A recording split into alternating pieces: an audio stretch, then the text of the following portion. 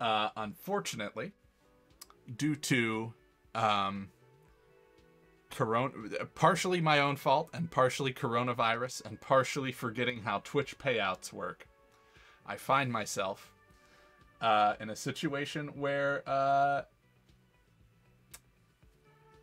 I find myself in monetary need. The electrochemistry fund represents uh, i i- it's groceries. It's grocery money. Um, it is it is essentially a donation goal, and I think if I've set it up correctly, um, as we reach the goal, um, it will fill up the interior battery of electrochemistry with green juicy goodness. Um, it's hooked up to donations only because those are the only things I can get uh, with any sort of immediacy. Um, and that's that. I get uh, Twitch payout on the 16th, and until then, I have the electrochemistry fund, and that's it. So, um, that's that's what that is. In any event, we will get going on the game here. Uh, so let's remember what's going on here.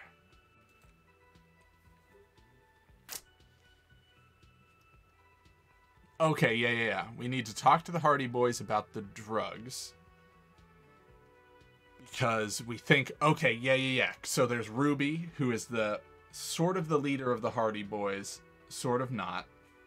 And Ruby um, is gone. She has vanished.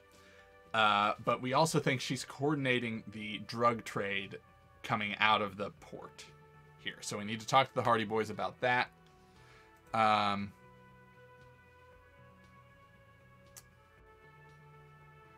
I need to report the dead body on the boardwalk. Uh, Joyce.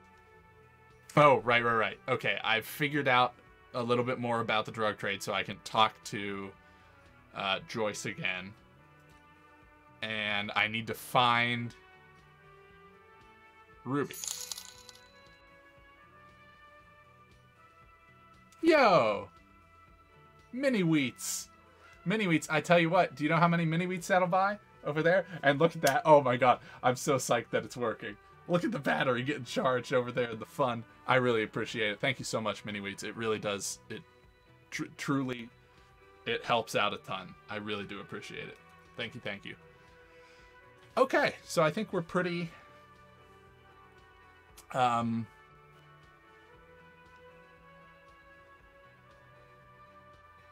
I think we're pretty set. Is there anything else we want to do? Uh. I would like to find my heraldic bird. Been there, my dude? Yeah. Yeah, that's, I mean, it's. Yeah. it's one of those, you, know how when you listen to, like, um, people on talk shows, they always have those stories about the times they were, like, about these sorts of times? That's, like, my primary way to, like, be okay with it, you know, is thinking, like, at some point, this will be a story I tell of like this one time I ate cookies for a week because uh put clothes in the trash. Okay, oh, that's right. Okay, so we need to we need to call we need to report the body and we need to get info on the armor. Um Oh god, we have to talk to Cuno. Okay. Call police station, talk to Hardie Boys, talk to Cuno, talk to Joyce. Yes? What is it? Did you hear that? Did you hear me sing? Did you like it?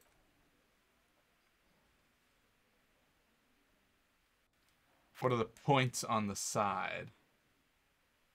What points? Oh, I'll look. I'll look.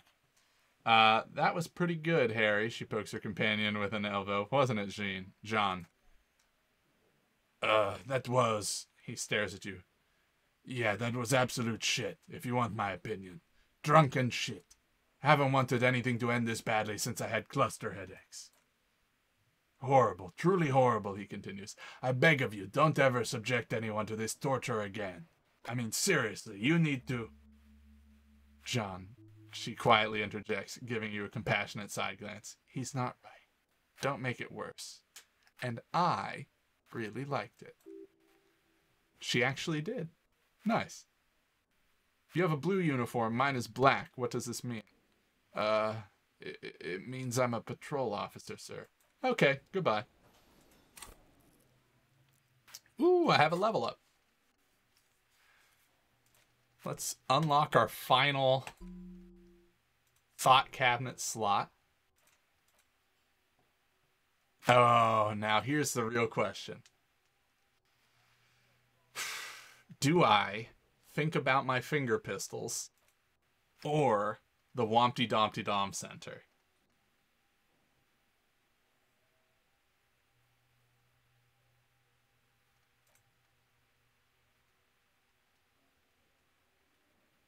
Shit. And then after this, we're going to have to make some tough decisions about things to forget.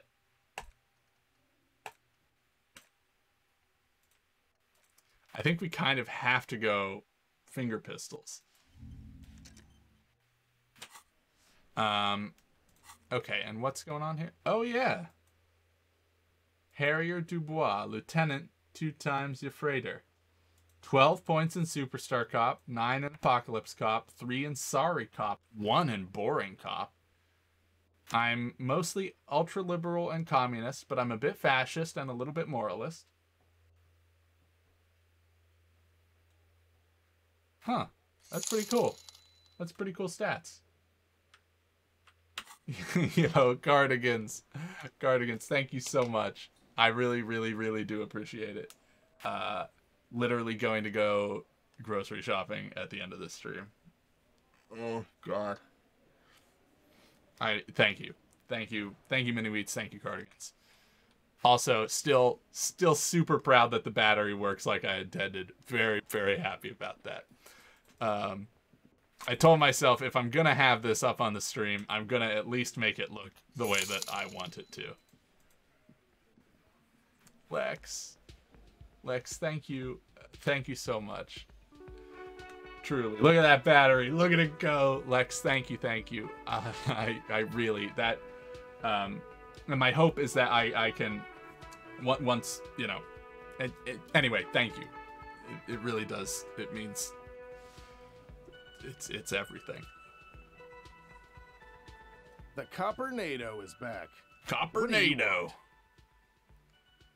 Guess what? I've connected you to the local drug trade. Like hell you have. He leans back unruffled. There is no local drug trade. This place is as clean as a rifle. Go back to Jamrock and ask the local junkies how clean your streets in Precinct 41 kilos. We'll do that. In the meantime, he points south, did you know that there's an abandoned lorry at the intersection that was used to move raw ingredients for drugs from Terminal B to Jamrock? We know Ruby was the driver. We know that's your affiliation with her. He taps on his notebook. Detective, do you want to deliver the coup de grace?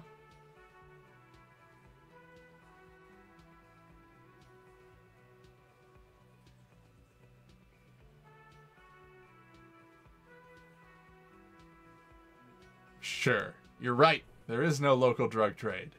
Except you. That's a mighty interesting theory. He rubs his jaw, smiling. I guess that's what you would need to do, theoretically. A big, strong state run monopoly would outcompete the runts on the street.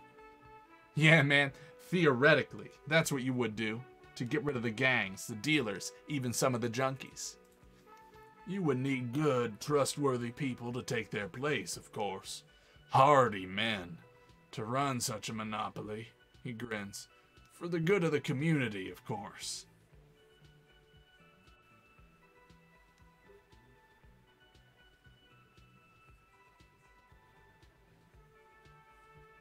Huh. Interesting. Is it disgusting?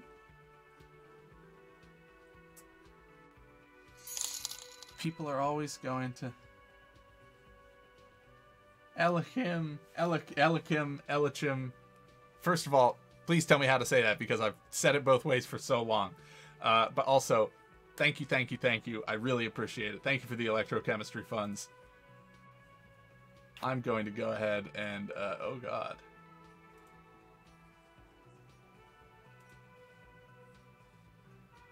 Does that make him disappear? Yes, it does. I'm going to go ahead and get rid of the electrochemistry funds. I think we've maxed out the goal, so uh, uh, that I believe is sufficient. I can make that work. Thank you so so much, everyone. Unbelievable. Uh, I really appreciate it, and I hope I never have to do something like that again. Um, but th- thank you, everyone. You'll never find out because it's made up. Shit. Well, Elikim, thank you. I really do appreciate it. Elikim, Lex, Cardigans, and Mini Wheats. Couldn't couldn't do without you. Thanks for being here. I appreciate it. Um, you would need good harding for the good of the community. Uh.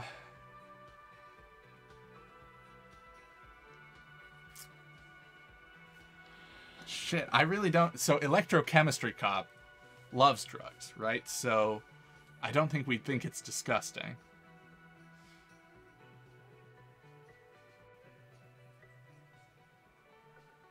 Oh, it's this one. It's this answer. Um, there's still plenty of drugs out there. In fact, I have some in my bloodstream right now. Enjoy your shitty ride, junkie cop. We still have it under control. All you're doing is contributing to the local economy. It's just a little hitch. Yeah, there's always going to be little sprouts. People find a way to make coin, but that's the little picture. Hardie Boys are taking care of the big picture. Theoretically, of course. We're just talking politics here. My answer to your drug accusation is how dare you? Go fuck yourself. And what about this Ruby? Is she the eighth Hardie who runs this thing for you? You sure do love long walks through Theory Town, don't you? The big guy asked, straightening his cap. Well, I'm thirsty now. Thirsty for beer. Got any less theoretical questions, cop? He doesn't let it show, but he must be a little impressed. You've put a lot of things together fast. He's practically saying yes, a yes to everything you've said. I'm going to go over a few things regarding Ruby's disappearance again. Do you know what she's doing with Ulan frequencies? What now? I've no idea. He looks around. Boys? She said she's building, uh, his voice is very quiet, a pale emitter. What? We, we were talking about radio equipment. She said she's doing Ulan frequencies and a pale something. I, I don't know more. This guy barely understands what he's talking about. There you have it. Pale something. Titus puts an end to it. It feels like you'll get to know soon enough. Thanks for the review, Titus. He sighs heavily. Anything else you want, cop? I'm gonna take off. Yo, Toby Rama, thank you very much. I super appreciate that. Thanks for giving that sub to Mini Wheats. Well, well earned, well deserved. Um, hope you're. Holy shit! Hope you're doing well, Toby Rama. Thank you, thank you. Uh, Fenwich, C Fenwich, thank you for gifting these subs. Incredible. Thank you for the five gifted subs to. Uh, oh my god, uh, I'm have to zoom in and out while I do this. Rockes, Rocky, Rocky Sky. Rocky again. It splits the names in half, so I'm gonna butcher these. Rocky Sky, MGD Philly, uh, Deaf Turtle, Deaf Turtle, uh, Dirk P, and S Kits 409. Oh my god. Anyway, thank you all for being here. Thanks for hanging out. And uh, thank you, Fenwich, for gifting those subs. Super kind. Okay, so we talked to the Hardie Boys. Now let's call in. We have a couple of things we need to do on our police radio.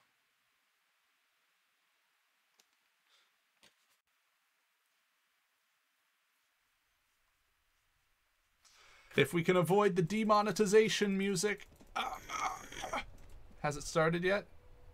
No, it hasn't. Maybe it's coming. I'm not sure. I'm just going to keep talking in case. All right, let's pull out the radio. Uh, connect me to Jamrock Public Library. This is Precinct 47. The operator greets you through the static. How may I assist you? Connect me to Jamrock Public Library. I'm afraid they're closed. It says here the library is open from 10 a.m. to 6 p.m. It is currently 8:30. We should try again during business hours. Shit! I need to report a dead body on the Martinaise boardwalk. Uh, one moment. You can hear her shuffling through some papers. Uh, an unidentified middle-aged man. Oh, can you please describe the body, age, sex, cause of death? An unidentified middle-aged man, height 170 to 175 centimeters, dark hair, medium build. Looks like he slipped, fell through a hole in the boardwalk, and hit his head against a metal bench. We suspect he might have been inebriated when he fell. There were bottles all around him and traces of vomit on his shirt. Any signs of violence? No, seems like an accident. No field autopsy necessary, she repeats. What about his belongings? Toby Rama. Thank you for gifting a sub to Vipekoi. Oh, thanks for gifting a sub to Vipekoi. Super cool. I appreciate it. Thank you, thank you. Um, he was wearing boots, trousers, and an old leather jacket with a bright blue lining. I found a library card from his pockets. Any information? It's from Central Jamrock Public Library. Belongs to someone named Billy Magine. Good, you have a lead. Do you and Lieutenant Kitsuragi want to take the case, or should I assign it? We're taking the case. I have assigned the case to Lieutenant Kim Kitsuragi. Please follow up on this library lead to identify the man. We'll send someone to take the body to the morgue. That's all for now. Thank you for reporting in. Is there anything else I can do for you? Have you heard back about the serial number? Yes, the armor was produced by. She looks at her notes. Fairweather, in the facilities in Betancourt, Sur Le Clef in 42. It was part of a special order for Corps de Pharmacie, a security firm contracted to protect the interests of Oranier pharmaceutical companies in the Semenine conflict. So, it seems the armor went to Semenine. That's where the paper trail ends, though. Even the firm has proven difficult to track. Corps de Pharmacie has been renamed several times over the years since the armor was issued. Do you know what it's called now? The most recently registered firm that the ICP has been able to connect to, the CDP, is a military contractor called Fresnel. And the one before it was Downwell. I think they might be the same contractor. A suit of armor like this would have been manufactured with a particular person's physique in mind. You should ask for whom this suit was fitted. A suit of armor like this would have been customized to fit the wearer. There must be a record of the person to whom it was issued. Yes, but the ICP tends to be reluctant to share private sector records. I could try to talk them into it, though. This is a fun challenge for her, an opportunity to contribute beyond doing her job by rote. She'll gladly put in the extra effort for Team RCM. Yes, thank you, officer. I really appreciate your efforts in this case. Glad to help. Call back tomorrow. Hopefully, I'll have more for you then. Great. Uh, done with radio for now. Cool. Okay. So we took care of that and that and the Hardie Boys. We took care of the Hardie Boys. We took care of the radio stuff. I need to talk to Cuno. Uh, and Joyce. Cuno and Joyce, and then we need to go find Ruby. Although it's nearly it's nearly nighttime. Is Cuno even out here? Yeah, he is. Fuck you, Cuno.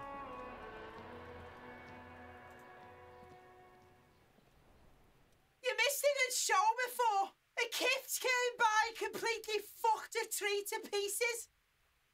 He fucked the tree up. Fucked it good. It was porno. By the way, that word is a racial slur, and therefore, I shan't be saying it. If you want to shut it down, you need to act decisively. It's Cuno. Use Cuno words.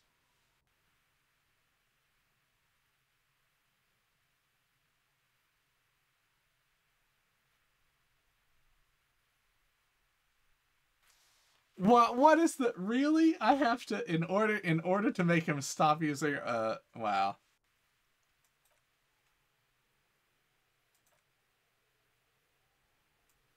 I like I hate talking to them because I don't want to read anything that they say. Uh Cuno's not fucking choking. He grabs his throat like he's choking. Choked you out there. Serves you right for using reactionary shit. Like fuck you did. He lets go of his throat. Cuno's gonna keep saying forever now. He only gets two out before he coughs. You really fucked. Shit! He stops. The fuck did you want anyway? You got your fuck bag down. Now let's talk normal shit. Yeah, let's have a normal conversation. Figure out what's going on. Shit! He's on your crime scene, bossing you around, and he's been here for some time.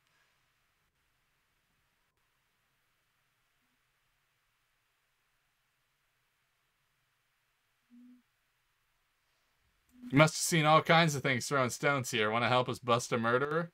Fuck no! He bursts out loud, laughing. Are you fucking mentally handicapped? I've almost made you a snitch.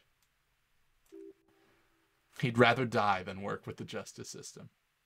I have more questions. The dead man's clothes were in the trash. How did they get there? Yeah, Cuno doesn't know shit about that. That shit is beneath Cuno. I need to know. Someone may have tampered with the murder scene. Listen, listen, he stops you. Cuno doesn't care about this small time shit. Just listen. Cuno saw what you did there, dumpster diving. Sad shit.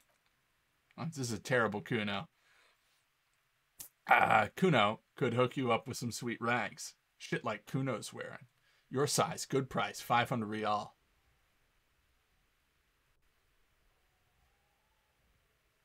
Wait, I asked you what happened to his clothes. You must have seen them lying around.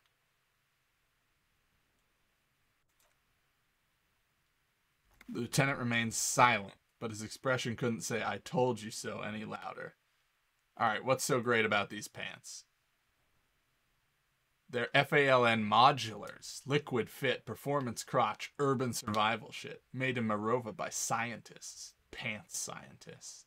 Believe it, you need this shit. He unzips his jacket to give you a quick peek at the plastic wrap pants. They are graphite black and look brand new. These could drastically improve your chances of survival in the urban wilderness. Coach Physical Instrument endorses these pants. They are tartan ready. They will also make you look like an make you into an idiot. Let's talk about these pants later. All right, Piggo, his face lights up. Shit's rolling. Don't do business with the pig, Cuno. He's gonna steal all your money, Cuno. As you can see, Cuno nods towards the fence. Cuno and C don't trust you. Can't do business without trust.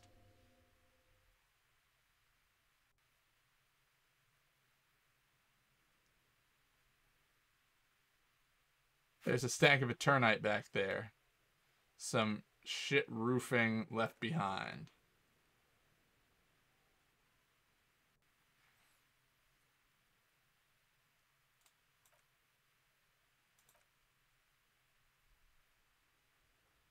So you say, but I saw past the veil. He loses his cool for a moment, then starts yelling, The fucking well? The fuck are you talking about? Ask me a normal question. Trying to make you feel stupid.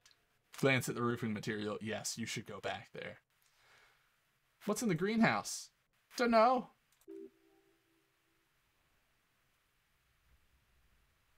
The gardener used to work there? That's what she said. That's what Cuno said. Uh, she took off.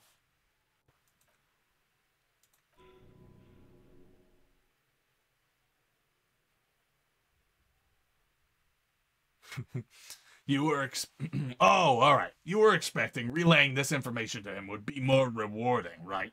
Telling him you found out she isn't a gardener. You know what you should do if you want to get rewarded? Drugs. Drugs are more rewarding than work. Or alcohol if you don't want to do drugs. Alcohol is just as rewarding, but it isn't a drug. This has been going on for quite a while, isn't it?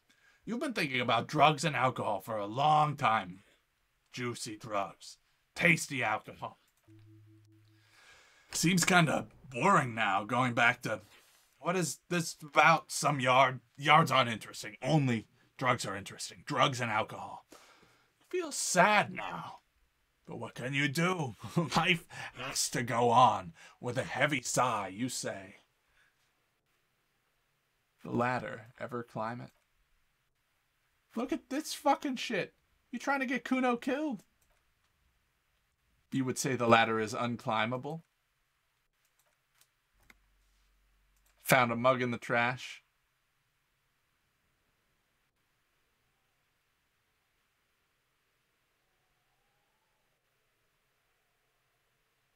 Does this racist mug have anything to do with it?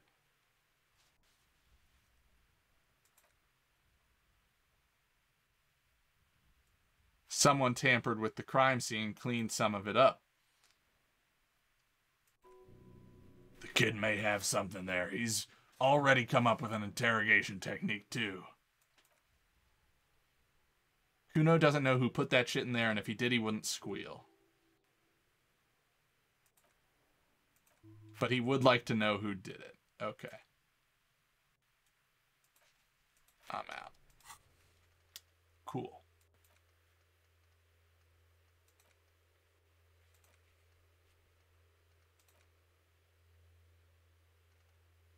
Oh, I have to ask about the body. God damn it. I... Cuno's What do you- Cuno's yeah, yeah, yeah. dad. Cuno doesn't give a fuck about anything. Great. Uh, tell me about the body. What do we want to know? If I were to want to waste my time, which I do not, I would ask them who he is, how he got here, and the usual. Oh my god. Do you know who he was? Uh, so you don't know anything. Do you know how he got up there? I feel like I already asked all these. Apparently I did not. Uh, city's too large for him to have left. Okay, where did you go? Went to Mesk. There is no Night City. Night City doesn't exist. Sorry, I really feel like we've done all this before. Maybe we did it and then we died and then we just didn't do it the next time around. I'm not sure. Uh, where's the rest of his armor? How come? A mutant. Threw it away. Threw it in the sea. You're too small. My morale is critical. Wow, I took some heavy morale damage just by talking to Cuno. Oh, I took morale damage because he called me 80. I almost died because Cuno said I look like I'm 80. What do you mean, troubadour? Ah! Alright, uh...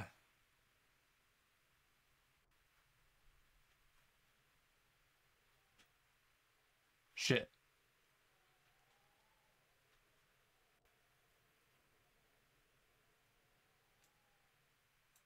Anyway, manana.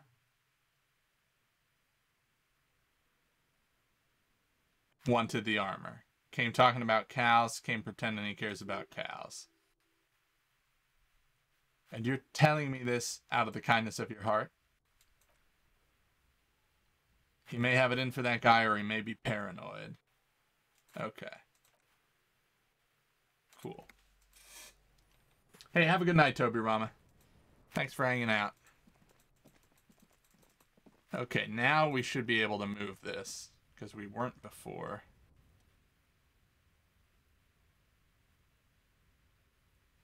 Can I up my perception at all? By changing my loadout.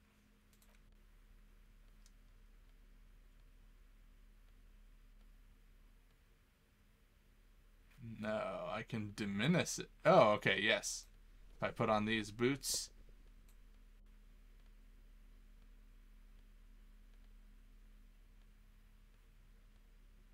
And that's it. But if I put on those boots. Haha! There's a secret door hidden behind the panels of Eternite. That's why they're too orderly. Pull the panels aside. There it is, a shabby little door.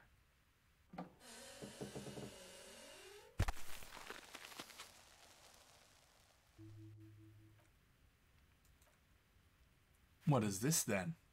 A tool shed. Let's investigate. First, let me see. Oh, no. Okay, that's all the way around.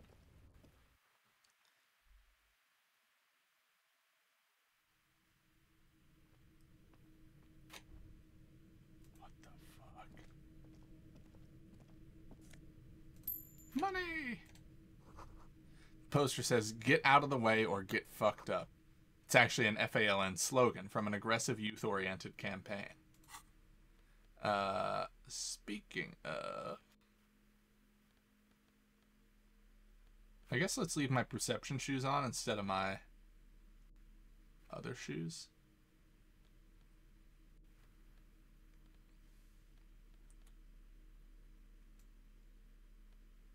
Um, and then let's also go ahead and get my flashlight equipped.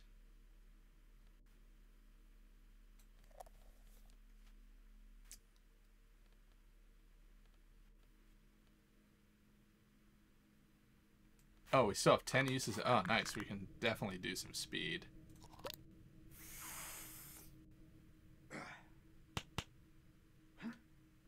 Alright, up our perception.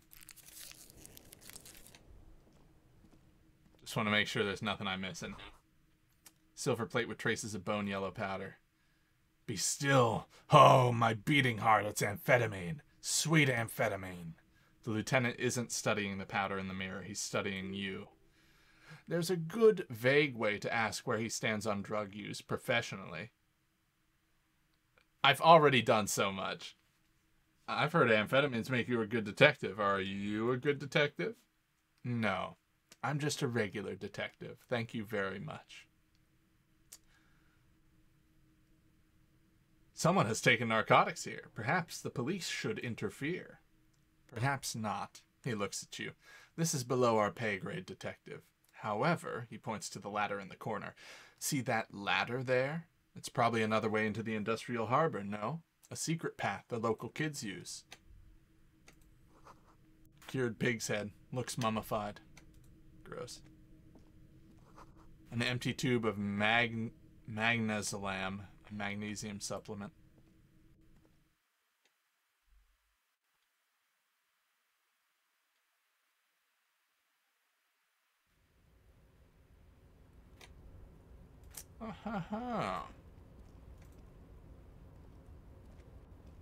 Well, would you look at that?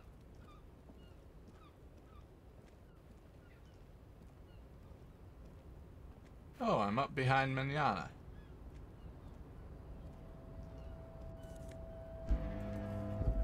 Some Nosaphed.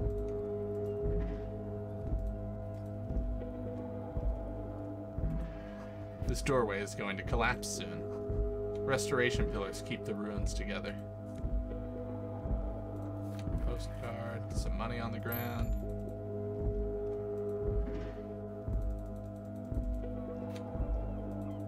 Interesting. Can I just run all the way up here? Oh, very interesting.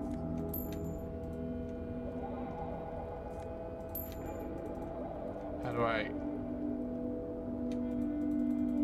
How do I get anywhere from here?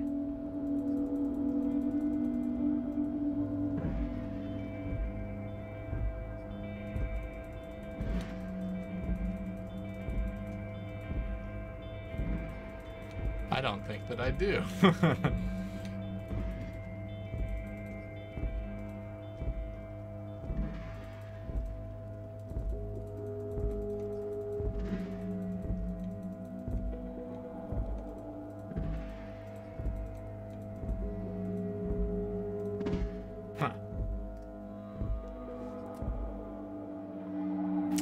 already been through all over there. Um, it's like what Cuno's little hideout or something.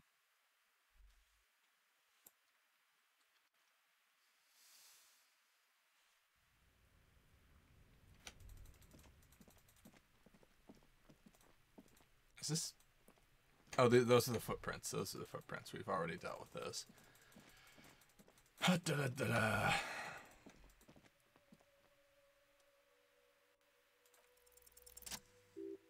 You see a set of tire tracks in the brown slush that cover the plaza mosaic. The tire tracks were left by an unknown event that took place some days ago. It's a message written in the language of burnt rubber. Some of that burnt rubber is stuck to the tiles right in front of the whirling in rags. This is point A. The driver started here. Accelerated straight into the fence, left a hole big enough for the Franco Nigerian cavalry, according to the cafeteria manager. What happened next? Driver proceeded to back out of the yard, barely stopping before hitting the adjacent building, before heading south. Must have been in a hurry. This is where I started off with my carriage before sinking into the sea. No wonder the cafeteria manager seemed frustrated when he was giving us directions to the yard. Yeah, for real. Also, here's a breakthrough. I figured out finger pistols. Snap, snap, baby. Turns out guns aren't that much for protecting as they are for attacking people. If you want to protect people, really work for them, then you have to whip out your signature dual 9mm Villiers finger pistols. Who needs a real gun anyway? That conversation you just had would have gone better if you'd snapped those bad boys at him. Note, 9mm dual finger pistols do not count for an actual weapon in a gunfight. Oh my god. Okay, I get plus one to reaction speed because the safety's always off. And, and if I have an empty hand slot, I get plus one suggestion because I get to emphasize everything I say with finger guns. Hell yeah. I love my finger pistols. Um, okay, what do I need to do now? That's so good. Oh god, they nailed it with so much in this game. I want to work for these people. Who are these people? Z-A-U-M? Hire me just so I can like I, I don't even you don't even need to pay me. Just let me sit around your writer's table. You people must be so strange in such a great way. Um All right, we need to talk to Joyce. Uh, we need to talk to Manana. Manana's right over here, and it's nearly bedtime, so I think we'll do Manana right now. And then we'll do Joyce Manana. you know, you get in because tomorrow. Or is Manana morning? Or is it tomorrow? I forget. It's been a while.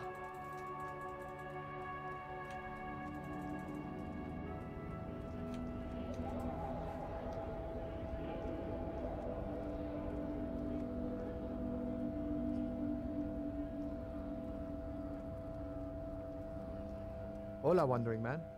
How can I help you? Cuno told me you were supposed to know about the armor. he smiles. The little boya did good on his promise. His promise? To get me into trouble. To sick the pigs on me. Pardon the choice of words, not mine. What happened? I was asked to look into the armor situation. Official Union probe, you know, track it down, see who took it. Did you? At first I thought, why not? Maybe the pieces can feed the strike. Buy us a few more days under the sun, you know. So I went to this boy. He said he'll make me his prison bitch. He's got eyes everywhere. The cop's in his pocket. He's the king of Jamrock. Serves me right for doing menial footwork. I dropped the probe right then and there, and it still got me into trouble, he smiles. One bad move is all it takes. What did you learn from the probe? I learned that people don't want to talk to a drunk union man about some armor. What else? Not much. Technical stuff. That was the most interesting part. What sort of technical stuff? I did some research into this armadura. Let's say I have friends at the library, he explains with a wry smile. I didn't get into uh, the material science, just how it comes off. How does it come off? In parts. Four in total. The helmet was the first to go. The kid says he tore it off and kicked it into the sea. I believe him. The boots were still on, last I saw, too hard to remove. So as I count, there are two parts missing. The gauntlets and... I've never known how to say this word. And in the spirit of always looking up how to say things on this stream, I will look up how to say this. This is where I left off. Too much hassle. More like a job for some milicia. Mi militia. Uh,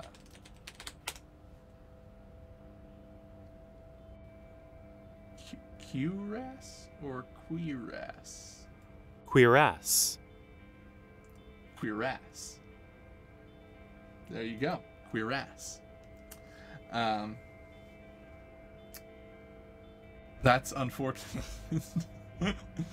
uh, okay. Four pieces helmet, cuirass, gauntlets, boots. What about the leggings? Oh, they're just gone. They don't exist anymore if they ever did at all. He gives you a jolly shrug. Forget about them. I did. I'm ambitious. I'm gonna find all of it. All the pieces. All of it? The lieutenant raises his brow. There are junior officers out there eager to prove themselves. I would leave some for them, and I would leave the boots to processing, but okay, let's find all of it. It's implied he finds it unlikely that you will succeed in this. A Mesquisi epic, then.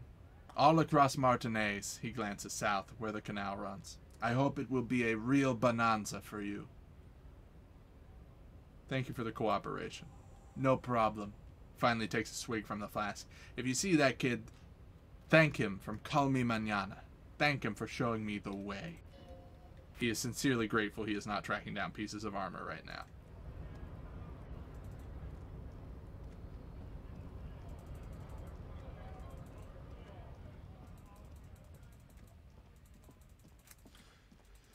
Okay, so now what I want to do is head all the way back to my shitty little uh, shack. If the woman is still outside, I can ask her about um, the bullet that we found. If she is not still outside, then I will just go to sleep.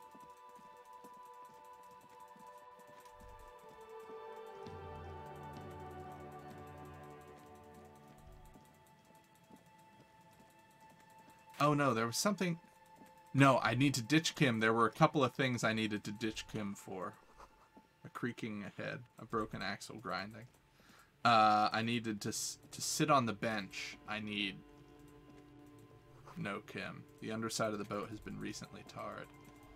Right? There was a bench over here that I wanted to sit on, and it was like, oh, you can't possibly sit on this bench if Kim's around. Yeah, it's this one.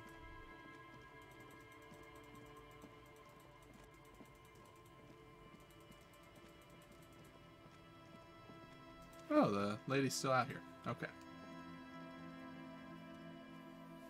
The old woman still sits in her chair, continuing with her chores. As she does so, she quietly hums to herself. There's a gap where the name of that song should be. You should ask her about it right now. You're still up? Yes. Can't really sleep anymore. Only a few hours a night. It happens when you grow older. She sloshes the water in the bucket around for a bit. My suggestion is don't. Don't grow any older than you already are. That's old enough. She smiles. What's troubling your mind? What's the song you're humming? A lullaby my mother used to sing. I sang it to my kids, too. It's an old Sumerian children's song. What's it called? Surrender to the Night, she replies, slowly rocking back and forth. That's kind of grim for a children's song, even if it's a lullaby. Sounds nice. Yes, it does. Why was there a bullet under the floorboards of your shack? God damn that girl, she murmurs softly. And without anger, a long and harsh life has taught her not to buckle under pressure. A bullet, the lieutenant turns to you and gives you a little nod. Then to the washerwoman, You didn't put it there, did you? She did. Gone and hid things in there. She shakes her head. She's usually a good tenant, and not a stupid one either. You rented the room to her? The old woman sits in silence, her hands moving into the water bucket. Some water sloshes over the edge. Slowly, she speaks, wringing out a rag. Yes, I let my room to that Ruby girl. As I've done before when she's been in trouble, or just looking for solitude, I've made it clear we welcome all kinds of people here. She came last Friday, left on Monday, in a hurry. Her wrinkled hand kneads a blue rag in the water. What has she gotten herself into, that girl? She seems genuinely worried about her previous tenant. She's been hiding her from trouble before, but this seems different. That's for the police to find out. The lieutenant takes out his familiar blue notebook. Right then. Please answer each question to the best of your ability. I'm sure we have a few. You said she left on Monday. Yes, early with the dogs, around 8 o'clock, I think. She probably heard the lieutenant's Kineema drive by and it woke her up, just like it did you. Kim, she must have heard your Kineema. Yes, that is a downside of having a 130 kilowatt engine. His voice is tinged with pride. It lets the bad guys know when you're coming. Is the room exactly as she left it? I cleaned it like I always do. Was there anything else there? No. The truth. the truth, sire. What is she like, Ruby? She's good company. Knows how to talk to an old woman. She rubs her cold hands together. At my age, you don't get a lot of quality conversation, so I really appreciate that about her. This Ruby is an old lady whisperer. She knows how to work the village elder, unlike you. Did she talk to you much during her last stay? No, she was mostly silent this time. Kept to herself. What do you mean? She tried not to let it show, but I could tell she hadn't come to fish. Usually she likes to cast a few lines, but this time she mostly stayed in her room. She wanted to talk to her, as they usually do, but she was brooding. Why do you think she left the bullet? How would I know? She's a gruff one, but not violent. She doesn't go around toting a gun. She looks back toward her shack, thinking. You could ask her about your hunch, that it was a desperate measure, see if she thinks Ruby fits the bill. I have a possible explanation in mind. I do tell. A seagull flies overhead. Obviously a bad omen. It's an exit plan. Exit? From what? This. The lieutenant stops writing for a moment. He looks at you, then at the old woman. She tilts her head to the side, looking up at you, deep in thought. Then she makes up her mind. No, she's a fighter. Not a quitter, like you sometimes get, son. Uh, She really believes that. Did she have any technical equipment with her, like radio stuff? Not that I know of, though she was into nice music. She once showed me a few mixtape milieus she's made. She brushes her forehead with the back of her hand. Water drips to the ground.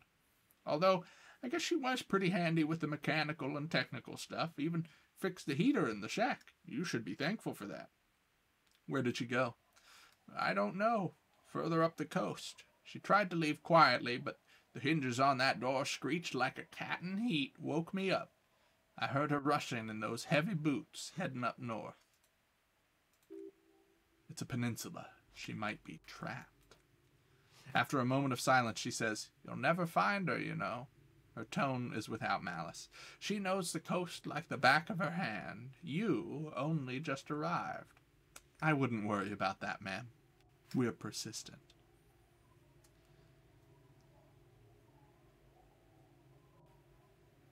Further up the coast we go, then.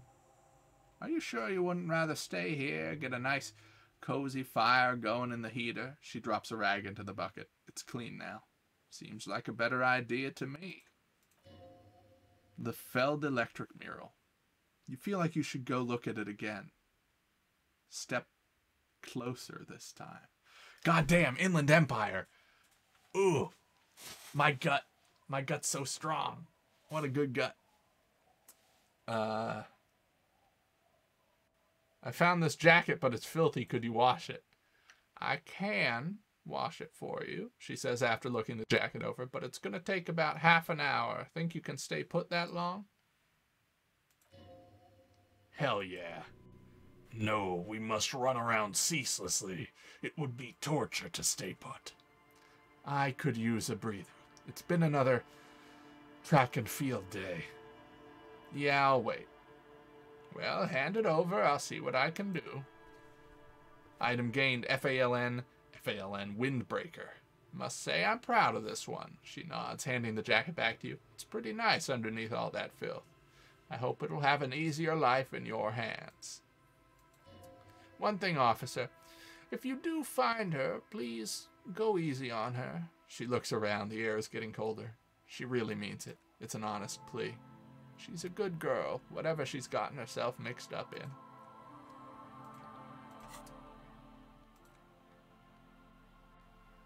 Where's my new windbreaker? Oh, nice. Pain threshold and half light, but less drama. Well, we can't have that. Can't have less drama.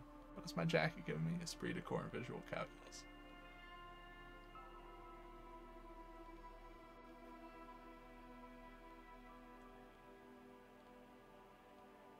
Uh, yeah, I think we're pretty.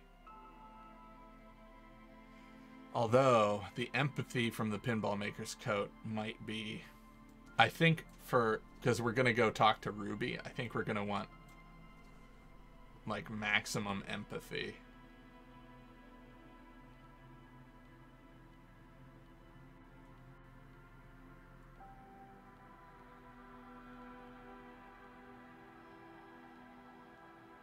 And I believe we have it.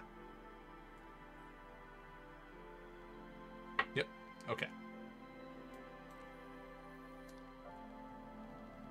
Cool.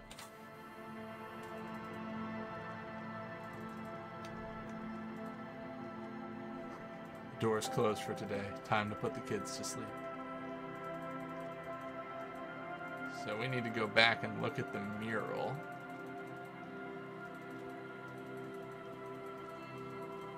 Which I think is. Yeah, yeah, yeah, it's up here.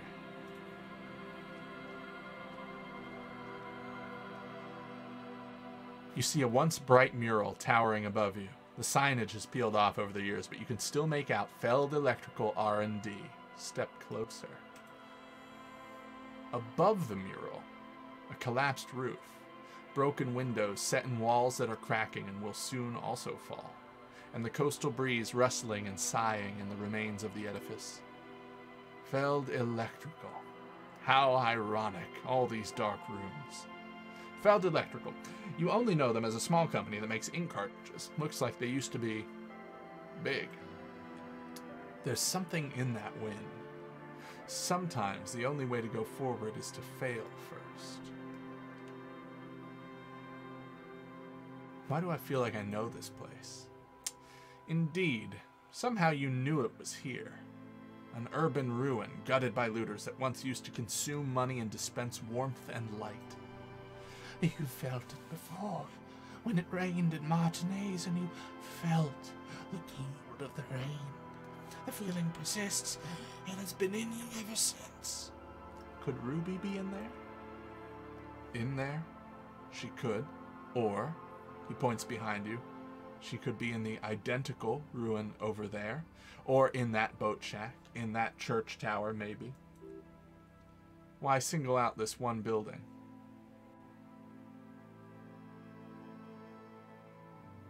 Oh, it's impossible. Why single out this one building? We have to maximize our shivers. Maximum shivers. Engage. Do I have only one? I might only have one thing with shivers. Yep. Uh, okay, well, I think alcohol also will help my shivers, so let's... Right, because it's physical. Yeah.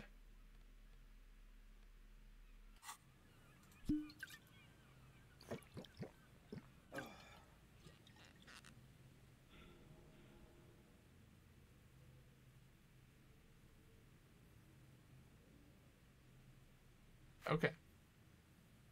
So this is our best shot. Oh, hold on. I, I need to free up my hand again.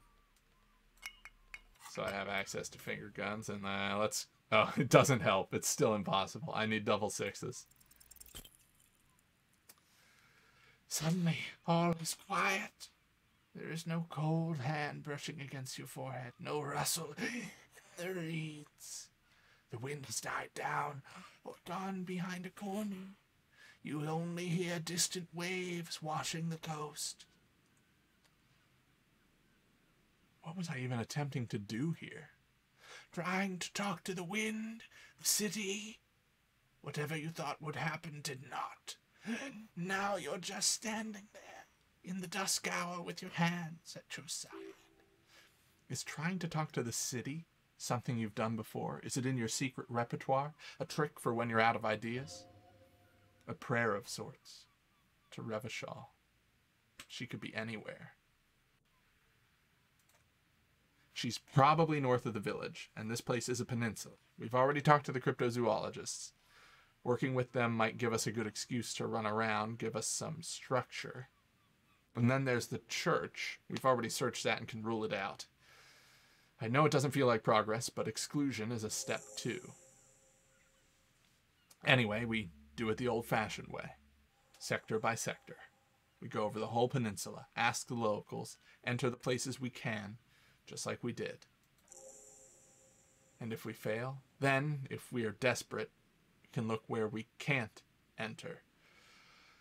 Bunkers, storm drainage, this place. I'm sure it won't come to that. He looks behind him, the dark red box crumbling across the chasm. Walk the coast, the old boardwalk, the reeds.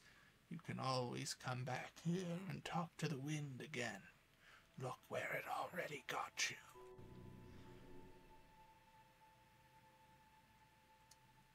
Buckle up, raise your collar. This search is going to be wet and cold. Okay. Well, that to me signals not going to find her tonight. Uh, I think I'm going to put Kim to bed and then go sit on that bench.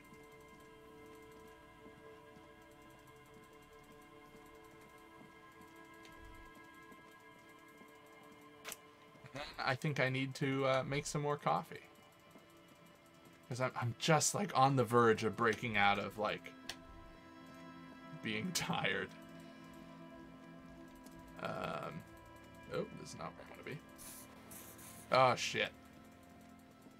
Accidentally some Safed. oh, well. Oh, well, we'll find more, I'm sure. I don't want to level up just yet because uh, there's that lady we're trying to date, and we need to know. Uh, I, I forget what stat will help in that regard. Is this our shack? I think this is our shack.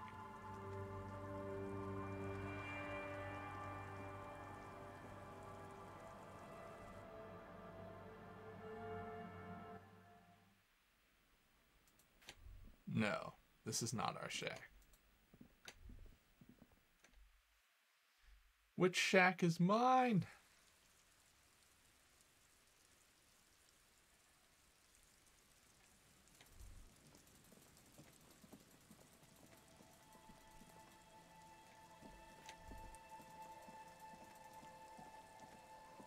There's no way into that one.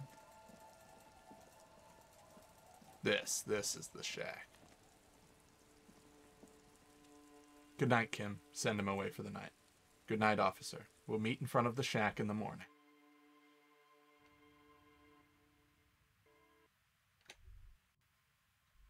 What is this? Oh, that that's my that's the shaving kit. Um.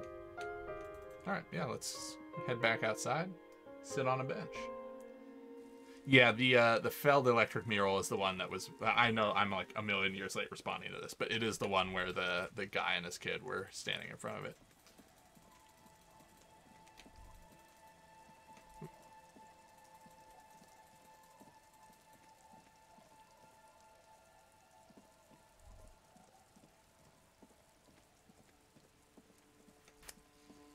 Finally, I can sit on this bench.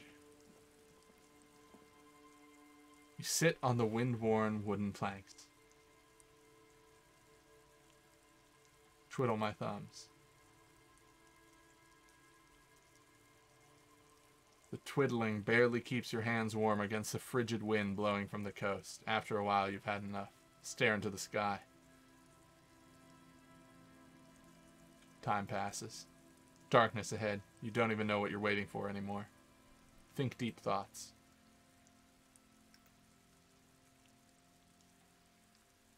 You finally stop picking your nose. Huh. Okay. So, the bench allows me to accelerate time, but only without Kim. And I can only ditch Kim at night, which means there must be something that happens late at night that uh, Aye, the sea's gonna calm down soon. I can feel it. The wind is turning southeast. What's on your mind, officer? Okay, okay. It's suggestion. Let's maximize our suggestion. It's gonna come down to Pyrholidon. And speed. I can't take the speed or I'll die. I can take the Pyrholidon, so we'll take the Pyrholidon. Do I have any better suggestion clothes?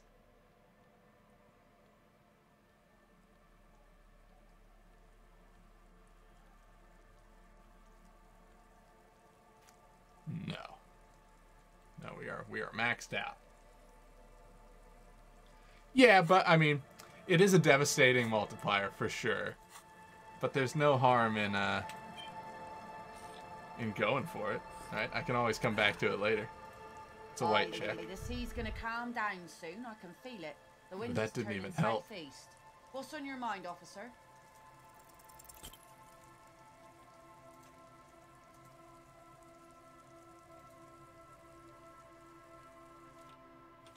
Okay. All right. Be seeing it. Be seeing it. Just go ahead and up our suggestion. All right. We'll try that again after we explore the the coast. There's no. Uh, I don't want to have to level up another time to deal with it. Um, I don't know. Don't know if there is a benefit to waiting. Like if something will show up, or if I'm kind of concerned. You wonder if it could rain so much that it drowns all of Martinaise. Then everyone would have to go about their day in diving suits. It's getting late. Time to head to sleep. Okay, it will it will cut me off. It seems like. Yeah. Okay. So it does cut me off eventually.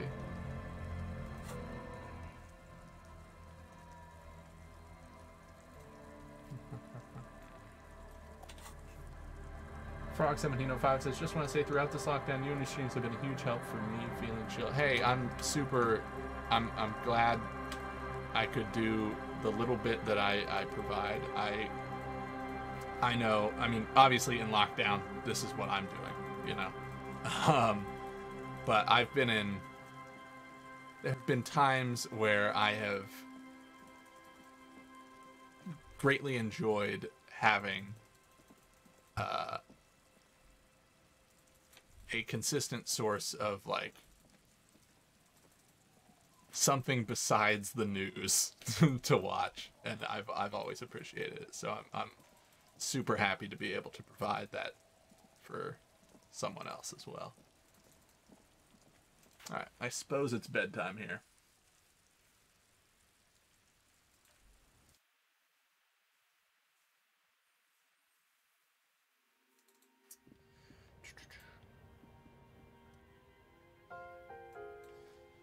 All right, we'll go to sleep. Across the room, the heating system hums its soft lullaby. The mattress feels soft and sheets warm. It only takes you moments for the world to fall away.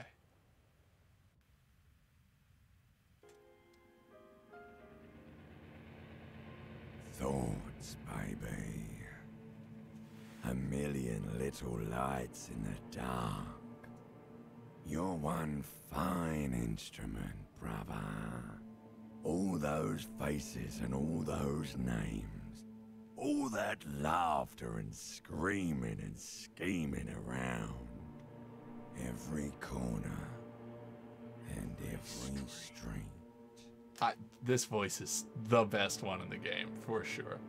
Also, hey, that's awesome. I, I actually, I've heard from more than one person now that they got into playing Cultist Simulator after watching my videos, and I think that's super super cool. And congrats on the win. I mean, that any victory in that game is worth celebrating for sure.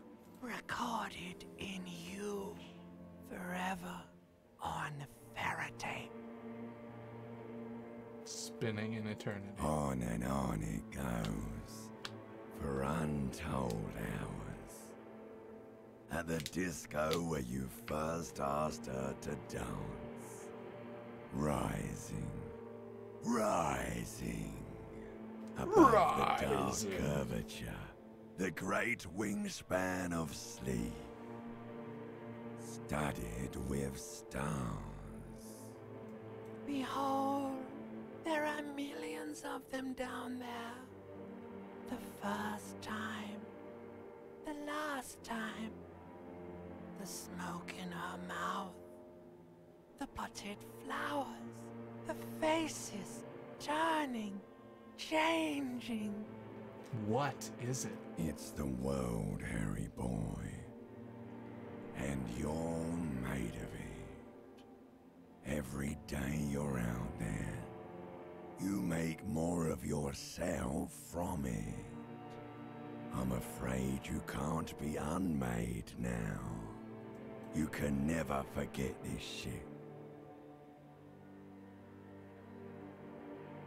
Colors, All the stuck voices. on loop, whirling, spitting out words and images. You're the son of the world again. Harristar, a ceaseless agent, picking up litter and old newspapers, collecting your little bubblegum wrappers and idiotic picture postcards. Meaningless, meaningless keepsakes. Reading your awful letters and recalling things, aren't you? The endless names of the world. An address book you are. The map of a city. Ooh. Am I an agent of the world? What if I want to be an agent of nothing? It's too late. You're not made of nothing anymore. You're something now, Harry. I tried to drown you in the black water, but you re-emerged, kicking and screaming, running. And for what? Solving your little crossword puzzles. Doing your tasks. Crossing names off your lists. Trying to become some sort of world detector. It won't make it okay. It won't put smoke back in her mouth. Why? Cause only love can break your heart. Feel the pillow under my beep, cheek. beep. The alarm is ringing, Harry. The disco circus goes on and on. You barely slept three hours last night. Do it for the wind. Do it for the picture puzzle. Put it all together. Solve the world. One conversation at a time.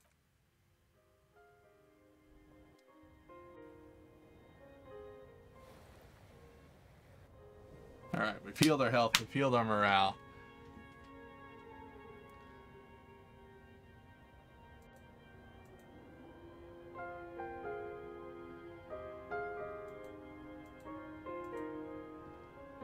We are ready to rock. We could definitely use some more magnesium because we are going to take some drugs today. um, also, before we get started uh, on this fresh day of detective work, uh, I am going to take a quick break. I need to heat up some more coffee to really push me over the threshold into alert, awake, and hopefully uh, doing better voices. My Cuno, I don't. If you were here for the Cuno, I apologize. It was the worst Cuno I've done so far, and the Cuno's never been good. So we need, I think, one more one more cup of coffee, and we'll be right at that sweet spot. It's a fresh start to the day. I think first order of business, main order of business is explore the coast, which is going to be, I believe, a feat of perception. So let's, ooh, maybe I don't want the logic hat. That's really the only hat that I have, isn't it? Yeah. Shit. I need a better hat. Alright, we're trying to maximize perception.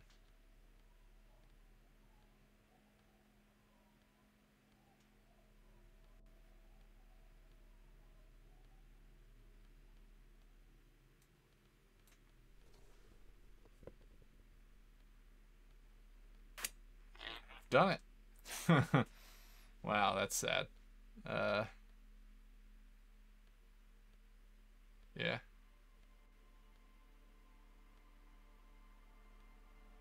Cool. Okay, and then, um,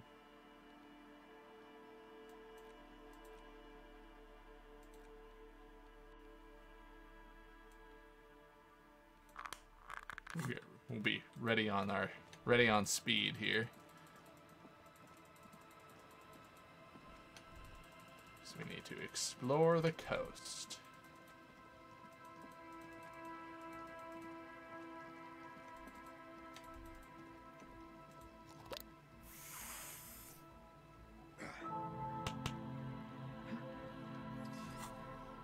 Alright. Free up a hand.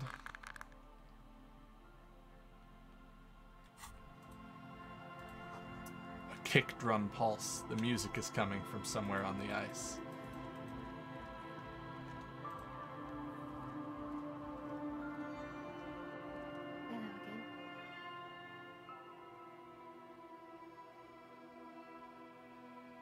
I'd like to know more about your associates. You must know something about them. Of course I do. I just don't tell people about my friends and who they are and so on. I don't provide information on them to the cops. What about you? Tell me something about yourself. Me? I'm a silver bird. High above and to the east, the cold winds blow over the feathers of an early songbird. She lands on the stone ledge of a tall building. Her beak is silvery gray. Alright. I'll ask later.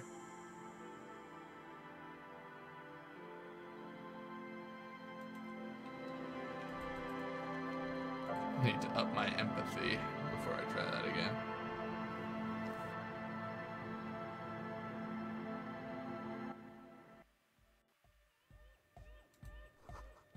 Pile of nasal sprays, brand name Nosaphed Ultra. Hi again. So, uh, how things going?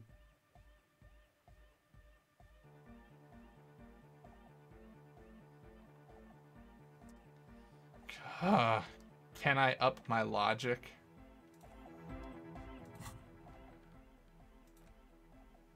Well, I could if I smoke, for starters.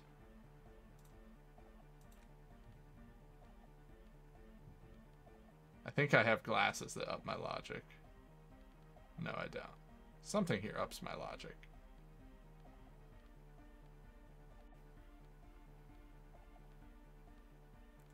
Never mind. Ah, yeah, it's the hat. The hat ups my logic. Hi again. So, Alright. uh, how things going? Oh, I need to smoke. Raise my intellect. Maybe everything isn't quite as you've been told. Take a moment to analyze. Shit. Nothing jumps out. Really? Because I swear something's not adding up. Oh, that damaged my health. How about you get out and breathe? The air in the, th- the tent is too thick. You mentioned some kind of Ecclesiastes on the church. Who are these Ecclesiastes? Oh, yeah. That's a meteor- Meteoran name for the founding party. Thought it'd be cool to use it. You don't know what the founding party is, there might be a way to mask it with minor demagoguery.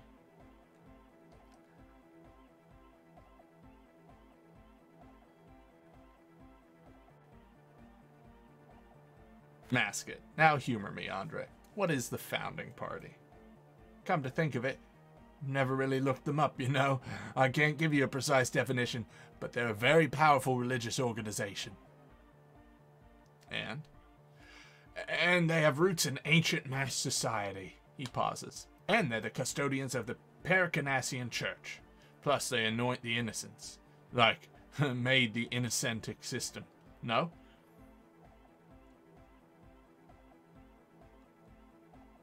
Now, Andre, in your opinion, would this ancient religious organization who anoints the innocents want a dance club in one of their churches? Totally. There isn't a trace of doubt in his voice. The Perikarnassian Church is about love, and anodic music is about love. I got love for my Perikarnassian posse. Love is the relay out of death. We dance! He violently shakes the tape player, as if to see if he can break it. Love is hardcore. Unity. Unity.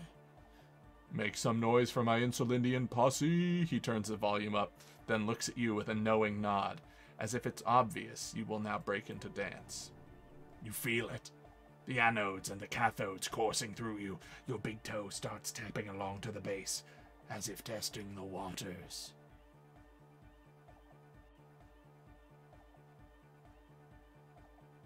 I now understand it was lame of me to suggest otherwise. Anodic music is about love, and so is the Perikarnassian Church. Yeah, Yukokata, Yukokata, yeah, the place to be. He seems ecstatic that you share his vision of the Perikarnassianism, of Perikarnassianism. Do it for the masses, do it for the crew.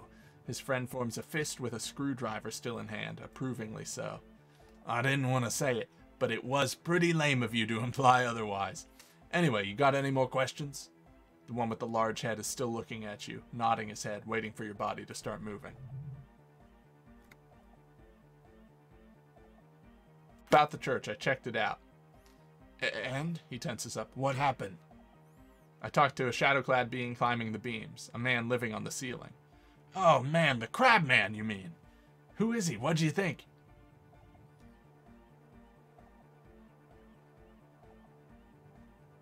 Uh, he gave me this odd lecture on alcoholism before rambling on and on about mother's love. Really? Huh, interesting. What's he doing in the church?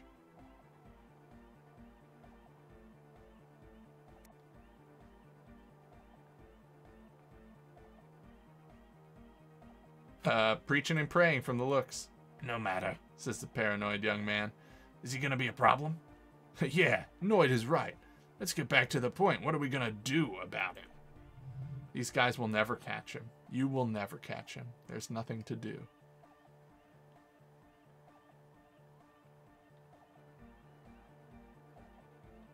He told me he wouldn't mind the nightclub at all. I don't know, man. Doesn't it feel like a major hindrance to you? He rubs his jaw. A spooky guy climbing around when all the guests are trying to have a nice, friendly hyper time? Don't worry. I don't think he really gives a damn about you or anyone else. I guess it's not a massive problem, now that I think of it.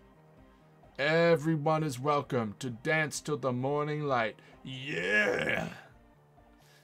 Maybe, uh, I guess we'll figure something out. Okay, but what about the other spooker, the one in Grandma's clothes? Did you see her? Uh, I was using the mainframe when Soona, the former lead programmer of Fortress Accident, appeared. A programmer? That's odd. What was she like? Did she ask about the nightclub? She said you guys haven't been completely honest with me about your plans. Come on, man. Who will you trust, a spooky programmer or us? We just want to make the world a better place. Feel the love. Get down and feel it. The stuffy tent muffles the last two words. The command fails to impress. A half-hearted sell of something which does not seem worth buying. I'm not really feeling it at all. You'll get there, but believe me, when we've got our gear set up, things will be flowing and pumping. Anyway, now that's settled, how did she seem? I mean, disposition-wise, uh, about the dance club. Joe there nine, rocking it or dropping it. She did not like the Anodic Dance Club idea. What a pity. That's my favorite thing in the world. Drops a hammer back into a toolbox. And she doesn't like it at all. Shame. He sighs. What can we do now? do you see a way out of this jam and into the laser lit future of dance and unity? Unity. Dance. She made it very clear she won't leave until her own project is finished. A- and you can't just evict her? No, I won't evict her. We have to come up with a different solution. Look at you, Honor Man. No, Noid, he's right. Maybe we've approached it the wrong way after all. I'm sure there's a workaround. We can make a deal not to bother her. If that's okay with her, we only want to get in the church and spread the joy and ecstasy of music.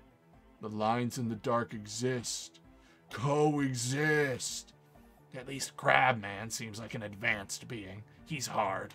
He'll understand. Yeah, and he can do his climbing thing in the tower. And the programmer, does she like hypnotic dance music? She absolutely does not. Really, truly despises it. Egghead cannot believe what you just said. It makes him pump the jam a little slower for a moment. But then he returns to the full swing of it. No, no worries, we'll figure it out. The man nods enthusiastically, then leans in and whispers, If coexisting fails, you can always muscle her out, right? If that's all okay with you, what do you think?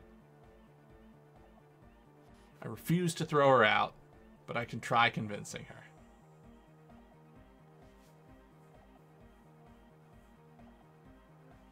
Alright. I can confront them because I, I can try again because I confronted them.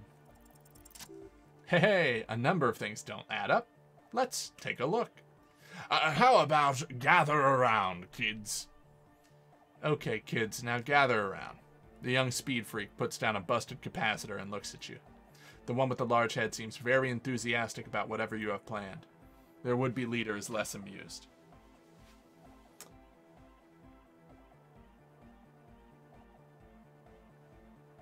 Sometime in the past, I'm not sure when and where, but betrayal was involved. I fell sick and became the shadow you see now. But before that, I have reason to believe I was a police detective. But you still are.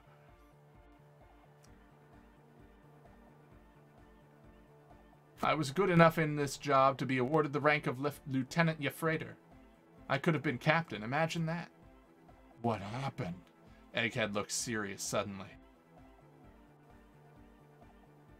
I did.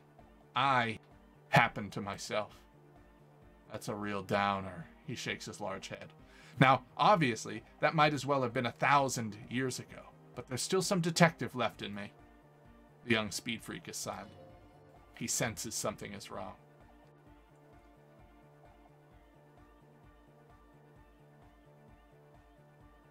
This isn't the makings of a club.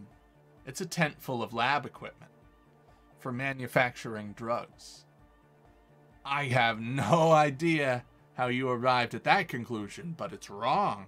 Look, we have speakers. He points at the speaker. One speaker. They have one speaker.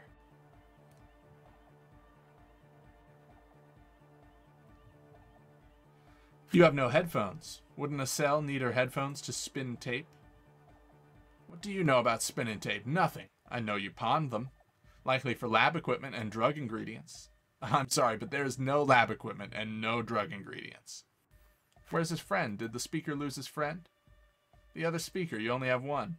It's a one speaker system. It's monodynamic. You wouldn't know the first thing about sound reproduction in hypnotic music. Another speaker. Pfft. This may be the brain damage talking, but you've definitely never heard of monodynamic or one speaker systems. The distilled water, cornerstone of a clean lab. And all of cellular based life. What's your point, Lawbringer? There's no need for me to pile on anymore, is there? No shit. He sounds tired. In short, you tried to use a police detective to set up a drug lab. That's. He waves his hands. Uh, come on, that's against the law? I meant to say not true. So what are we gonna do with you?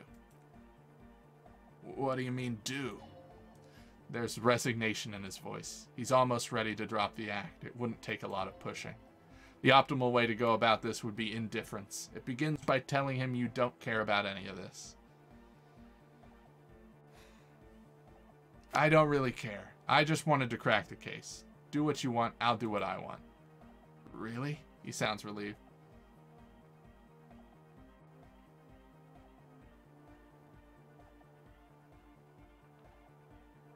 Uh, really, really. I wanted to ask you about something else. You just wanted to ask me, he's a bit perplexed, about something else? Before you can tell me what the plan for the church really was, he thinks for a moment, then opens his mouth but closes it, then finally raises his hands. Things are just way too hard for an entrepreneur in this city. It's like we're it's not like we're not gonna turn the church into the wickedest club in East Revachol. Because we are. We totally are. We're just gonna turn it into a speed lab first. You know, get our foot in the door. And why did you need me? Like I told you, spooky assholes moved in while I was getting all this stuff together. A month ago, the place was empty, and now it's all spooked up. They're not really spooky, are they?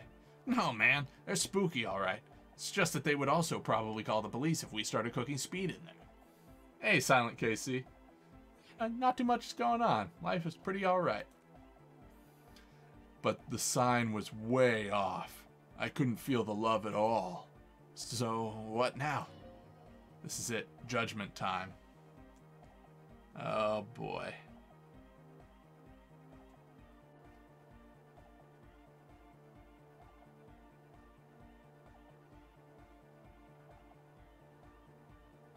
Ha ha ha.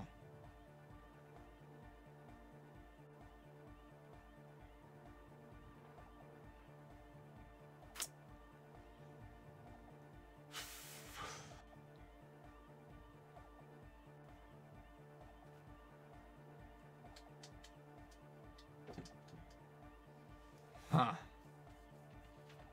I could tell them to do it clean, but like I do I do drugs.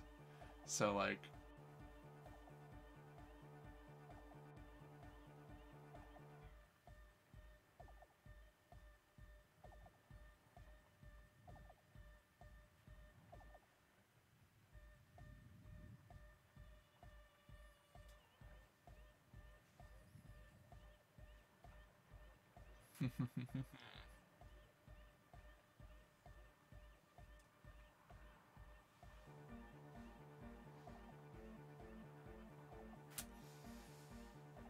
think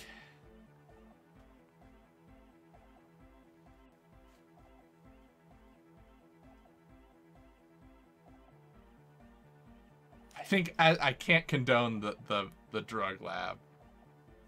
Although if they set up a drug lab, it would compete with the what the the Hardie Boys have going on.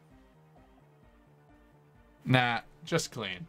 Yeah, the young man's smile widens to inhuman proportions. His teeth beam in the floodlight. I knew it. The would-be leader drops his spiked head between his knees. It's impossible now. No, Andre, it's harder now. This hard cop has come to show us how much the fish is, and the fish is always so much more.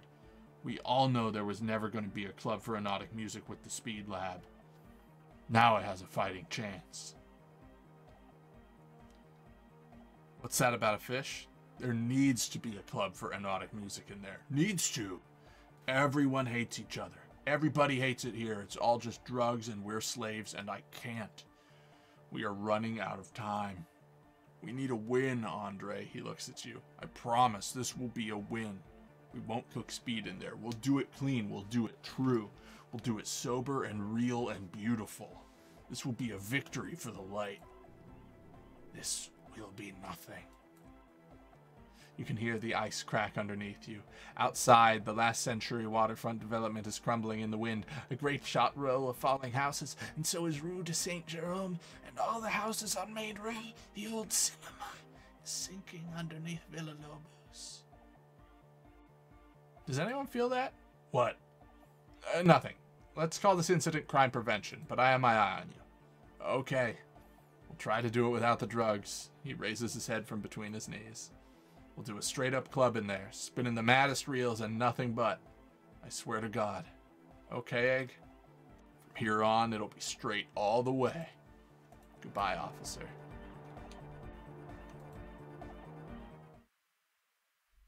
Well, it's good to know that a stern talking to has turned those kids around for sure.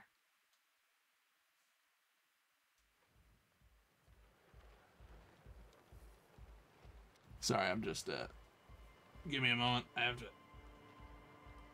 just a second. Okay. Had to press down the uh, plunger. on the French press.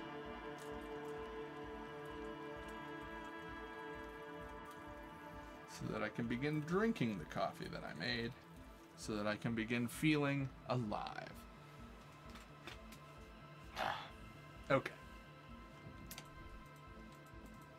Does that make it easier to talk to her? Hello again. Nope. Your associates tried to use me to set up a drug lab. I'm guessing you knew of this? I did, and I'm sorry. She doesn't appear surprised. For what it's worth, which isn't much. This is why I didn't go into the tent. The lieutenant looks at the ocean. Typical delinquency. You don't get to choose your posse, they choose you. Mine are idiots, but they're mine. I tried to talk Andre out of it. I even tried not to lie to you. Indeed, she merely tried to omit the truth instead.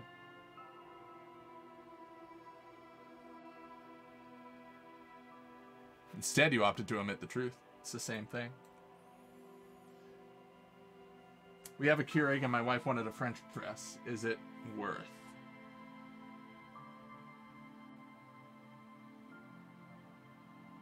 I mean, yeah, French presses are super cheap and they make great coffee. It's like what, under 20 bucks for a French press? I know, but I knew you'd see through their plan too. I'm not an idiot. I should have been able to control them. I will in the future, I promise. May I ask, what did you tell them? Do what you will with your dance club plans, just no drug labs, please. Thank you, the young woman nods. I'll get them under wraps, I promise. That's it for now. Alright, back to searching the coast, both for a missing drug kingpin and also for a good date location.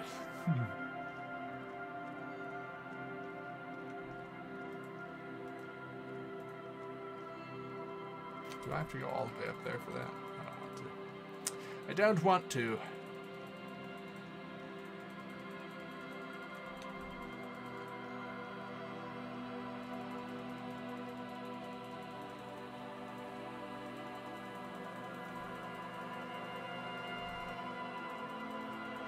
Don't think we've been up here before.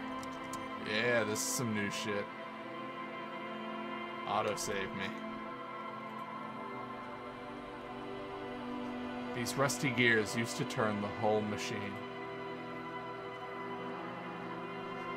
Chain trails off into the ocean, to who knows where. This barrel has been recently discarded. It smells of fuel oil.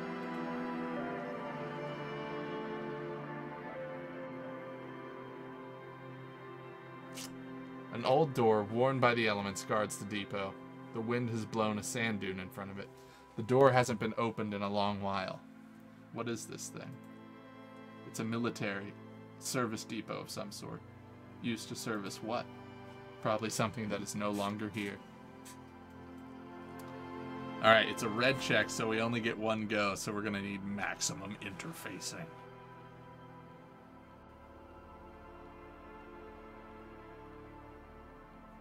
That's gonna be like my only interfacing thing, isn't it?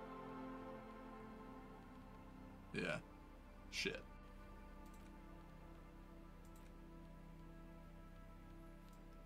Maybe a pry bar will help.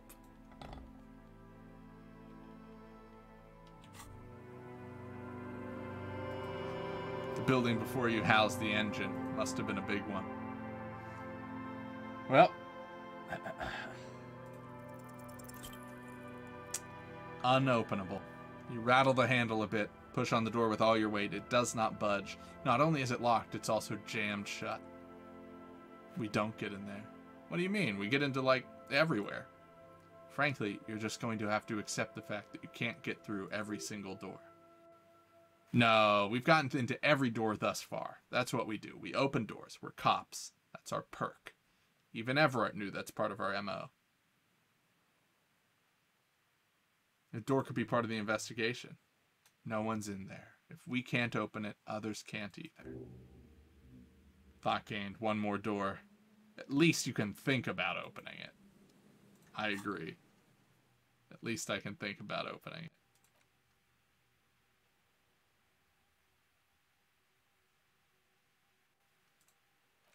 I wonder what I would get rid of. I think I'd probably get rid of Kingdom of Conscience.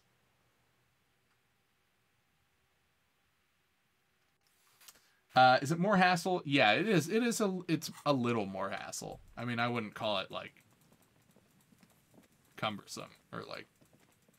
It's not a ton. You just have to heat the water and pour it into the thing and then wait.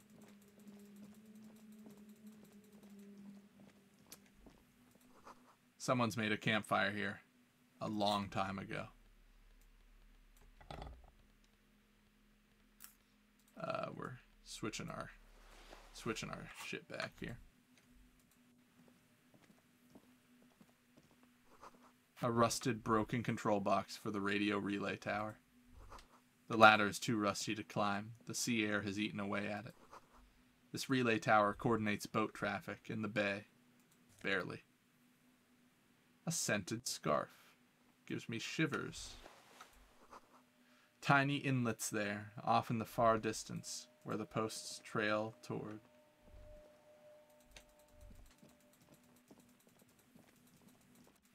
Hmm.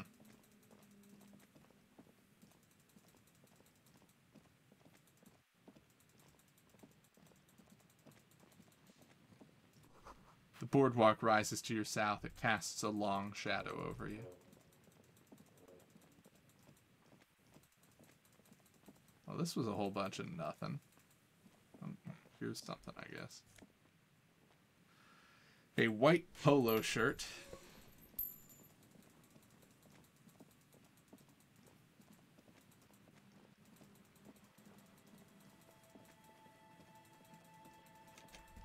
Yeah, Throne of Lies was was good. It it was for sure. It had that sweet spot of being like like it was sh short games. You could fit a lot of people in them. Multiplayer, so it was different every time. Relax, it's not yours. He didn't crash every motor carriage in Revachol. That's a Noland Ving Sing, an unsuccessful model.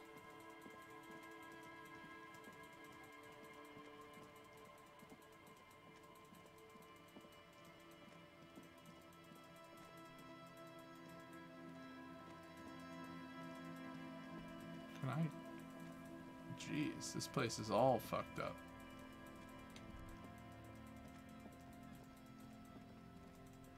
Oh, there's a thing up here now. Was that thing always there? The dad and his son are back. I guess they come to look at this mural every day. Another power box. It charges nothing now. It's empty. Okay. Never mind.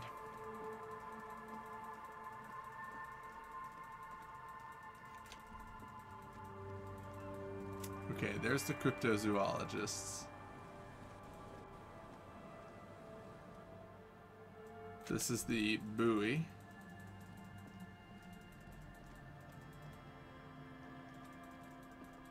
Hey, Firestorm, this is indeed a Kyle.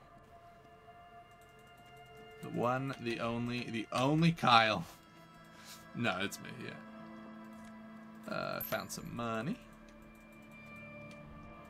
This looks like a thing I can look at. Oh, we already looked at this, didn't we? Yeah.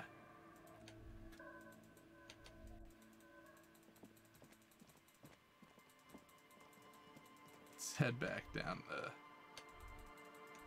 Oh, no, we can't head back down the coast. Let's go around, I guess.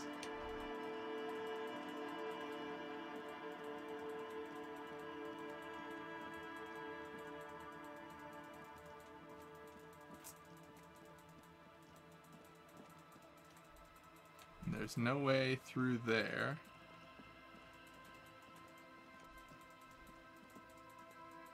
So this is it.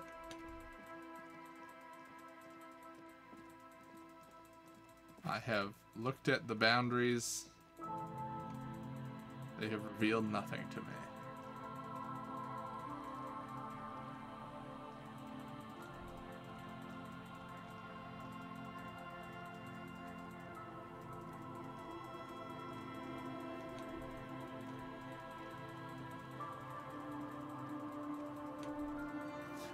if I've ever put my shoe on my head.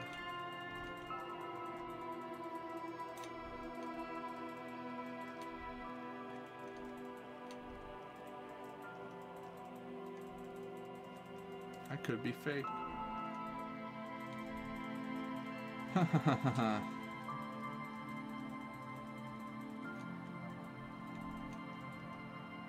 Drop in temperature, an easy flow of air, an empty street. Before you, a thoroughfare unjammed with lorries. No more drivers smoking on hitch steps, just silence. What did the smoke smell like? Chemically sweetened. Across the road, a forgotten bus stop. Corrosion has opened a hole in its roof. An elm tree watches over the building. Its branches are dripping with rain and snow.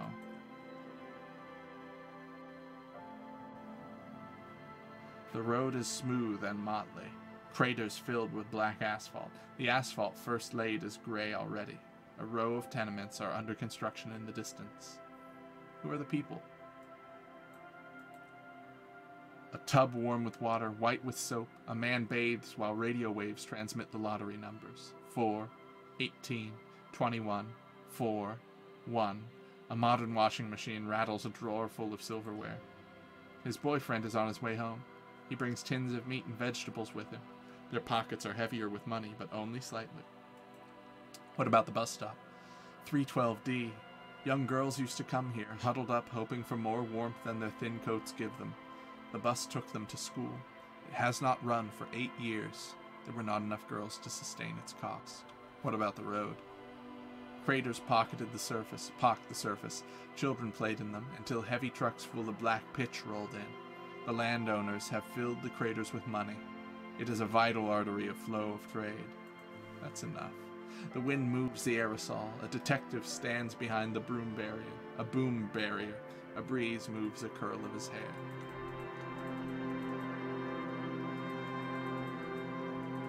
Oh, this is the boom barrier. So this is also the edge. Maybe these guys know Ruby? Tequila sunset. I brought you some booze. Will you tell me about your name now?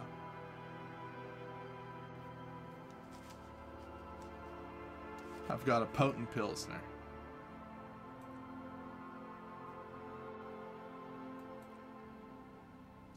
Before he can start, one of the other bums interjects, Hey, Spiral Boy, you gonna share that? Don't call Abigail. Oh, shut up, guys. I'm telling a story here. He turns to you. Something happened to you. Something happened to me, too.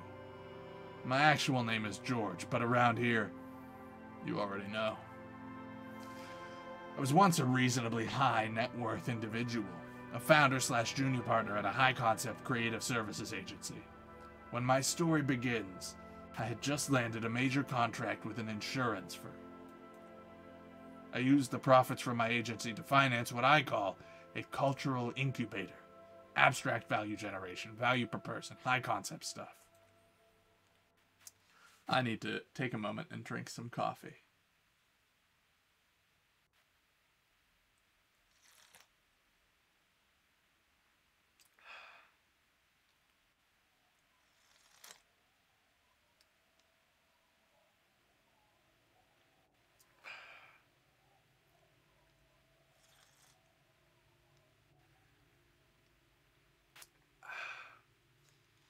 Why does the main character look diseased? Well, because he is.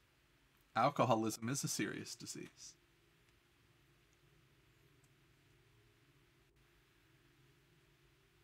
And God knows what else he's done to himself.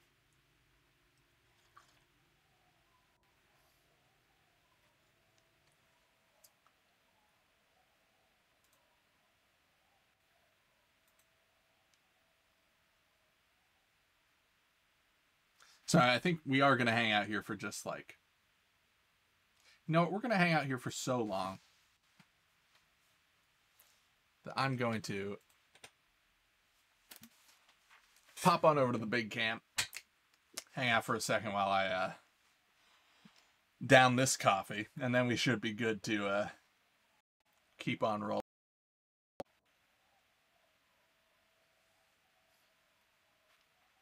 Ooh. I uh, did not sleep great last night, if it is not apparent.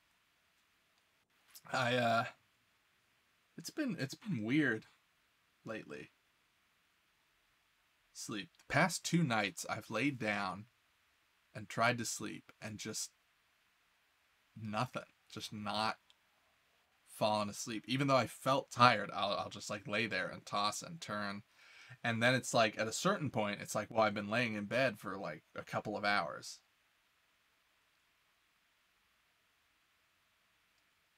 And I guess if I'm not gonna fall asleep, I could have just been using those hours to do something, you know? Like, I could have just not tried to lay down. So then you get up and you start doing some more stuff or whatever.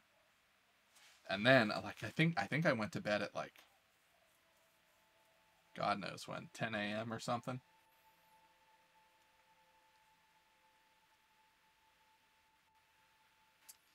Woke up at like 2. So even then I was up way late. Didn't get even 6 hours of sleep, I don't think. So apologies. I'm uh I don't know what's up. Other than that, I feel good. Like I'm I'm I don't know. I just wish I could lay down and fall asleep, you know.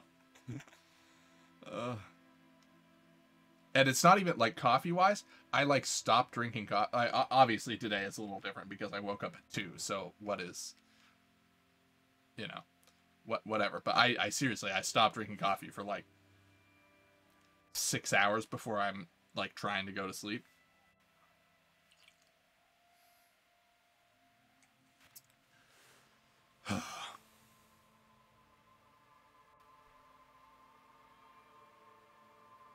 Oh yeah, this this this is gonna help. Uh, the coffee today is actually a mix of several coffees. I'm out of coffee, so I had to combine the dregs of a few things that were left. There's a little bit of uh, very stale Peet's. There's uh, a little bit of Buckaroo blend, and I think there's some Trader Joe's in here as well. Have some kids, they'll knock you out. Yeah, I, see that's that's the thing. Like, there's a certain level of tiredness that I like that I like I, I hate feeling that tired, but I love it too because it means like I'm gonna be able to sleep because I'm fucking exhausted. So I know I'm gonna I know that when I hit the pillow, I'm gonna be out. And like yeah. It just it I don't think it's healthy to consistently reach that level of uh that level of tiredness. Any games you plan on playing in the future? Yes, we can talk about that. Um, so there is a uh, Sea of Thieves just released on Steam. I've owned it from the very start. Uh, Ray 308 win. Shout out to Ray 308 win, by the way. Uh, I think I can handle that.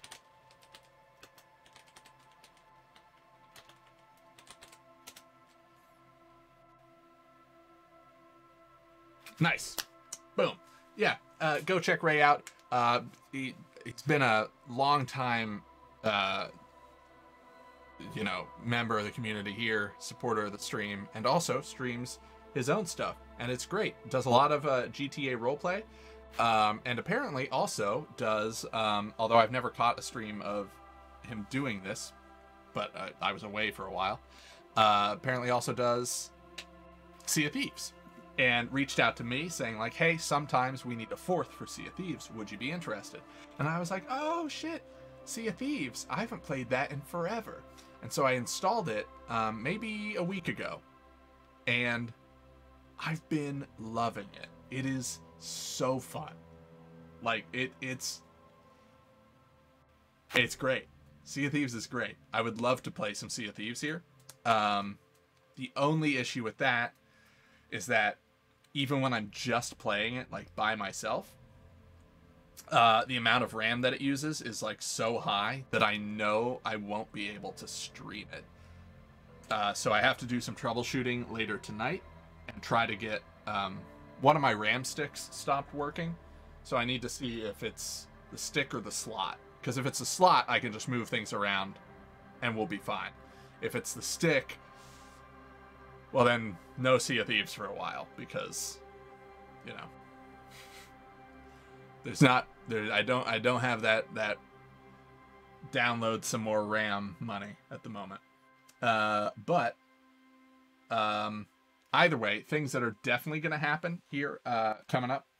Um, more Cultist Simulator for sure. Um, hey, multivitamin, how's it going? Welcome back. Good to see you. Thanks so much for the raid. I super appreciate it. Were you playing Cultist Simulator again? If so, how did it go?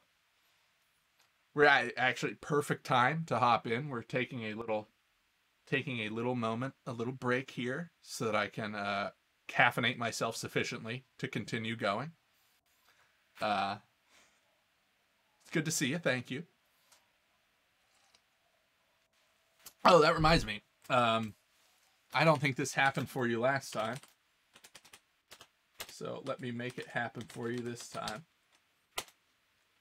Shout out to the multivitamin, um, player of Cultist Simulator, and I don't know what else. Um, but, you know, go check them out, give them a follow, that sort of thing. Um, what was I saying? Games. Yes, uh, obviously we're gonna play some more Cultist Simulator in the future. After after we finish Disco Elysium, I think I'd only I only really want to have one like role playing game going at a time, like what uh, like like this kind. So like I don't want to start up something like, for example, Call of Cthulhu. If um, while we're doing Disco Elysium, because I just think that's a lot of separate storylines to keep track of. Um, I'd rather play gamier games and less story driven games. Um, because I, I don't want I don't know. I've never been the sort of person who reads multiple books at the same time. I've always been the sort of person who like reads a book cover to cover, then gets another book. So that's sort of how I want to approach this as well. So after Disco Elysium, we'll find another um, RPG to play. Um, another thing that I want to get um, to get going, but I have to do some work on my end to make this work. Uh, and you know what? Let, let me just set a date. Uh, let me just call it tomorrow because then then I'll have it done for sure. Um, so we'll say that on the fifth, um, I will put out a uh, some kind of a, a questionnaire. And what I'll be looking for is people who are willing to. I really, I really want to play this. People who are, you know, maybe two questionnaires. One, I really want to play Twilight Imperium. It was one of the things I was super excited about back before I stopped streaming. Um, and I still really want to play it on stream because it is in the the realm of board games, it is unlike anything I've ever experienced. It is amazing. Downside is it takes about 10 hours to play. So, depending on who is interested and what sort of uh, time, what sort of schedules we're, we're working with, uh, that would either be a one. I, I ideally I would like to just knock it out all in one day, but if that can't happen due to schedules, which I totally understand, uh, then we do like a two two part Twilight Imperium stream. Friends were supposed to teach and never did. It might take more or less than that because, true, I've never played on Tabletop Simulator. I have played in person with real people. I've played it one time and it was. Un, it, it's just un, unlike anything else. It was great. It really, really feels like you're playing some giant epic space movie. Um, and I, I lost. I was winning for like the whole game, and then everyone teamed up uh, uh, teamed up on me at the end, and I lost. And I it still felt great. Like it would have felt better to win, sure, but like narrative wise, it was like what an epic story. right? Because like I was the turtle people and I colonized the main planet Mechatol Rex, and I forced through a law that allowed me a galactic law. I forced it through with my influence one turn that allowed me to put as many orbital defense cannons as I wanted on a planet, because normally you're capped at two. So I forced through this law to allow me to put as many orbital defense cannons as I wanted. So I turned Mechatol Rex into a fortress. No one could take it from me. It had like 10 cannons on it. I had my whole fleet parked on it. It was impenetrable. And then, through coordination, someone built a like a war sun, which is like a Death Star. Uh, and they were able to. Someone played a special card that like neutralized it, like turned off orbital cannons for one round or something like that. And through concerted effort, they were able to take over Mechatol Rex, the capital planet, denying me my final victory point. And it was like, hell yeah. Of course. You had these like turtle people take over the galaxy, lock it down, rule with an iron fist, force through laws. Yeah, of course the the, the other the other folks band together. Find a secret way into the base, turn off the power to all the cannons. It was like, oh, it was like something out of a movie. It was great. And it played out over the course of like 8 hours.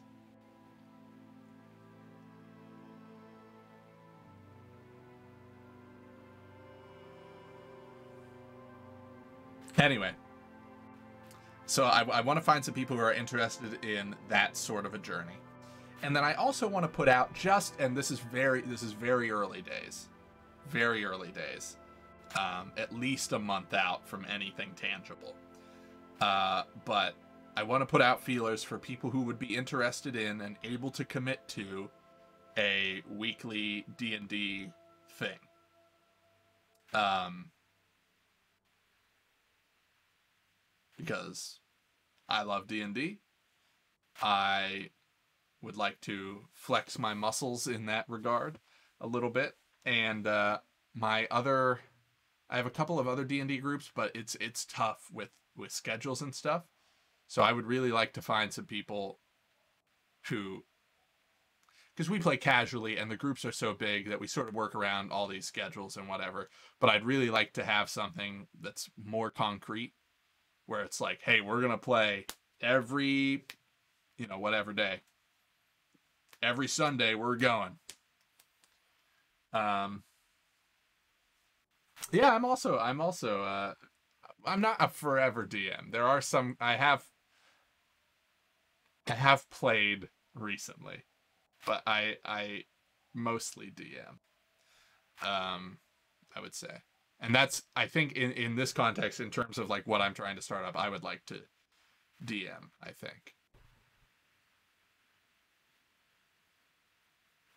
Anyway so that stuff i'll be putting out tomorrow um is uh, a couple of questionnaires for just putting out feelers for interest in either twilight imperium on tabletop simulator um and uh, a regular D and D campaign, um, and I'll I'll try to make clear what the commitment uh, level on both of those things is uh, on the questionnaire itself.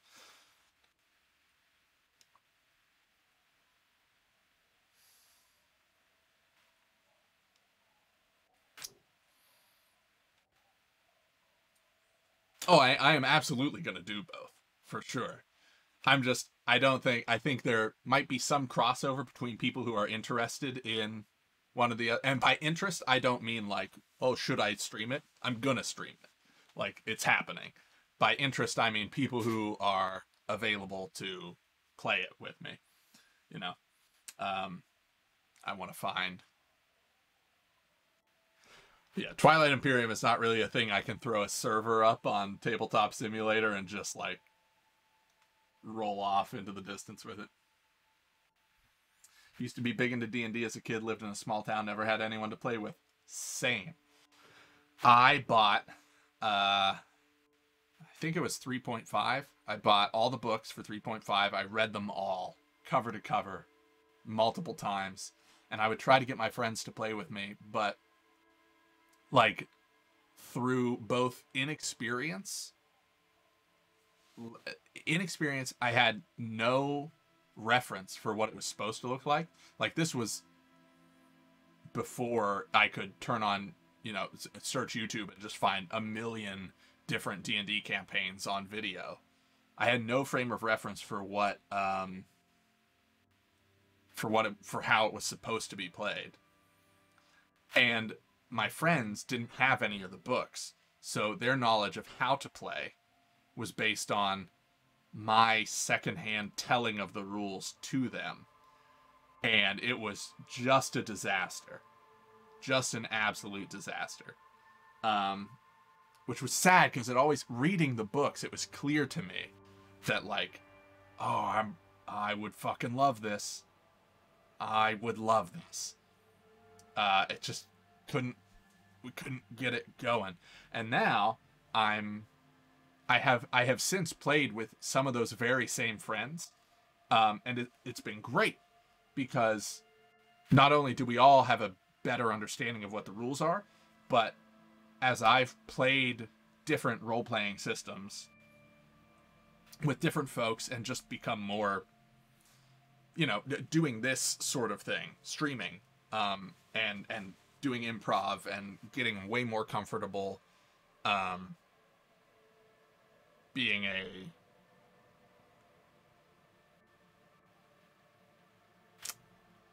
collaborative creative voice helps draw that out of players who might not otherwise offer up collaborative creativity. Um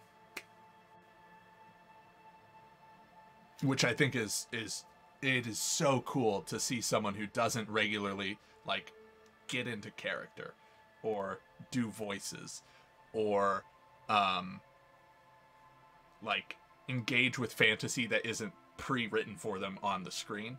It is so rewarding to give them the space and encourage them to the point where they feel comfortable engaging with it in that way because oh I just I love it. And that that's the thing I love most about being a DM is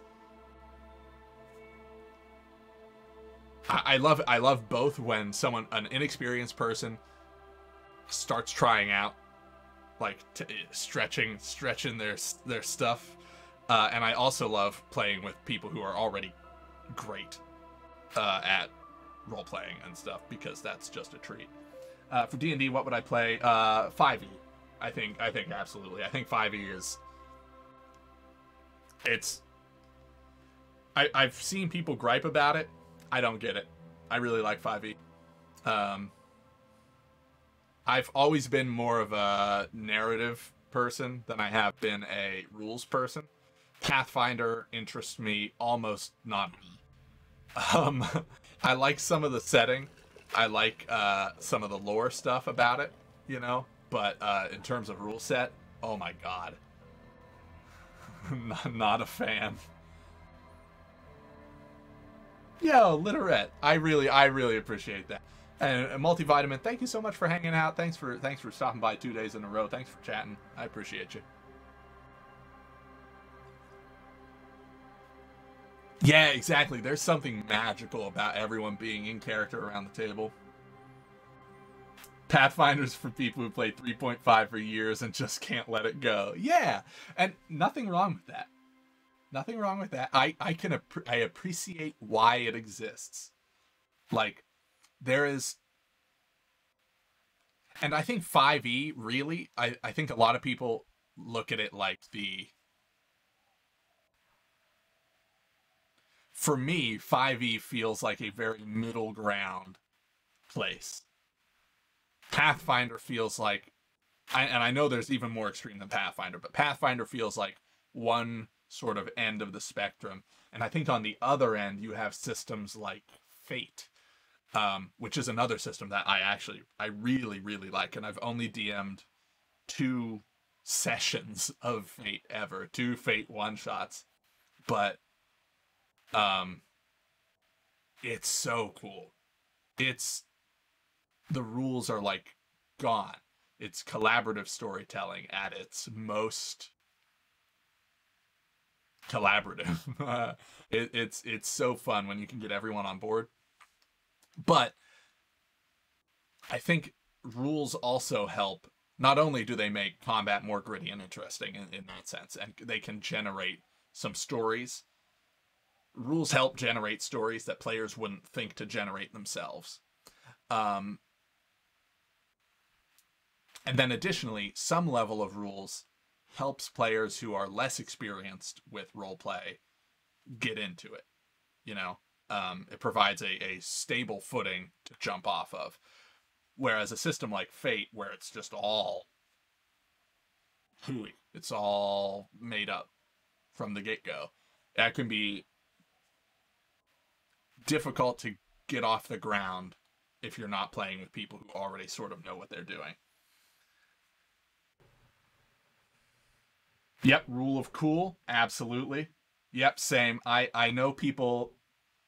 I know there is a, a certain degree of hate against Matt Mercer, um, but goddamn, that's my goal. I want to be that. Like, hundred percent.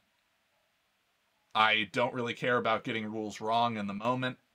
Um, I I care much more about serving a narrative, you know, um, for sure. And his ability to just roll with stuff like oof, and stay in character in all the characters my god. My god. Um to be honest it was my first raid i wanted to do in someone's stream Cultist Simulator. Hey cool. Well thank you. I really really appreciate it. Um i'm nearly done with my first cup of coffee so i'm i'm nearly i think we're about ready to hop back in. So apologies for those who are here for disco and not for conversations about other shit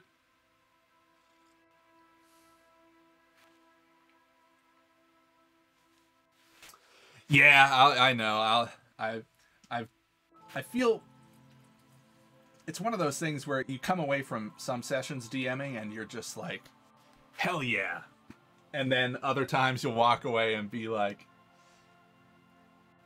and, and I, I I've talked to my players too about about some of the sessions where I feel less good, and it's shit that they didn't even did not even register, you know. It's the classic, like, nobody's paying as much attention to you as you are sort of thing. But, you know, it's as long as you're not too hard on yourself, I think it is important to acknowledge the areas, you know, where you can improve. However, uh, I've poured myself a fresh cup. So we're already uh, in a pretty good spot. I'm feeling ready to tackle some more mystery. I apologize for the uh, long delay here. Uh, let's get back into it. I developed the paradigm, worked within the paradigm, but the burden of leadership weighed heavily on me, so I went jogging every so often to keep myself sane. Did the jogging help? It did. With my trusty Sans tracksuit, I felt like I could conquer the world. But now, dreams are worn thin, much like my tracksuit. He says thoughtfully, brushing dust off his shit stained pants. What happened? One day, I left on my evening run. As you may know, it's impossible to clear your head when you're distracted by the sound of keys jangling in your pockets. He shakes the bottle and makes a ringing sound. I'm taking up the whole screen. Great. You know, this is this is the way we're playing now. This is the this is the new every game. It's just me. Thank you for telling me. he shakes the bottle and makes a ringing sound. He's right. It's incredibly annoying. His eyes are your eyes. So I removed the keyring and put the keys for the front gate and the apartment into different pockets to stop the jangling, you see. At least, that was the plan. I was halfway done with my usual lap when it started to rain. The reality situation became very wet very quickly. How wet are we talking? Wet, okay? It was raining really hard. There's a trace of derision in his voice. I made my way back home and discovered that I didn't have the key to the front gate. I mixed it up with the key to the letterbox, which was useless. Naturally, the situation required me to climb over the gate, which I did.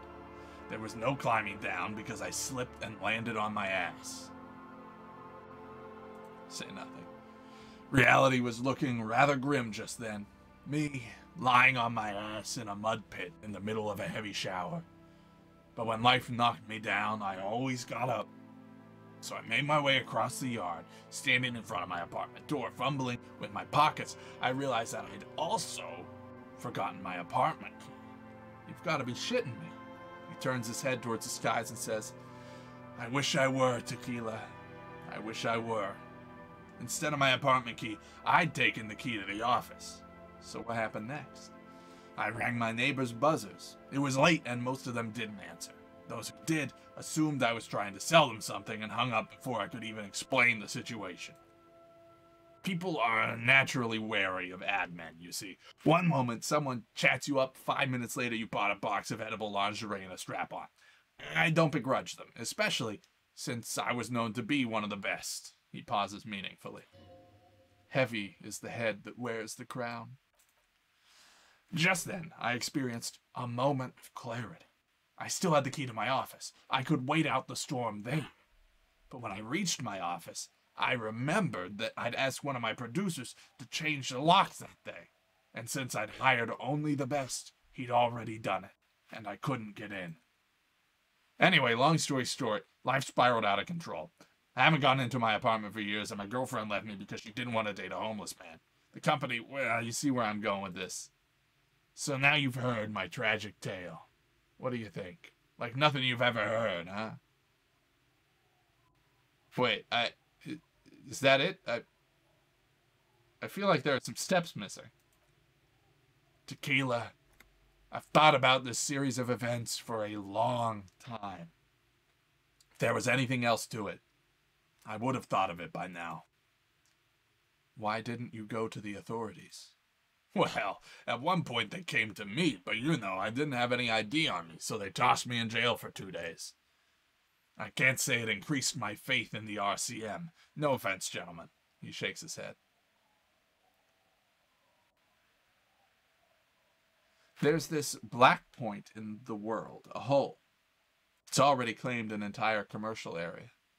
Maybe you're another one of its victims. This would explain a lot. I've always believed it wasn't my fault that I ended up homeless on the beach with these two bums. He looks at his partners with a glint of sadness. God bless them, though. I'd be alone without them. Anyway, that was all the story one bottle gets you. He turns his eyes to the bottle. Almost empty, this one. Why do you keep losing all your stuff? Good fucking question, Tequila. If I knew the answer, you'd think I'd be hanging out on a beach in this formerly premium but now extremely dirty two-piece lycra tracksuit? I used to own my reality situation. My business buddies and I had our own creative services agency. I had a nice apartment, an even nicer piece of ass, but somehow it all got away from me. Now I can't hang on to anything. Just last week I sold this nice new jacket. Then I lost it too. The only things I haven't lost are these two drunks. You, of all people, should empathize with this. Perhaps this lost jacket is something you could help with. What's this about a lost jacket? Tequila, it's a verifiable tragedy. It was practically brand new. Sure, it didn't really go in my lycra thre- threads, but it did itch a lot less. He looks at you bleary eyed. Say, you're a detective, right? Maybe you can help old Doom spiral out. Solve the case of the missing jacket. What do you say, Tequila? You mean this jacket that I discovered on the boardwalk and had cleaned on a whim? Hmm. The man examines the jacket for a moment, a look of consternation on his brow. Nah, this isn't it. F-A-L-N? Ah, it's medium concept stuff. Totally not my style. You're saying there's another lost jacket out there somewhere. It's a big world out there, Tequila. A lot of lost jackets in it. Don't know why you'd think this could possibly be mine. Hey, Doom Spiral, ain't that the jacket you stole the other week? Not on your fucking life, Rosemary. What is wrong with you people? Like I'd be caught dead wearing FALN, like some low concept bicycle courier. Tell you what, Tequila, why don't you just hang on to that one? I'll get another jacket someday. At least you got a nice jacket for your troubles. Have you got any more stories? I do, but as you can see, my fuel tank is running quite low, if you catch my drift. He spins the bottle in his hand, not a single drop of liquid remains. Jeez, I already gave you one. I don't want to keep doing that. Then I can't keep on telling my stories. Be seeing you. Oh, Kim wants to talk. I've been meaning to have a little chat with you about your sense of style. Oh no, my style? What about it? I'm glad you finally started dressing a little more like an officer of the RCM. Keep it up. Your half brother is proud to stand beside you.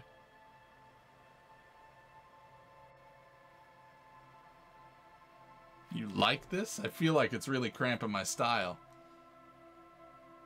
You're an officer of the RCM, not some bon vivant. You know the expression the clothes make the man. The right outfit in the right situation can make all the difference in the world.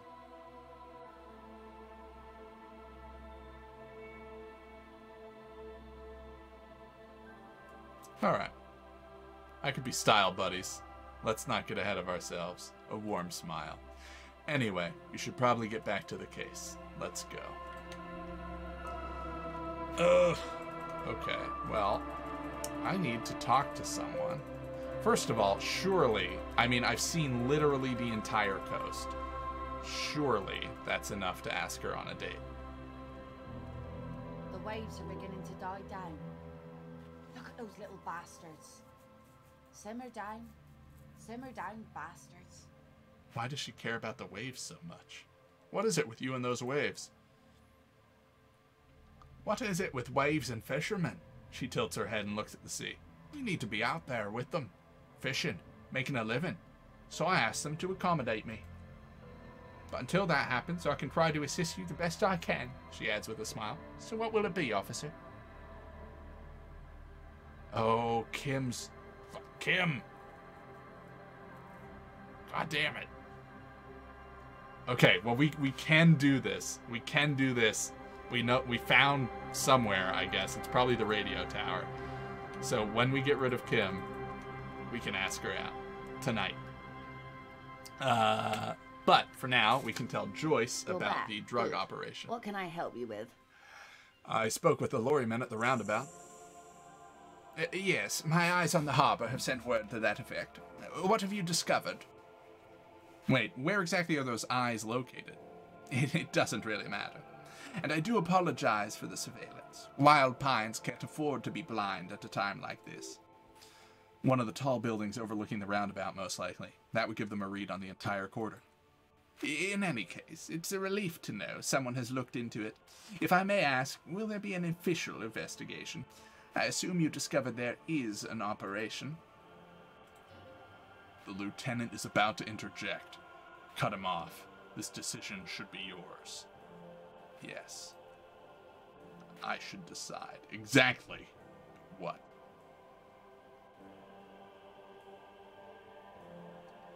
There will be an investigation, that's all I can say. Okay. I thank you for sharing that much with me. She exhales as though a weight has been lifted from her shoulders. My employer thanks you as well. In any case, you've held up your end of our arrangement. Now it's my turn. I wouldn't normally break protocol like this, but the situation demands it.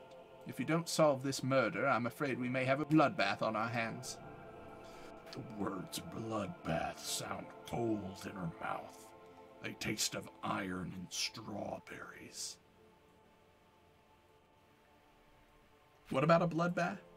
Uh, yes, I'm afraid this strike may descend into a small scale civil war, with possible consequences for all of Revachol West.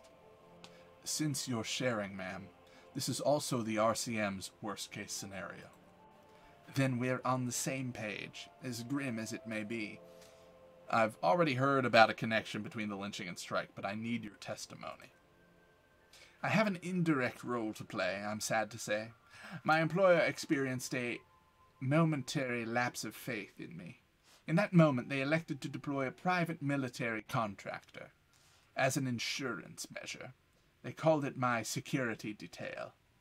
A momentary lapse of faith. They were dispatched after I relayed the union's initial offer. Every worker. A member of the board, she nods. I tried to convince my employer it was simply a piece of rhetoric or a joke. They did not appreciate the humor. Did you need a security detail? Absolutely not. These mercenaries are muscle, pure and simple. They are meant to intimidate the Union into surrendering. Who are they exactly? Krenel, an, an military company. As far as I know, three arrived in Martinaise. They report to me sporadically, but they do not answer to me. To be frank, our relationship is deteriorating. They wear ceramic armor, have semi automatic weapons, and years of combat experience. They also have trauma and stress or disorder, and no idea how to conduct themselves in an urban civilian environment. So, what happened? The story is one of them, the colonel, I don't know his real name, sexually assaulted a local woman while he was drunk and separated from his unit. This allowed some of the more militant Union members to subdue him. He was taken out behind the whirling and rangs and lynched last night. That I I can't tell if this is a typo a typo or that this character doesn't know the name of the shitty hostel. What then? Uh, nothing. Mr. Claire refuses to let me into the harbor. I have not been able to discuss this matter with anyone there. The remaining two Krenel contractors carry out their orders, for now. It's a smokescreen. In secret, they are conducting an independent military tribunal into the lynching. Once this investigation is concluded, executions will follow. What is the nature of this so called investigation? Whether to execute one, some, or all of the Union militants. It'll be all of them. The decision is already made. I have to say, this is not disco. It is very far from disco. A wave crashes against the side of her boat. My only hope is that you provide a single, concrete suspect before the mercenaries indiscriminately pick theirs. Simply put, she leans against the wooden planks. If you don't pin this on someone good, and do it fast, they will identify and execute everyone present at the lynching. This in turn will force the Union to respond. They would have to, to project strength and power. The Débardeurs have over 2,000 men. It will be a thousand to one. Have you ever seen a hornet invade a beehive, Lieutenant? She leans back. It's not pretty. The Ceres giant hornet, the world's second largest insect, can kill 40 honeybees a minute, while a group of 30 can decimate an entire hive of 20,000 bees in less than four hours. These men work in tandem, using semi and fully automatic firearms. Their armor is virtually impenetrable to muzzle loaded weapons, even yours. Most Union workers don't have guns at all. The muzzle loaders need to be reloaded after every one or two shots, the automatics every one or two minutes. She is silent for a moment, then concludes. As I said, a bloodbath. Maybe a good bloodletting is just what Martinaise needs. Houses drenched in red blood, gushing down Rue de Saint Cispert. The whole place mopped with a giant red rag. Fresh bullet holes for all your buildings. See, Kim, this is the great bloodletting I've been telling you about. It appears you found it. Yes. And I'm not happy for you.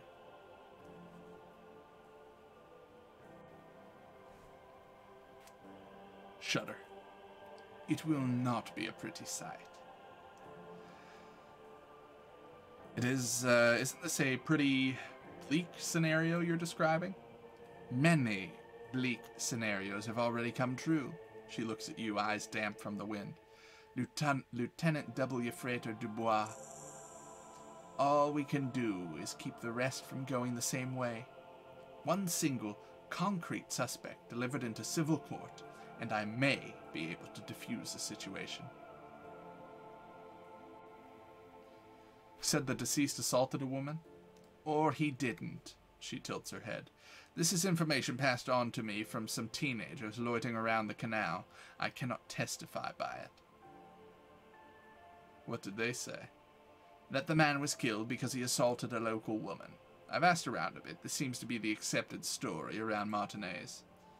This does not come as news. But still, he exchanges glance. To your knowledge, where did this assault take place, if you know? Last, last Sunday night at the Whirling in Rags, the hostel by the gates. Supposedly the colonel was drunk, maybe on narcotics too.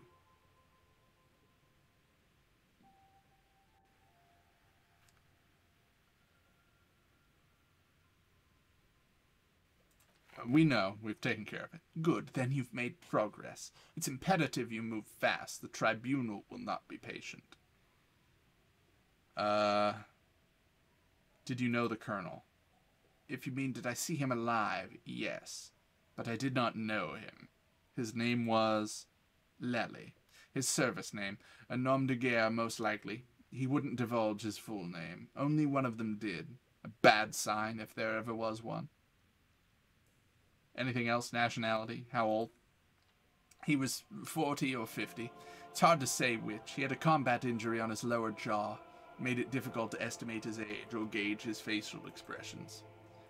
This matches the dental reconstruction we saw on the body. And Klaasje also mentioned it, I believe, he says to you, then turns back to Joyce. What else? Nationality? Accent? He was Occidental, I think. Light brown hair, a mixed accent. Or Niasi or Messinian, maybe. His injury gave him an accent all his own. In a way, it was humanizing. He had to learn to speak through it, through the injury. She nods. That's all I know, I guess. I only met him once. He must be hard to force your face to move in a new fashion. If you continue like this, you'll have an aneurysm. Then you'll have to, too. What can you tell me about the about Krenel? Not much. Their public resume is relatively good as far as private military contractors go. I believe they were once called Downwell. They boast a long list of clients St. Baptiste, Welshman Lawrence, Endracht, a warning sign. However, the operations concerned all take place in third or fourth world countries, guarding facilities, escort missions, and such. Meaning they're used to operating in war zones. Yes, all good conflict corridors. Supramundi, Yisut, the Seminoles Islands, countries that don't have a good record reporting atrocious military conduct on their soil. Okay, anything else you got on? Sadly, no. Before this happened, I had little interest in them. Now that I do, I don't have the resources, she thinks. If you still have access to the ICP's database, you should run a better background check than I ever could. You could run a better background check. It may take some time, though, she thinks. Do you know a lot about the inner workings of the RCM and the ICP, ma'am? In my line of work, it pays to do your research. I was prepared to deal with the RCM. I did not think I would be dealing with a group like Krenel. Could you contact the company, tell them to call them off? I have, and they will. However, orders take time to reach what is basically a rogue unit out in the field. Until they do, it's all on us. Oh, she's being truthful. She's pressing them as hard as she can. Where are the two mercs now? They've gone to ground, as it were. I don't recommend seeking them out. She raises a cautionary finger. For one, they're likely to be armed to the teeth. They don't have the same respect for the Revachol Citizens Militia as I do. To put it bluntly, they think you're vigilantes. Ghetto savages. It will not be a fruitful meeting. Vigilantes? You're a professional officer of the only legitimate authority in Revachol. You should show those meatheads exactly how savage you really are.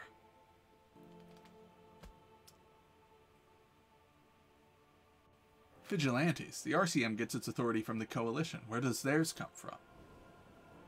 Uh, somehow, I doubt that lecturing them on the legitimate use of force will persuade them to stand down. We still need to know where they are. You're likely to run into them eventually. When that happens, it will be a better position to me- mediate if I don't appear involved. Logic. Where are they?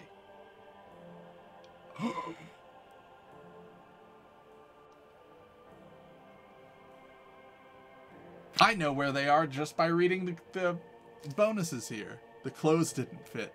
The scab leader's huge. He's bad at acting. Wow, I still almost failed that. One is obviously the scab leader at the harbor gates, the one chanting the idiotic slogans. He's barely maintaining his disguise. The other has a vantage point in a building south of the roundabout. They were keeping tabs on you while you were canvassing the lorry drivers. One must be the goon in ill fitting work clothes by the harbor. That may be so. She is poised and unperturbed. I still hope you heed my advice. There's no need to kick the hornet's nest.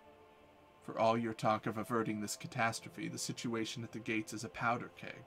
Does this not bother you? Of course it bothers me, Lieutenant, but my hands are tied. How would my employer react if I appeared I were intervening on behalf of the Union? Your concern may be appearances. Ours is keeping the peace. One is probably in a building overlooking the roundabout. That would afford a good vantage point, she says. In any case, it's practically inaccessible. Where is your radio for contacting them, if I may ask? Do you have an earpiece? Heavens, no. I'm not an undercover agent. There's a shortwave at the ship's wheel. I have another question. How much time do we have? Till the executions start?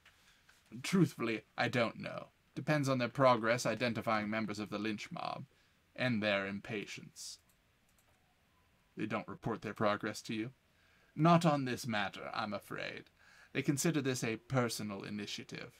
There's a brief silence. Seagulls squawk over the bay.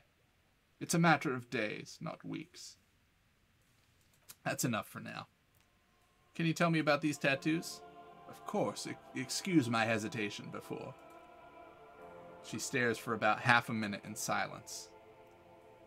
It is taken with a trigat, not long ago. This is the man's upper body. There were no more markings on his hands or legs. Stay quiet, observe her expression. Her mouth is relaxed. The accordion lines near her mouth vanish.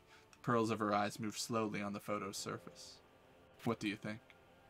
Sorry, she breaks her concentration.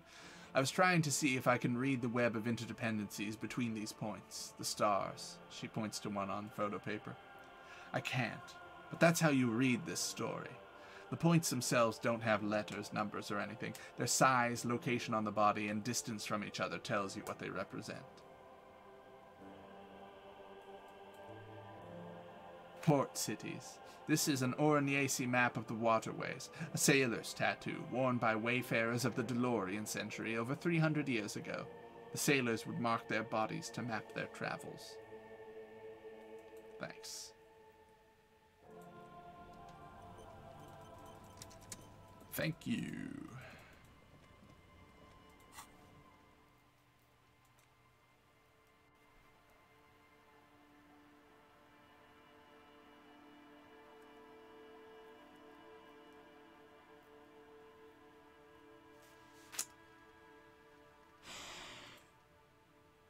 Oh my. I well, let's forget Kingdom of Conscience. And gosh, I don't know what I want to think about. Let's think about the one more door real quick. God damn it. It cannot be. A disgrace. That door on the coast. You remember the one, right? The one that leads to the abandoned supply depot? Why, in the name of all that's holy, does it not open? Why? There has to be a way to get through that unopenable door. By gods, you're the police. All doors are supposed to open before you. What will the others at the precinct think if you can't open a goddamn door? There must be a way.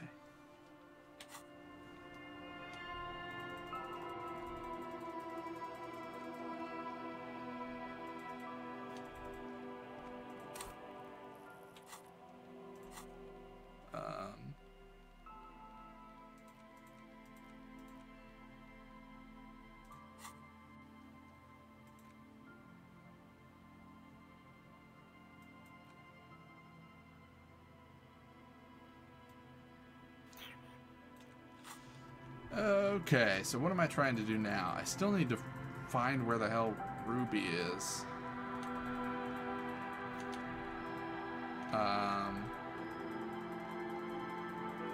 so I guess we're gonna go talk to the.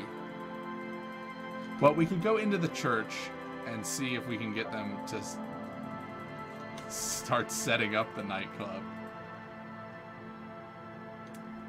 What's this game about? Uh, we're a detective who forgot everything about ourselves. So the leveling up system is sort of like piecing together our personality again, um, as well as also trying to solve a murder.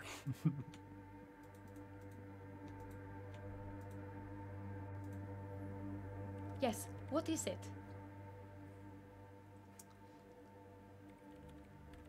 What if you didn't have to leave? I talked to Andre. He wants to make it work. I don't want to make anything work, she replies, her expression unchanged. You don't want to make anything work? Yes, anything. I don't want to make anything work. All right. Let's convince her to make it work. Easy. When her research is done, she can move out. Listen, about your research. You mentioned earlier that it's not going very well. Maybe I can help with something. What? She looks up from her work, disoriented. "Uh, No, I really don't need help. But if I could help, then you wouldn't have to live in a church next to the boom boom anymore. Just think about it. She thinks about it. A glassy look in her eyes. A gust of wind brings more snow in from the broken gallery. It touches her hair.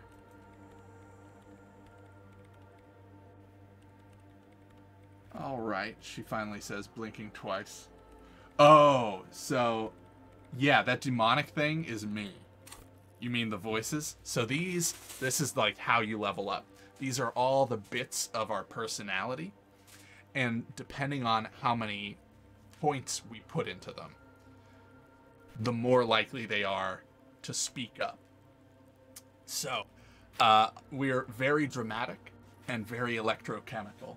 So, anytime drugs or alcohol or partying is concerned, our electrochemistry is likely to speak up and tell and encourage us to do those things. Um, drama is really good at lying and detecting lies. So anytime someone lies to me, my drama will speak up and be like, "Oh, they're telling the truth," or be like, "Ah, that is a lie." Um, and the demon one is half light. Let the body take control, threaten people. It's sort of our uh, intimidation check, as, as you as you will. Um, we are very bad at being sneaky and seeing things. We're not very dexterous. We are very strong and we are very smart. Um, but that's about it. All right, she finally says, blinking twice. Bring me the game's off-site copy from my old workspace if you really want to help. It's stored on an old filament. Is this the one? No, that's the production schedule you stole and accessed without authorization. She's tapping the table in badly concealed impatience. I don't need it. In his defense, it was simply lying in a desk drawer of an abandoned cubicle. Oh shit.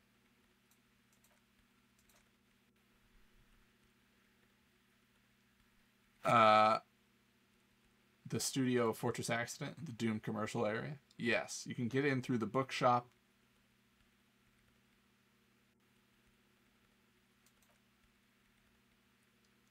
Inside the fridge.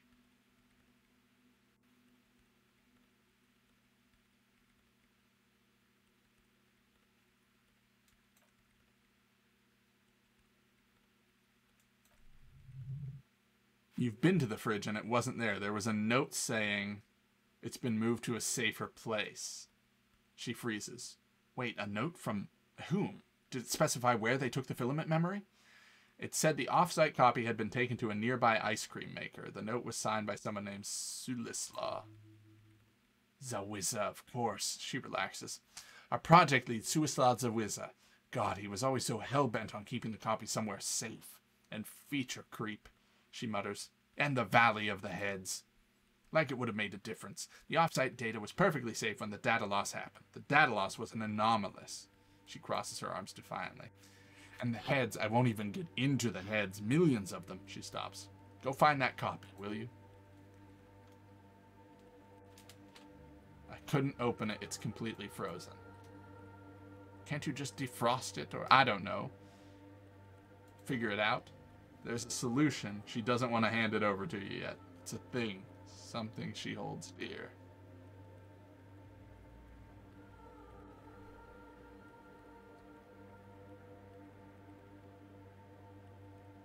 Alright. We'll go get it. Oh, and she gives us the Svalsund multi-tool. Might need it to hack loose some ice. It hurts a bit for her to say that she's not happy parting with it. This glorious multi-tool makes a regular pry bar completely obsolete. Hey, about that two millimeter hole again? The swallow, you mean? She looks up. What about it? Never mind. Alright.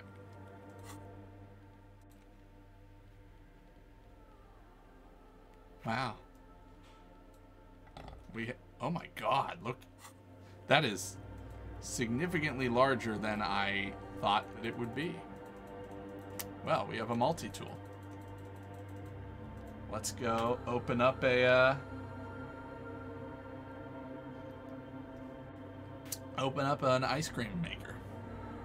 Yeah, it is, it is, uh, sorry, I'm probably a little late responding to this, but it is one of the most unique and inventive ways of leveling up that I have ever seen in an RPG. The other way to level up, besides putting points in the different chunks of your personality, this is really cool as well, is your thought cabinet. So by speaking with people and interacting with things, by choosing different dialogue options, you get different thoughts. And you can spend a point to unlock a room in your thought cabinet so that you can think about these thoughts. So right now we're thinking about that door that we couldn't open. And while we're thinking about it, uh, it's going to take another 35 minutes to finish the thought. While we're thinking about it, we get the temporary research bonus of an additional half light. We're so fucking mad that we couldn't get that door open. We're so frustrated that temporarily our half light, our intimidation, gets a bonus while we're thinking about it. Then, once you're done thinking about it, you get a different bonus.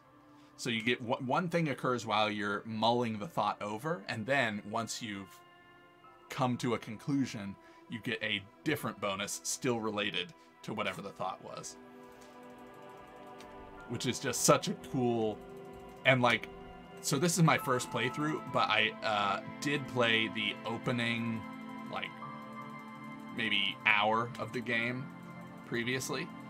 And even just in that small little bit, there were differences in my playthroughs in terms of like what thoughts I unlocked, which is really cool.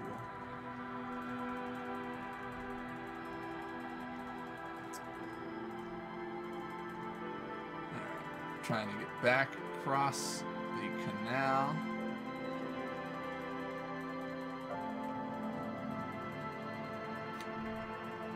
Did I get everything out of my car? I forget. Yeah, we must have, because it's not available.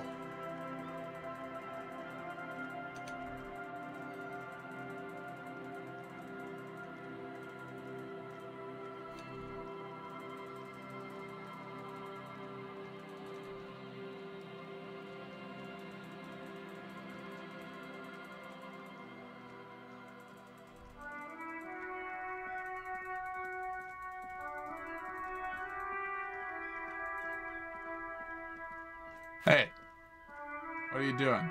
That's one brutal motor carriage.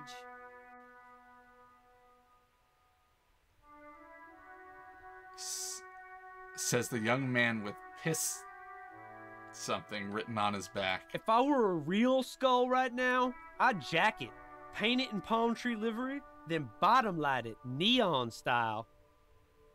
His companion wears the simple yet elegant slogan, fuck the world. Snazzy shit ripped skull mobile like this would make a fine trophy. We could, like, hang fucking shrunken heads from the side mirrors. Cops' heads, scary tribal shit. Yeah, tribal shit. A cop carriage like this would have proper skull value. While I appreciate the interest you take in my brutal motor carriage, I have to stop you right there.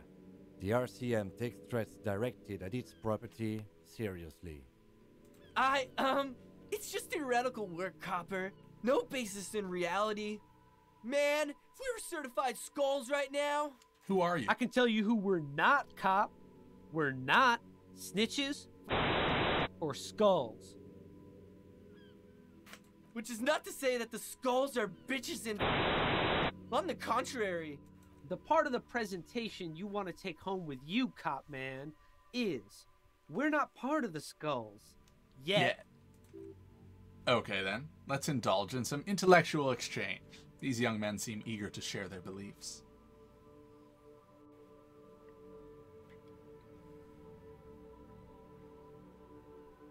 Do you guys know Cindy the Skull? The young man's eyes glaze over as he marks in a voice filled with longing. Oh, yeah. Cindy's a right proper skull. Yeah, the other guy lights up too. A true artist of the future, just like Arno van Eyck. By the way, if you see Cindy, give her our regards, he adds, returning from whatever void he was just visiting.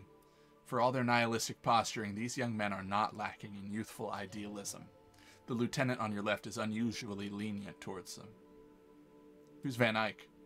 Old man, doesn't matter. He'll be long gone before his greatness is recognized. A young woman kneels on a sheet of ice as if looking for something lost ages ago. She bends until her right ear touches the frozen water. She listens to it crack slowly.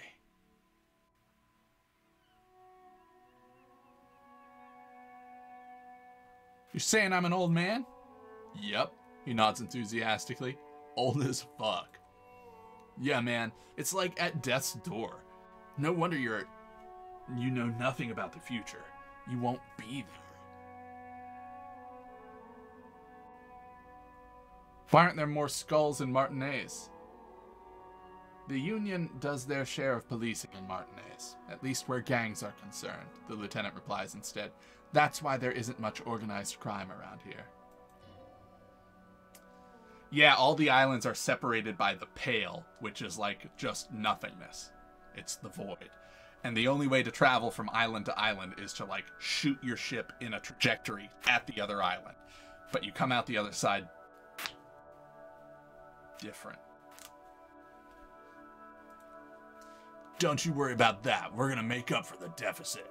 Yeah, we are. The young men exchange approving nods. Your rhetoric is confusing. Are you part of the skulls or not? We're not franchise skulls. Well, not yet. Once we get our name out there, we'll have a chance to join. And what makes you think the organization would accept you? Because we can be just as psycho and vicious. You'll see. Oh, you'll see for sure once we're in. It's the last thing you'll ever see before the void consumes you. Throw him off his game. You don't feel very scared.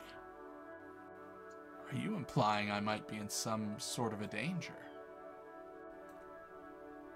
The young man silently raises two fingers to his temple and an imaginary cock hits, hits the cartridge. Pshoo.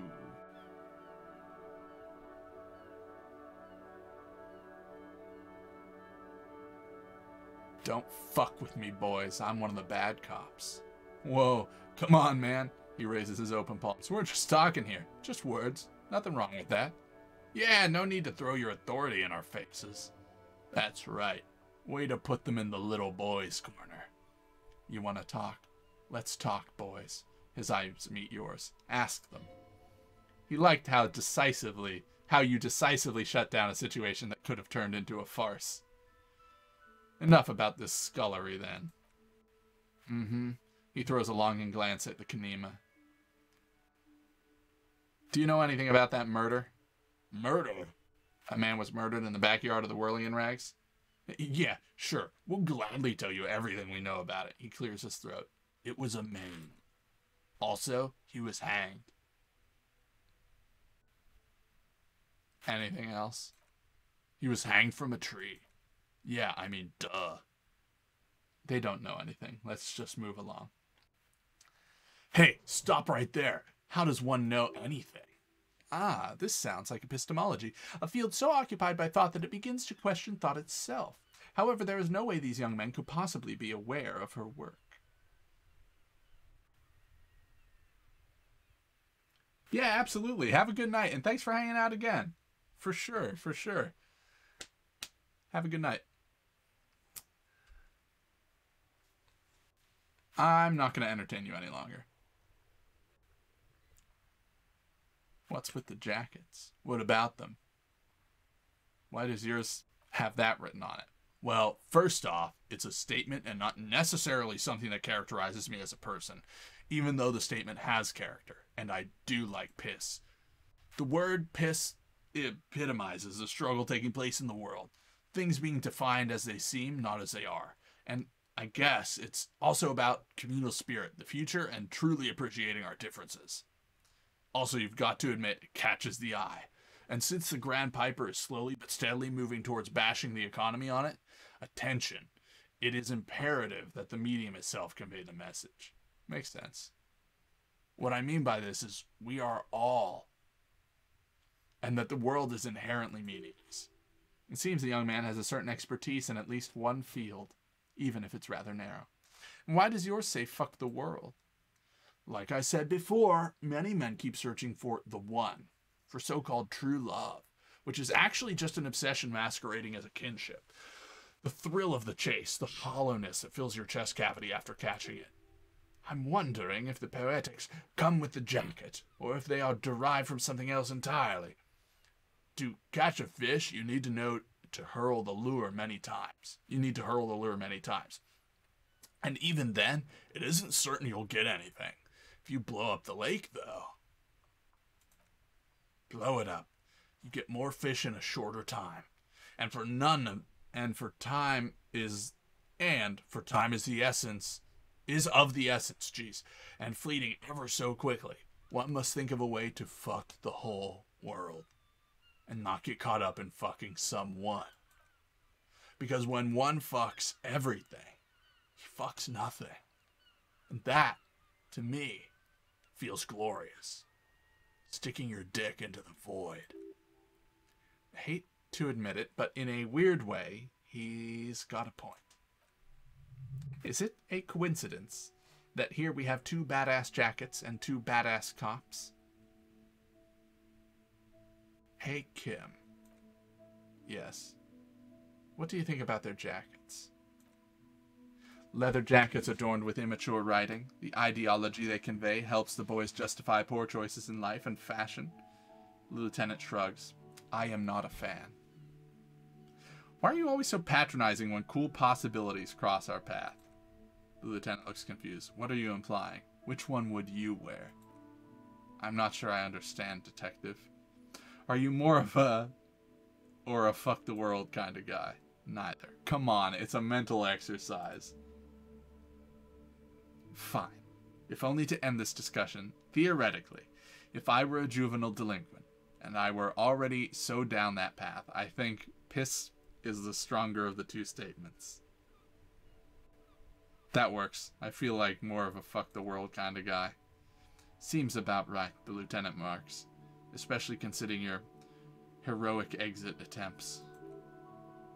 That's an origin story for a dynamic duo right there. Oh my god, I can take their jackets. So, are we done here, or you don't need us around for your secret whisper party, do you? Ask the jackets for yourself and the lieutenant. No, no, no, don't ask anything. Be subtle and scary. The boys dream about being skulls. Use that. Wait, how? Suggest they're massive skulls. Boys with those jackets? You're gonna be the Skull Kings in no time. What? No. He quickly looks around. Skulls don't have kings. He pauses. I think, and we're not even in yet. Yeah, man, keep your voice down. Skulls don't take it lightly when folks pretend to be them. We're not even prospects yet. Prospect. Must be a hierarchical term, probably in the lower end. Not even prospects, and already aspiring to be kings. Wow, you boys are ambitious, the lieutenant's voice rings over the plaza. Only prospects and already planning a coup in the skulls. You're destined to go far. He gets it. Passive aggressive flattery. Uh, shut the fuck up. The youth presses through his clenched teeth. There's panic in his eyes. Are you trying to get us killed? Now bring it to the jackets, and yes, start shouting. Yes, we want to be a cool killer skulls too, like you guys, but we don't have skull jackets. Please be quiet. Not much is left of the nihilistic rebel at this point. The young man before you is scared out of his mind. What what, what do you want? The, the, the jackets? You got it. No need for cruelty.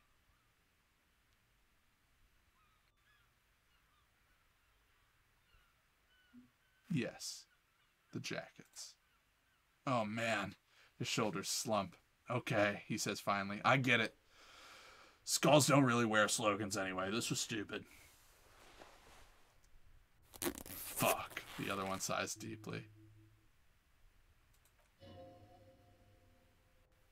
Since you're more of a piss guy, I'll take the other one. I'm absolutely okay with not having either one. Why not? They're a pair. We could really raise hell, go undercover hard. This case doesn't require us to go undercover or raise hell. In fact, I don't think the jackets will be useful at all. I just wanted them to not have them anymore. Cold-hearted cop. Still, it's good to know we have a pair, in case the need arises. The need will not arise. Pity. The jackets are meant to complement, to complete each other. If a man were standing alone on a street corner with piss written on his back, it'd just be an individual that has taken a liking to urine. And fuck the world all on its own is frankly generic. The dark-haired young man st stands there defeated. The wind blows. I don't know, Eric. It's cold out. He finally says to his friend. Yeah, the blond man replies. Let's get out of here. The cops fucked us.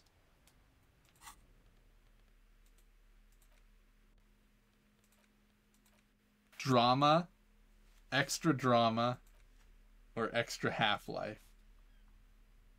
I mean, we're all about that drama. Nice. Look at us go. No fucks given. Wait, I'm a detective?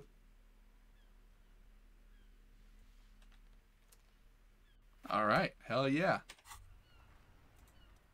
You finally made it, haven't you?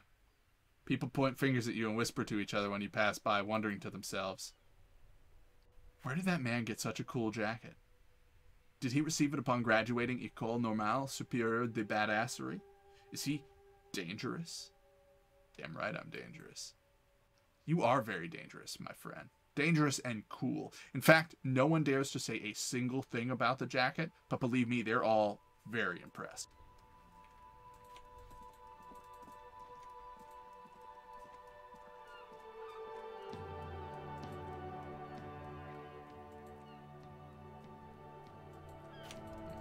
This bench will also pass time without him. Okay, uh, what am I doing? Bookstore, basement, ice cream. Quick rundown of what we've seen so far. Uh, Ruby has drugs. Uh, we're trying to find Ruby, the leader of the Hardie Boys. Um, she's somewhere on the peninsula.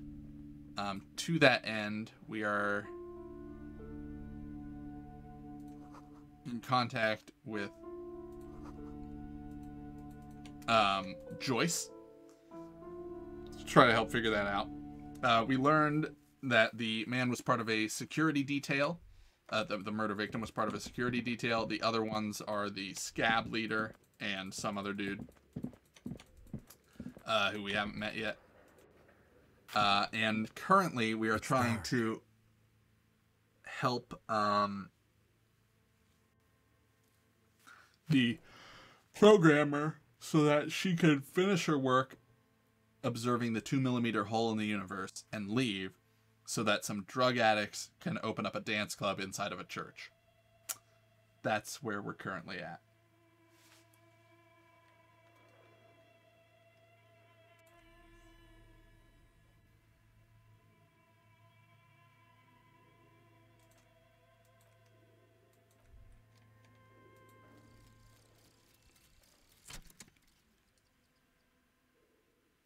One more door. Thought complete. There is no way to open the supply depot door. Accept it. You cannot open all the doors.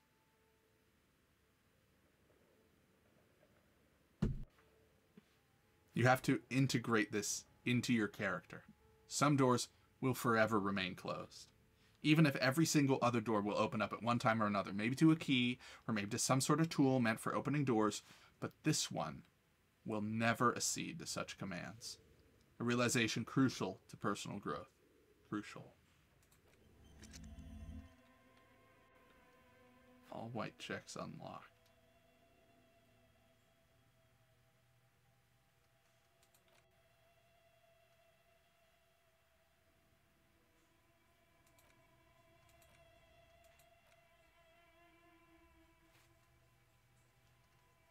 I think I will forget this. Because I realize I'm not really utilizing the zoom for anything. And I think we shall go to the Wompty Dompty Dom Center in our minds.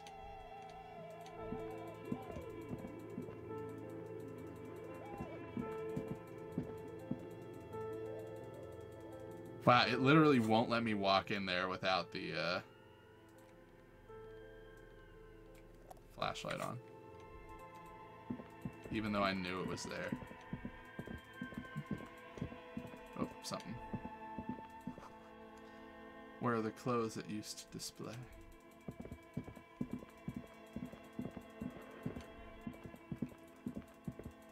Uh, how did we get to the basement last time? It was like through here? This certainly appears to be going upstairs. This is the dice maker. I wonder if we can get our custom dice made. I feel like we have enough money now. Why hasn't her business failed? A gust of cold air sweeps through the chimney. The stones and minerals on the shelves rattle as though agitated. For a moment, it almost feels as though you're outside. The curse is real. I figured out why it has spared you.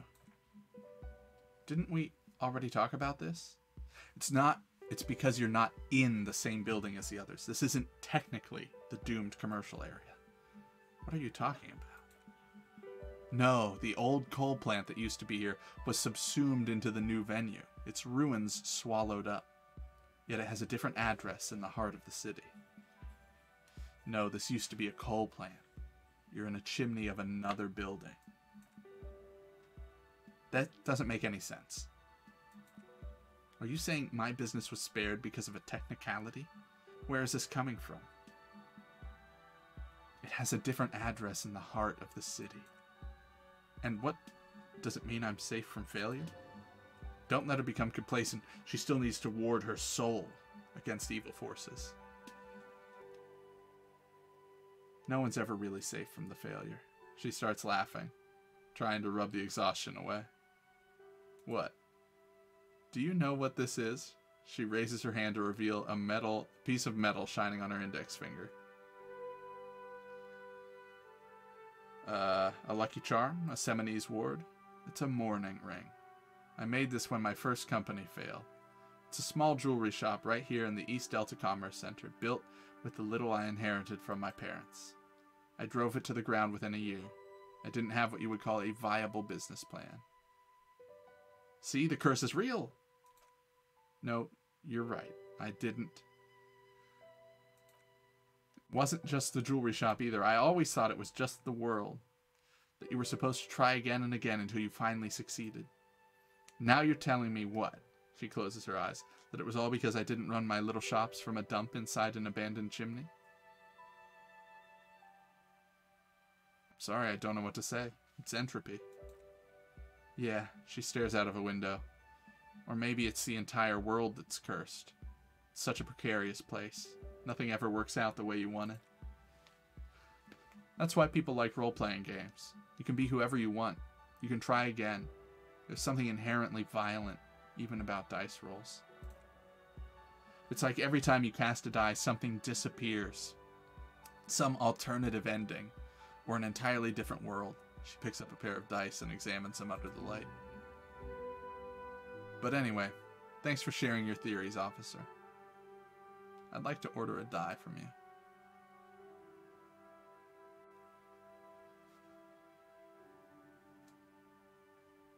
What kind of die do you think fits my personality? I think I have just the right one. She opens the top drawer and takes something out. Two polyhedrons, red and blue.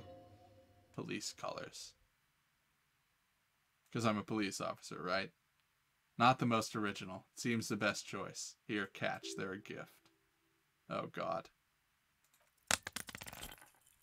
You overthink it. Your hands can't agree what to do. The two dice drop to the floor and scatter. The blue one disappears down the pit. Ah, down the drain like your career, chokes the dice maker. I apologize. That that was unnecessary. I'll pick up the red die.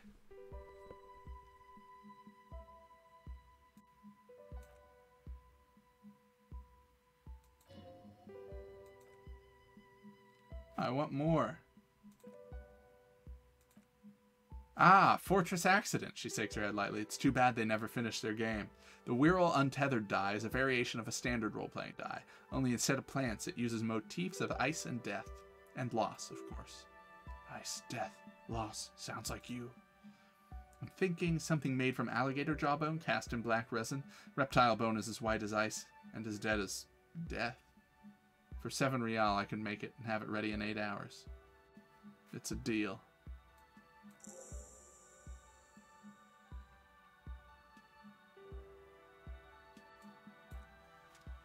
Nice. I have dice on the way.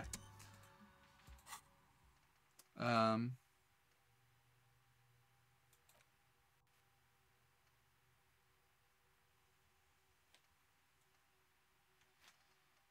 I think it's time we give this up. It's it's really hampering our electrochemistry.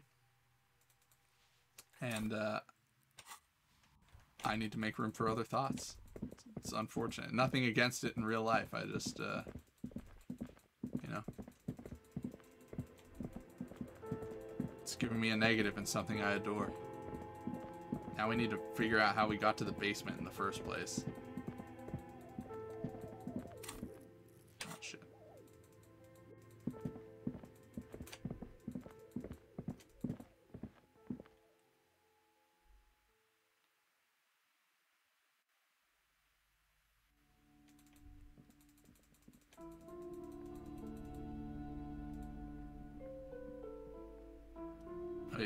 I'm buying the Whirl game. If you say so, but you better stay away from those immortal, immoral occult rituals. Whirl. Hell yeah. A high pasternal, fantastique populaire board game illustrated with bucolic, bucolic vistas and featuring odd looking humanoid creatures. It's the third edition Mega Setting Supplements module and can't be played without the main game.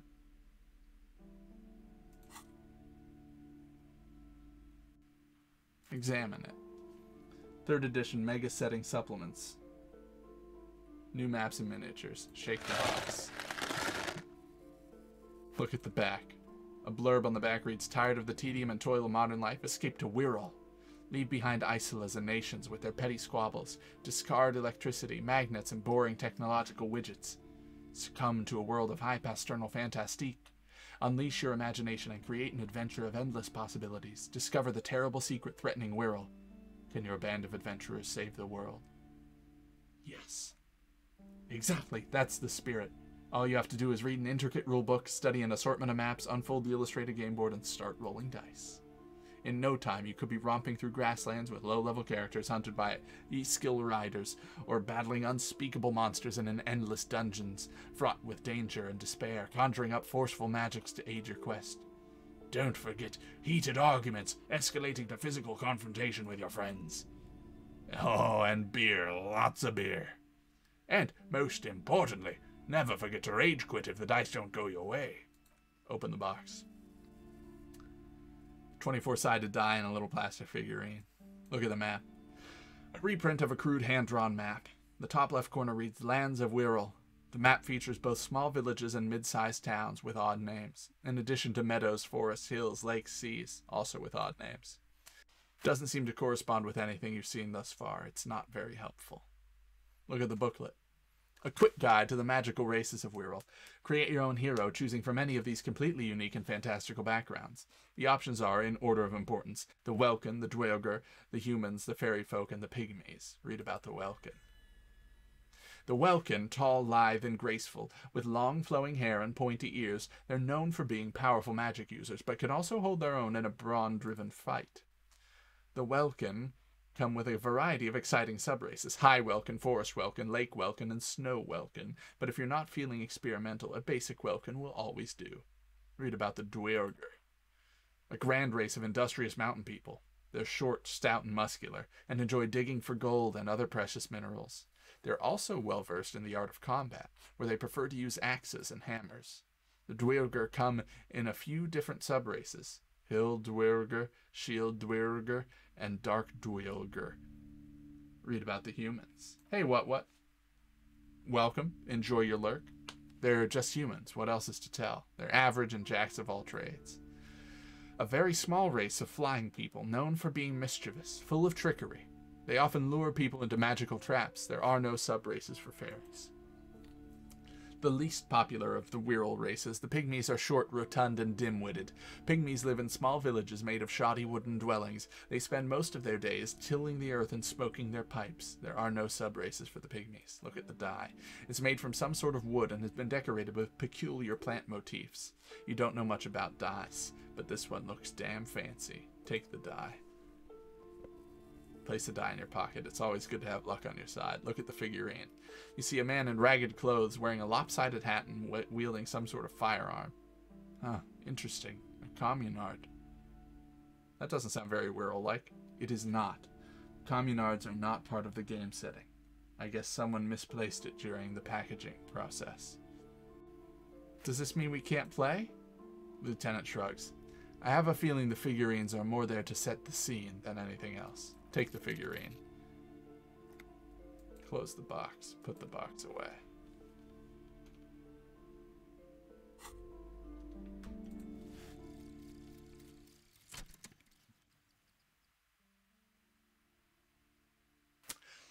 You're at home, stupid cop, not with the art crowd. You hate them. Everyone hates them. Even they hate themselves. It's nauseating an industry built on sprezzatura and sparkling wine. And, let's be honest, tax evasion schemes. The Whompty Dumpty Dom Center is the heart of this unholy symbiosis of aesthetics and tax optimization. And now that you've internalized it, you can have a piece too. Encyclopedia passives give me money and experience, but I'm bad at suggestion. So I need to get rid of this. Because isn't suggestion the way that I get my date?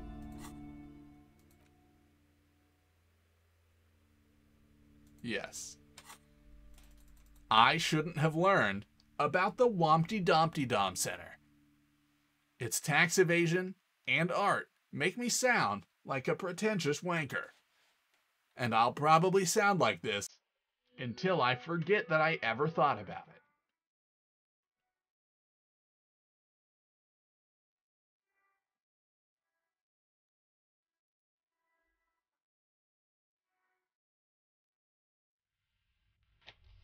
The next time you go to the Whompty Dumpty Dom Center, just think to yourself. yes? Up. Oh. Let's open this up we failed. Ice squeaks beneath your Xvalan multi-tool, but your fingers slip away from the tool. The lid shut as tightly as before. And it's already unplugged. There's not much else to do other than wait for it de to defrost or bulk up. Turn the crank.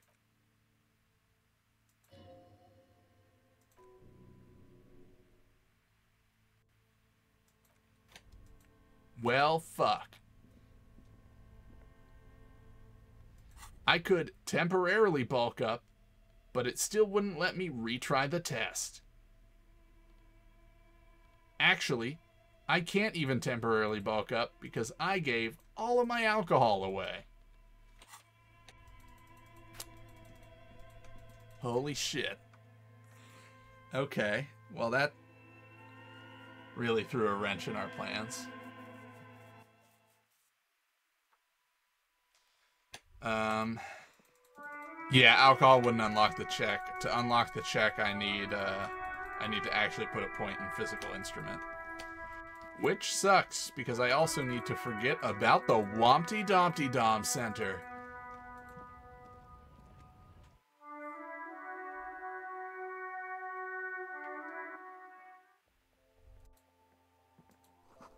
The yellow roses in the window. Those aren't the flowers that were left for Glacia. Um, is this about the question? Uh, no, no, no, never mind. Where's your booze?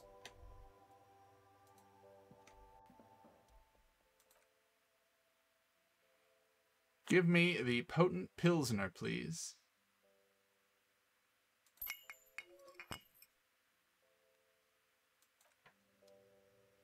And over here, I could use some magnesium.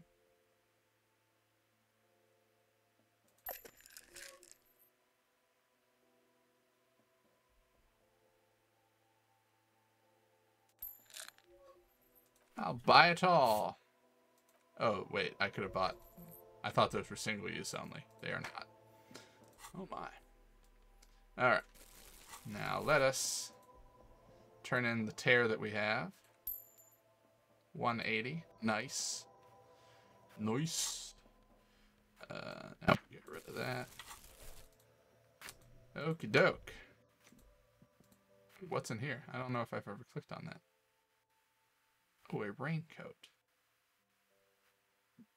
Eh, never mind. Don't need it. Just endurance. Okay.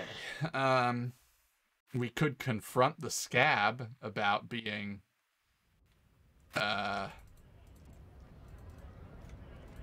being the military dude. Went native on the chief, huh? Those ballerina antics were reckless. Should have just punched him in the throat again. Wrong. You did the right thing with measuring.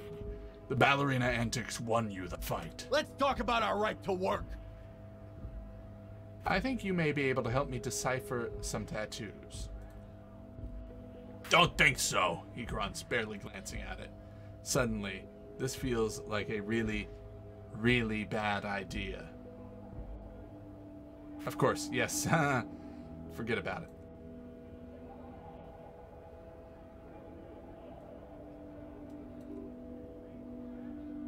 Okay. I'm just gonna leave now. Alright, if both my gut and Kim agree that this is a bad idea, then it is a bad idea, and we shan't do it. Instead, we'll refocus our efforts on forgetting about the Wompty Dompty Dom Center.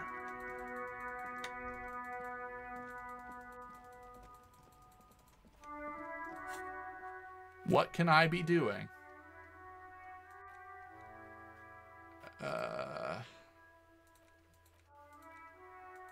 I guess I have to talk to... Oh, you know what I could do? I could talk to the... I could call the, um...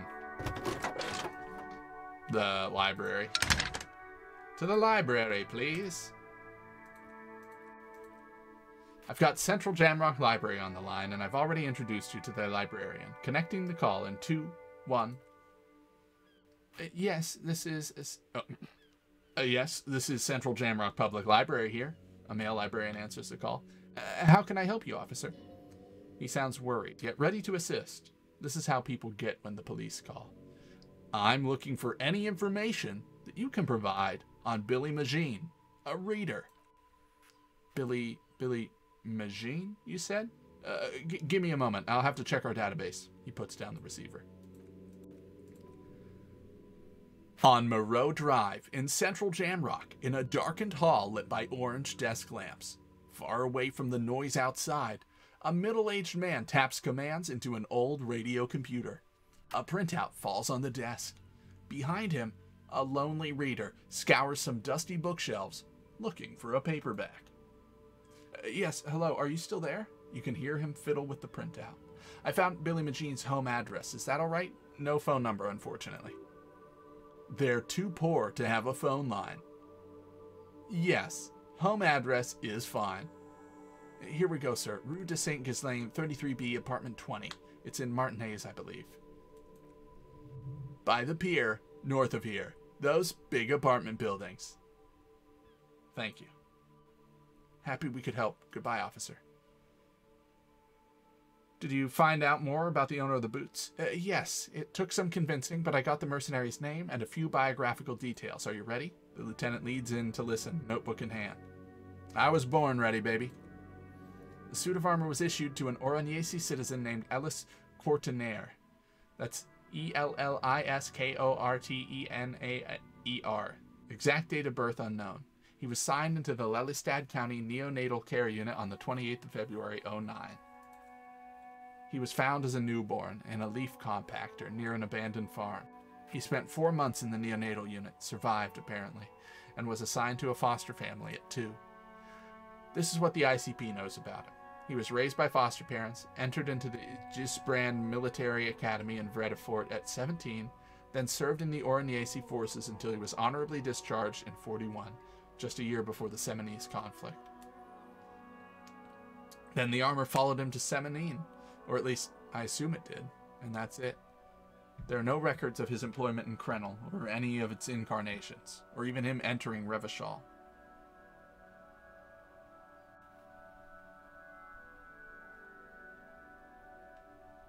So all we have to connect him to Krenel is the armor. Even that is a small miracle. These organizations usually double check their inventory. Thank you, Alice. Great work. No problem, Lieutenant. She sounds pleased. Wait, he was found in a leaf compactor? It's a garden tool used to press leaves into cubes. It's a detail the hospital had, the only detail in these files, so I thought it would be good for you to know. It is. Thank you, Alice. Any information on his parents? None, officer. So his name wasn't his because he was fostered. Ha! yes, what class said. Very good. That makes sense to me. He takes a quick note. Well, we have his name and service record. Let's move on. A name. This is very good. Alice Kortenaer. Sometimes police work is about human dignity, about giving back names to anonymous victims. Please connect me to Sylvia again. Is there a reason for this? Hi, Sylvia. It's the police again. I think I, I think I'm good. Connect me to the 41st. I'm happy to report that I found my badge. 10-4, sir. Glad to hear that. I'll write that down. That there's no need to issue you a new one then. Over. Oh, feels good to get that off your chest, right? Oh, celebration with beer? Transmission ended. Roger that. 10-10. Over and out. With those words, the cabin becomes silent. Close. Okay, did we level up there? No, we just came very close to it. Um, so what the fuck do I need to do? Oh, I need to talk to the cryptozoologists. Um, and they'll give me something to do that will help me find Ruby. I think that is what Kim suggested. So that is where we'll go.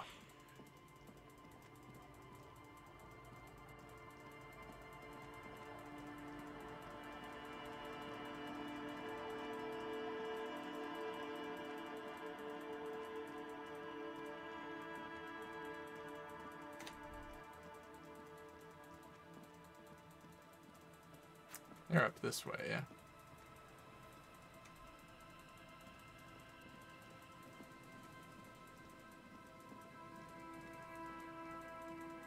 Out on the boardwalk. Yo! Dongle Josh. Welcome, welcome. Good to have you here. Thanks so much for the raid. How was uh, your stream? What'd you uh, What'd you finish up playing?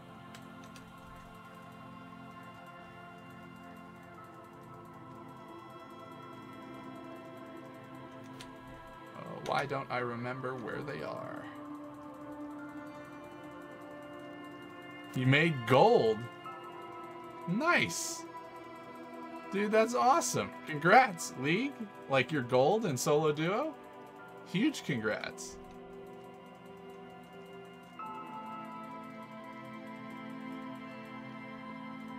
Um, I I guess I don't know where they are. I thought that I did.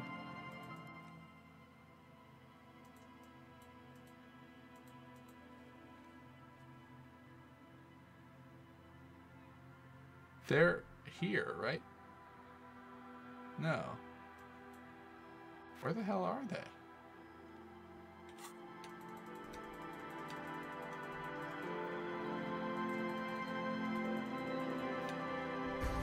Looks like I'm about to get fucked. Thank you very much for the bits. As always, uh, I appreciate it. Although, in this particular occasion, unlike the other times, I don't think I am about to get fucked. I think everything's fine.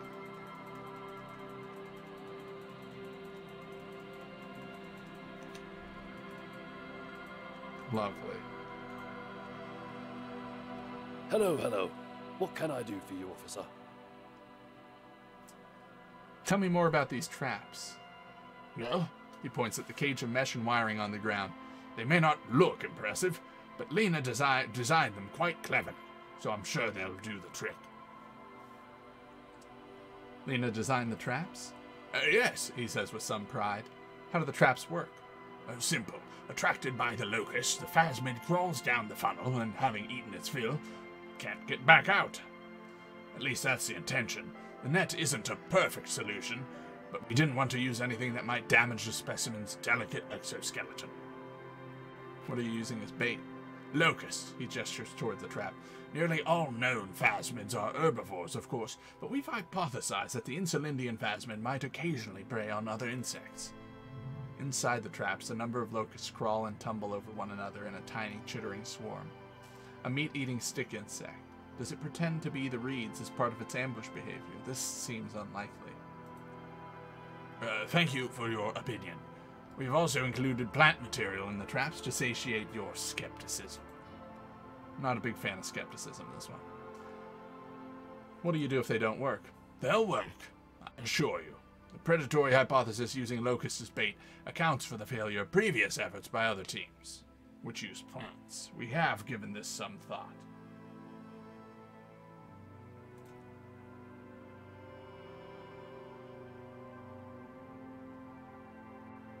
Lena seems to be eager for you to return. And I'm eager to return to her, I assure you.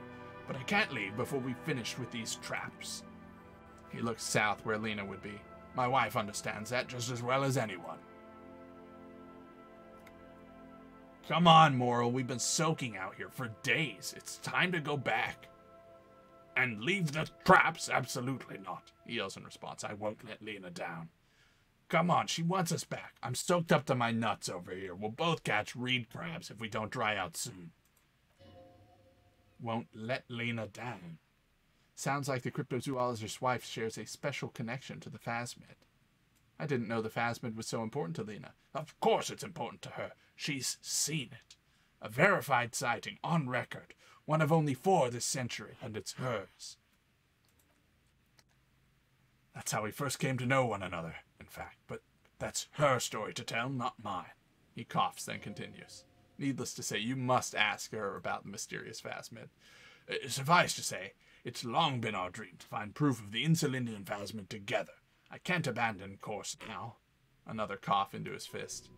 His spirit may be willing, but his body might be too old to endure the rigors of the coast.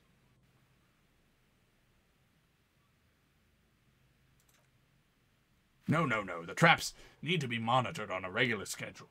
What will we do if the Phasmid were to starve while we were sipping tea in the hostel? He's dead set on this. What if we check the traps for you? He looks at you with surprise.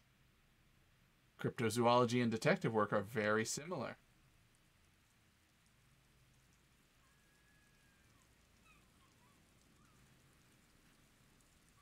Oh, we're looking for someone hiding on this very coast. Looking for another thing may lead us to her. Why not? The lieutenant shrugs. At least it will give us an excuse to look into a lot of reeds. That it will. The man cracks an unwieldy smile. That it absolutely will. I hope you brought your good boots. Uh, what do I do if there's a phasmid? Bring it to me at once. Just make sure the trap is closed tight. He's not comfortable with the possibility that you'll claim the fine, but he's lying about this even to himself. What if I encounter the Phasmid in the wild? That's highly unlikely, officer, but in the event you do, I'll spray you with a pheromone mixture I developed. It's made of musk and research chemicals. The pheromone should attract the insect to you, or at least prevent it from bolting at the sight of you. It's quite potent. Will last you about a week.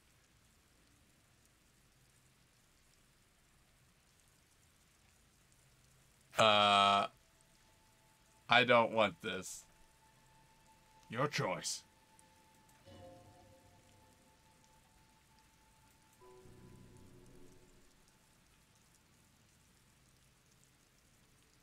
Oh god. I'm concerned that this will ruin our chances for the date. I mean, it's absolutely, it's either going to help or hurt. And I really feel like it's going to hurt. He douses you with an odd smelling spray, a double helping as you present the other armpit, and then he gives a satisfied nod. This is the smell of dying reeds, of longing crumbling into the water. The lieutenant wrinkles his nose. I hope you're not buying this. He dispenses it with, without letting you touch the canister, so it would be precious, like holy water. It is precious. A single dose cost me 50 real to develop. Not that I expect you to understand self-financing one's own research.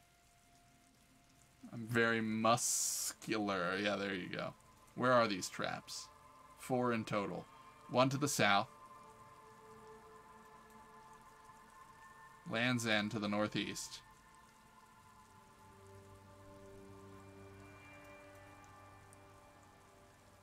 Near the canal.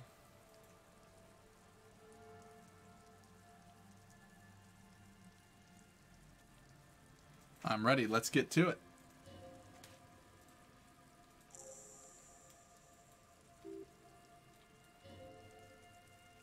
Okay. We'll leave. Now we can go ahead and forget the feminist agenda. And we will think about the precarious world. Seems like the point of this game is victory the absence of defeat on all fronts. Victory in business ventures and creative undertakings, victory in love and over other people, political victory, ideological victory, hell, even sexual victory.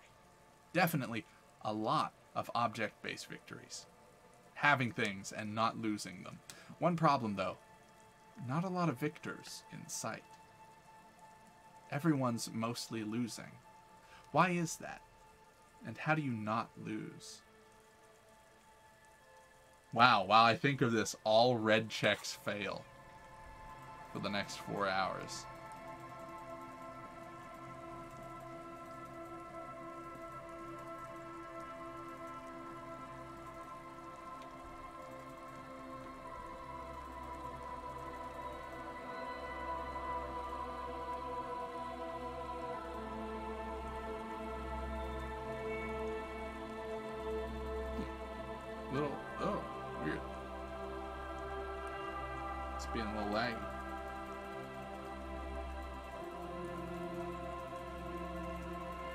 Being a little laggy.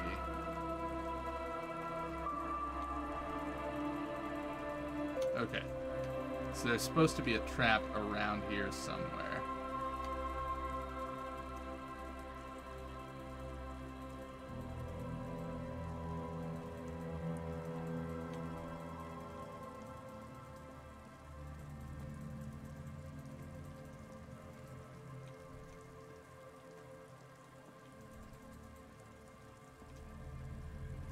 Although there, he did say there's another one up behind the church, so we can just try that one out as well.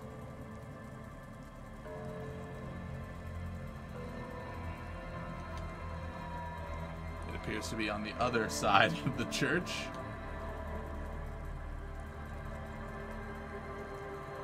Yeah, you never know. Do- The the lady at the docks could be a, a stick stick insect, and this will work great.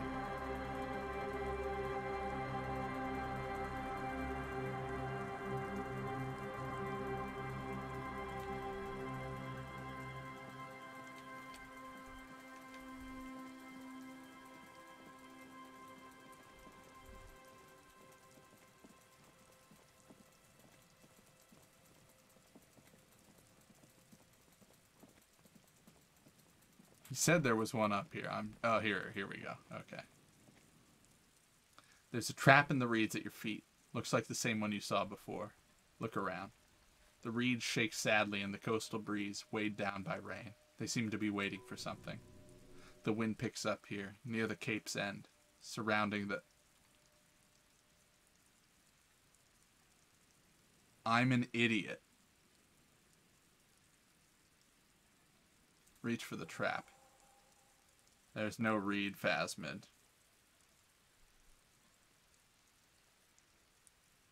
It'll be in the next one, surely. Surely, he repeats. Alright. Uh, I fucked up. I was supposed to get rid of the Wompty Dompty Dom Center. Uh, but instead I got rid of the feminist agenda. Which was originally what I was going to get rid of before we realized how terrible the Wompty Dompty Dom Center was.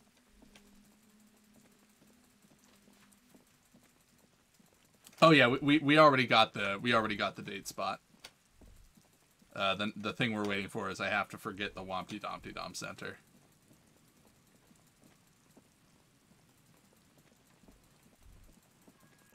Cause I forgot. Oops.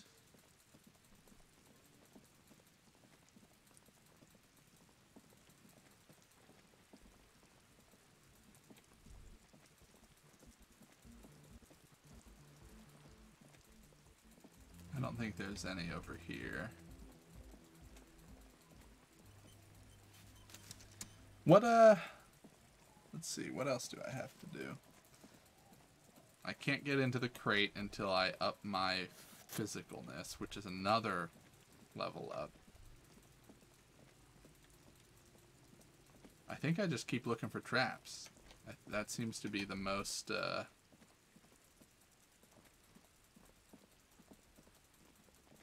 Because what I'm really trying to do is to find Ruby.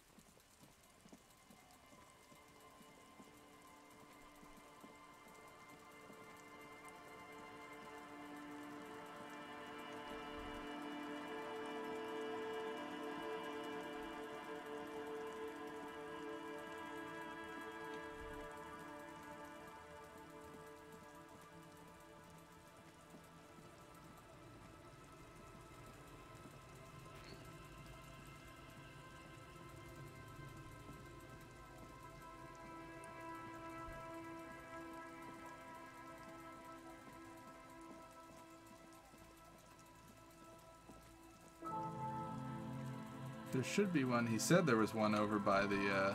Oh, there it is.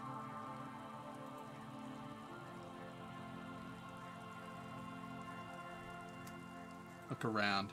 The reeds bend forlornly toward the sand. Some tufts have been crushed. The broken stalks seem like a rebuke. The sound of the city hums in the east. Reach for the trap. Panic locust, no crypto cryptozoological creature. How are you enjoying the cardio, Lieutenant? I'm quite enjoying it myself. Always up for a good jog. Otherwise, I would still be on this case with you. He smiled. Otherwise, would I still be on this case?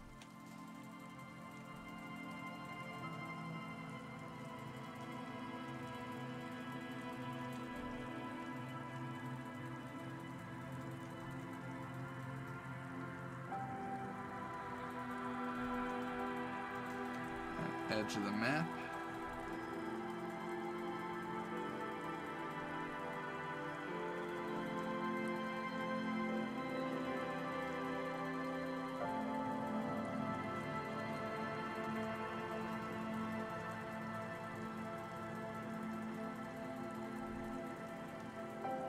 He said there was one in the fishing fishing village. I'm pretty sure. Or like near it, right? This is the fishing village. So where is the trap?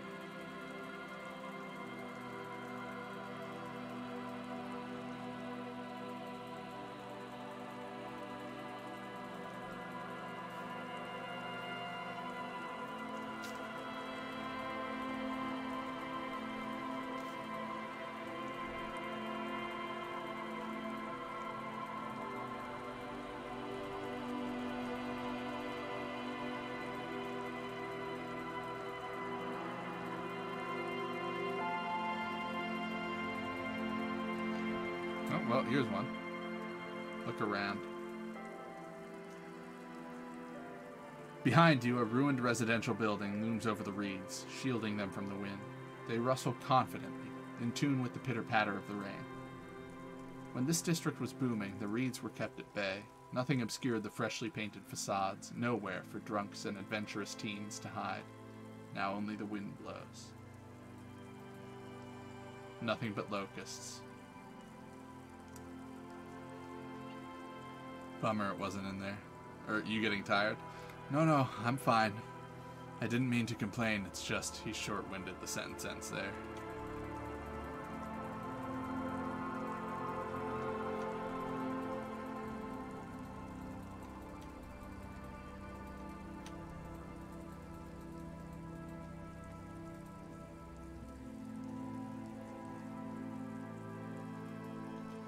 Reeds by the abandoned campsite hiss and shake in the lazily falling rain.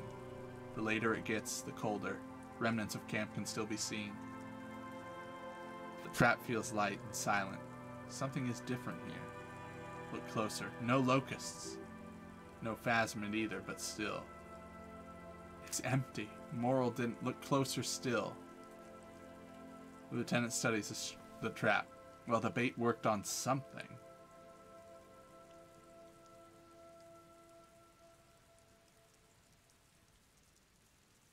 Probably wasn't the Phasmid, but Morell needs to know. We did sort of promise to tell them, didn't we? Seems to regret the fact. Yes.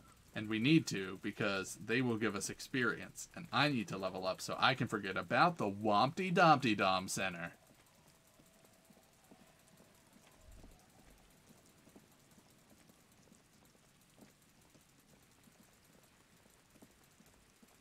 Oh, wait, shit. This is not where I want to be.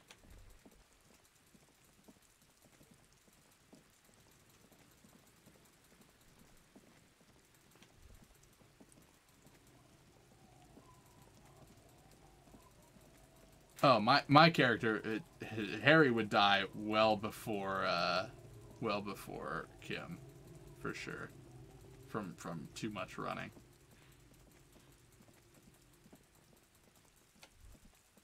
That would be pretty feels bad if if at some point I just like keel over and the game's just like, yeah, you ran too much, dude. You have a weak heart and you ran too much.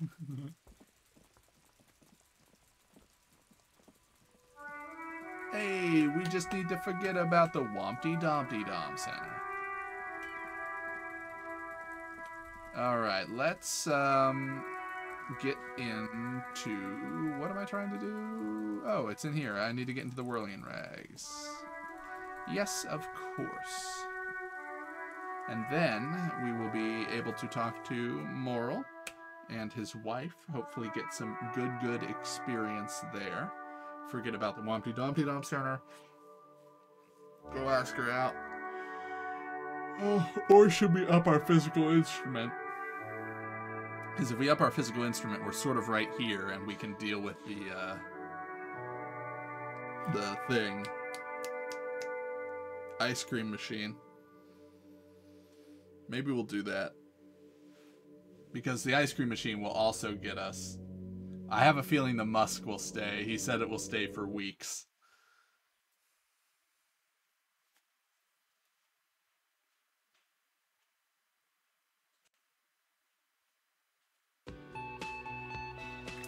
It gave me the red dye. I have the red dye, I think. I don't know if it's interactable. No, it is not.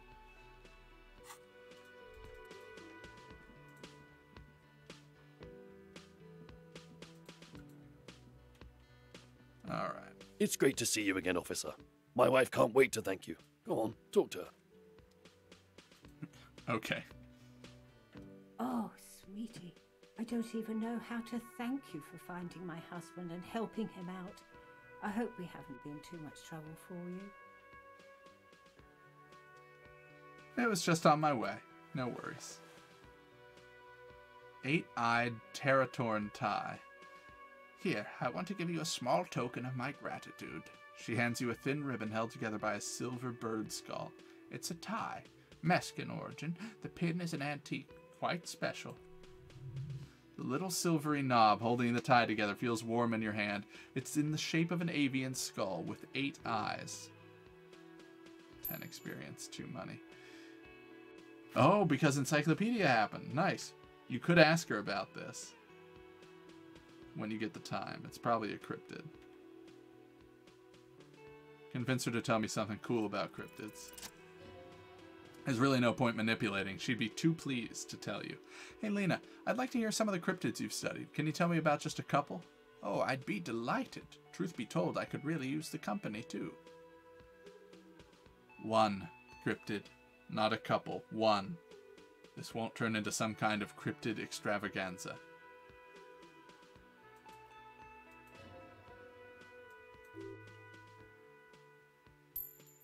This is actually going to be great. Because this seems to be triggering our encyclopedia a lot. Is this bird a cryptid? No, it's the cryptid. Wow, the cryptid. Oh, yes. A small silvery skull shines between your fingers, its beak sharp. Okay, what is this bird? The eight-eyed teratorn, the largest flying avian ever discovered, with a wingspan of 11.5 meters.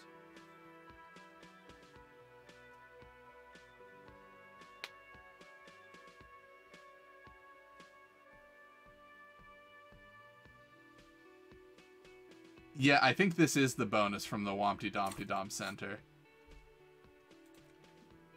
Yeah, it is. Well, might as well make use of it before we lose it. Um,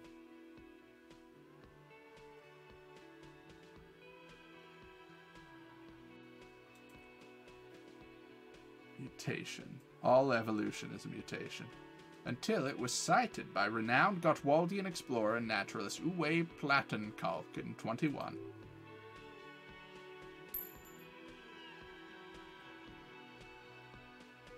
I can always level up. It'll be fine.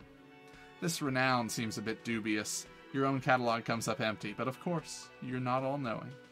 I need to hear about the sighting. Happened on a botanical expedition into the vast and unexplored Umaro Canyon in southeast Ilmara. Dr. Plattenkalk got separated from his group during a sandstorm.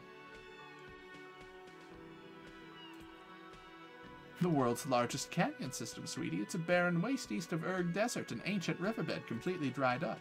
Alone in the blasted desert heat, the doctor wandered eastward, where man hasn't stepped in over a thousand years. He was lost, without any navigation equipment, and desperately low on water.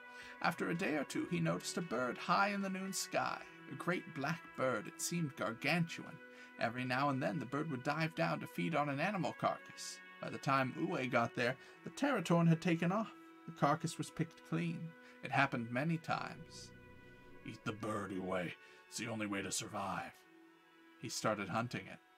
Yes, a bird that big has a lot of blood, and he was dying of thirst.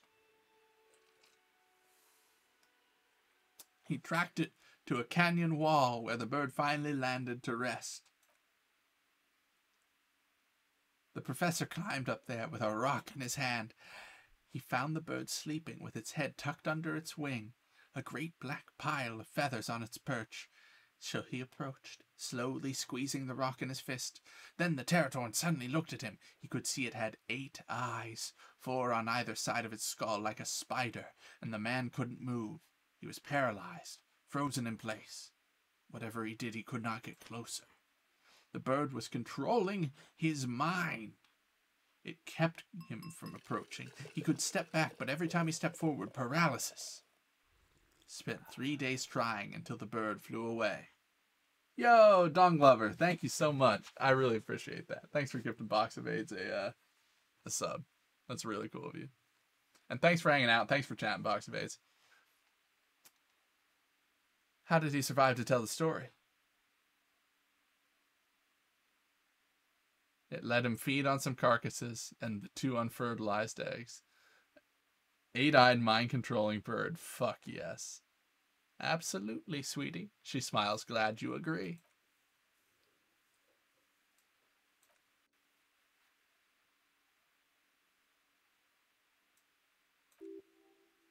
He's sincere. He likes the audacity of a mind controlling eight eyed bird. So that was the last anyone saw of it? Sadly, yes.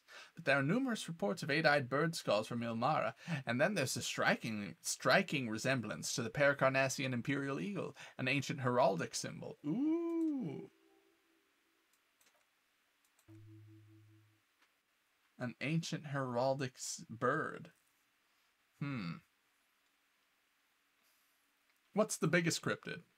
That would be the giant of Koko Nur, she says as if it's common knowledge. The giant lives in most arid parts of the vast Koko Nur desert in South Samara, casting a strange light across its barren wastes.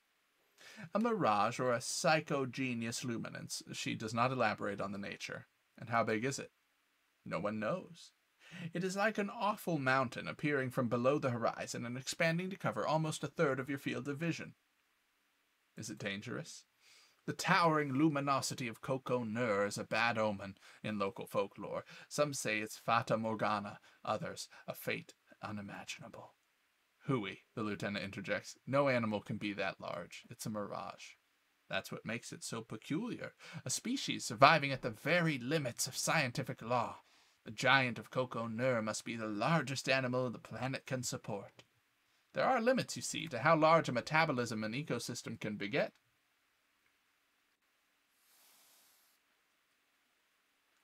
Some say a gravity anomaly below the Koko Nur desert might allow creatures to grow to these sizes. This is great shit. You need more. What's the tiniest cryptid? You promised you'd only ask about one. You don't you want to hear about another cryptid? Something in him breaks. Ah, fuck it. Let's have more cryptids. She smiles. Well, the smallest cryptid is the Cryobacter catlenus, a unicellular bacterium. It was discovered in one of the northernmost points of Katla on the Boreal Plateau by renowned geologist Caitlin Mi- some 70 years ago. What's so special about it? The bacterial colony Migeneau found had remained alive while frozen in ice for longer than anyone can reliably estimate, certainly from before recorded history. Migeneau disappeared shortly after injecting herself with the bacteria she had brought back to study, no doubt in hopes of prolonging her own life. Wait, she injected herself with it? Uh, yes, the bacteria had survived in the ice since times immemorial. It is not hard to see where she could have gotten the idea. It's actually a little hard to see. He looks at her skeptically, but do go on. I intend to live forever too, as a symbol. Everything has a price, sweetie. After Migeneau treated herself with the bacteria, she stopped aging, but also became increasingly eccentric and irascible, so that even her oldest friends were forced to pull away. We can assume that she has been living somewhere in the wilderness for decades now, all alone except for Cryobacter catlensis coursing through her bloodstream. What's the most dangerous cryptid? The gnome of Jeroma. She pauses for effect. That doesn't sound too bad. Oh, it is. None of its victims survived. Grieving relatives never even found their bodies because the gnome's venom dissolved organic tissue. What does it look like? It was reportedly a small creature with webbed fingers and a protruding forehead, an ungainly little thing, quite scary to look at. A couple of campers found it when it was already dying. They heard an odd wailing in the woods and followed the sound. They were scared and wrapped it in tarpaulin to suffocate it. She looks at you, her voice grave suddenly. It still took the gnome of Jeroma an entire day to die. If the body of the creature was found, the lieutenant can't help himself.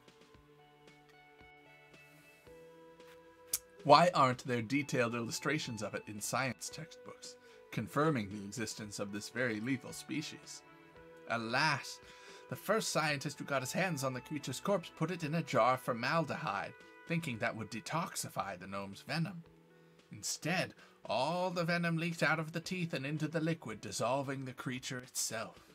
A poetic end, perhaps, but a real loss for science, she says mostly to herself. Alas, always alas, and then it was gone. Isn't that overly convenient? Stop being so skeptical. Sure, perfectly good explanation. It dissolved in its own venom. Go on then. Ask more about gnomes or whatever. Are there any invisible cryptids? What an interesting question. And the answer is yes, there are. Of course, all fairy tales have someone or something invisible in them. It's the Koldomama Dakwa. The woman corrects her glasses. Its name means thin whisper of sound, and that's precisely what it is. Self-replicating sound waves, invisible and intangible. The Koldomama is afraid of us, which makes it incredibly difficult to track. Whew, there we go. Koldomama Dakwa can also be translated as a whisper light and low. Her eyes light up behind glasses. Yes, that's another translation. They're both quite lovely, aren't they? Although the low part is a little ironic, Dakwa makes, or rather is, such a high-pitched sound that other animals, including humans, can't hear it. Could be everywhere, all of the time, and we wouldn't know.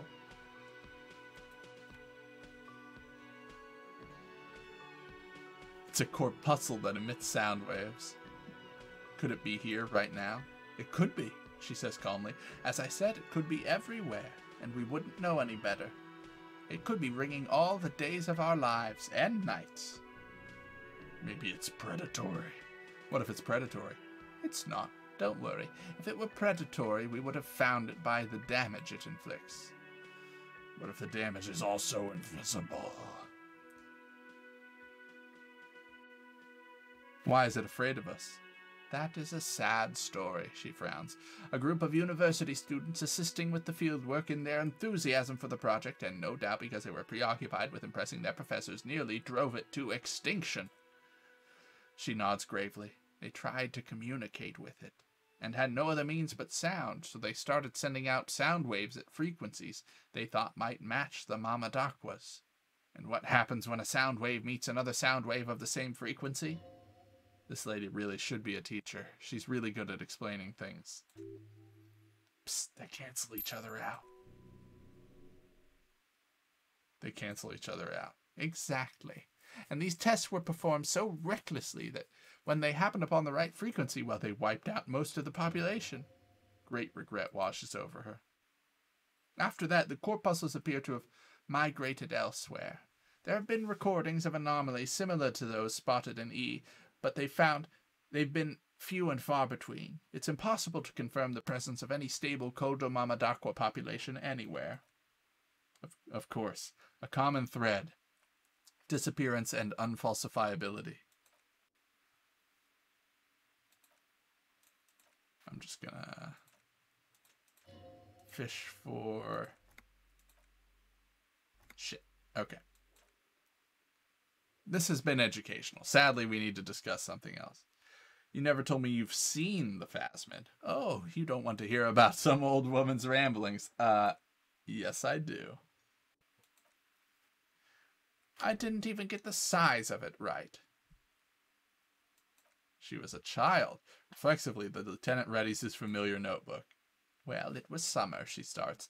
I was building a racing track out of sand on the beach near a tall stand of reeds. Quite a tall one. Many times my height, if I remember. When all of a sudden... Wait, when was this and how old were you? Ah, I'm getting ahead of myself. I was five and a half in Benton Court, in the suburbs. My grandmother had a summer home there. What happened? The strangest moment of my life. I looked up and one of the reeds moved. Not like a plant, but like a living thing. It stood up and looked at me. Its body unfolded like some antique toy. I've never seen anything like it. She had no fear, just surprise. I didn't know this can happen, so I reached my arm and touched the thing. It felt just like a stalk of reed, but it moved, swaying, towering above me. After a while, twenty seconds, maybe a minute, it left, went into the reeds. Did you follow it? I tried, but I was only a child. There was mud and high water. I couldn't see it any more. I was just standing there, knee-deep in mud, looking around me. Where did you go? Don't go. Then what? I ran back home to my grandmother and asked her if reeds could walk, and told her they were looking at me. She chuckles. Of course, she just laughed, but I knew what I'd seen. For years it was a story I told at parties when I wanted to impress boys, that sort of thing. She brushes her hair back. Of course, most people just look at it as strange, amusing anecdote. So did I, honestly, but Then I met Morell. We were on a date. Can you imagine? She tells me a story, and it's the most detailed report of the Insulindian phasmid I've ever heard. The sounds, she told me it hissed. So that's how they met. This is beyond significant for them. It did, yes, like reeds in a gust of wind. The way it moved, the color, how some of its limbs were white like marble. He breathes excitedly. It matched perfectly with what I know from other accounts. It was amazing. If it weren't for Lena, I might have given up hope years ago.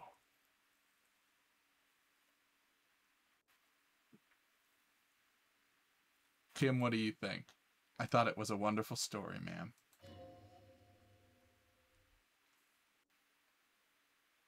You were on a date? Off first, yes. Glances tender, yes, but tempered by something else, a thought she can't express even to him. Interesting. Its limbs are white? Not all of them, he answers for her. There is some white coloration, along with beige, where the camouflage ends. How big was it? It's hard to say how big things are when you're quite small yourself. To me, it seemed taller than I was, but that's probably not the case. Maybe you imagined it. How could she? Who imagines this? She didn't know about the phasmid. This is the main thing here, what makes it a confirmed sighting. She had no previous knowledge of the insect. She couldn't have made it up, or imagined it. That's true, yes. I'm almost certain neither my mother nor my grandmother knew of it. It was only when I started telling my story as a teenager that boys would tell me, Lena, she lowers her voice, imitating a boy. You trying to tell me you saw the Insulindian phasmid out there in those reeds? Get out of here, she smiles. They just give me a cider and ruffle my hair and tell me to stop dreaming, but I saw it. Thank you for sharing.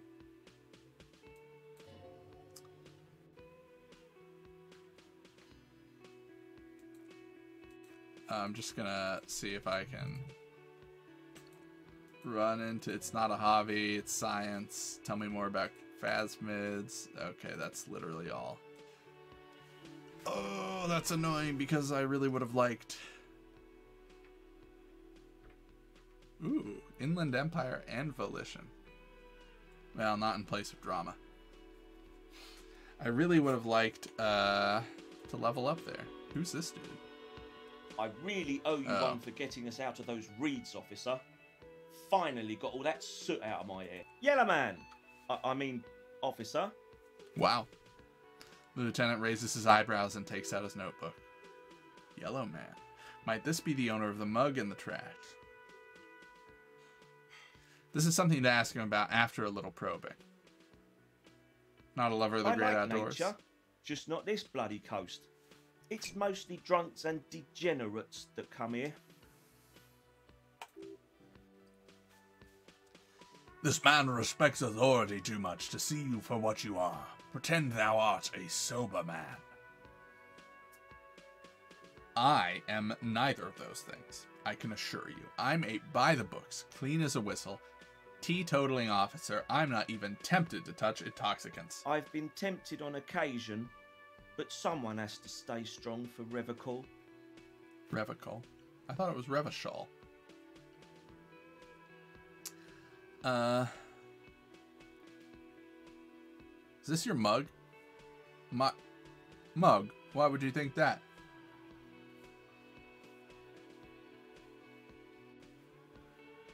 I can see you recognize it. It's in your eyes. I may have had a similar looking mug in the past, that's all. Hmm. Did I mention the mug was found at the scene of a lynching?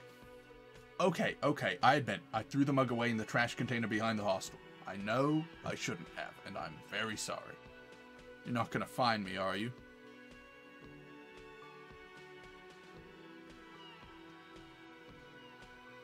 Yeah. 20 real.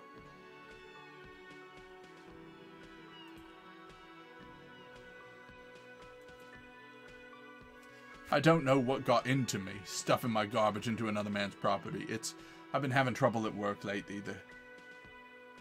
Uh, what did you do, Gary? Nothing, nothing. Just answering some questions, helping out the law. Here we go. Start pumping that sweet info.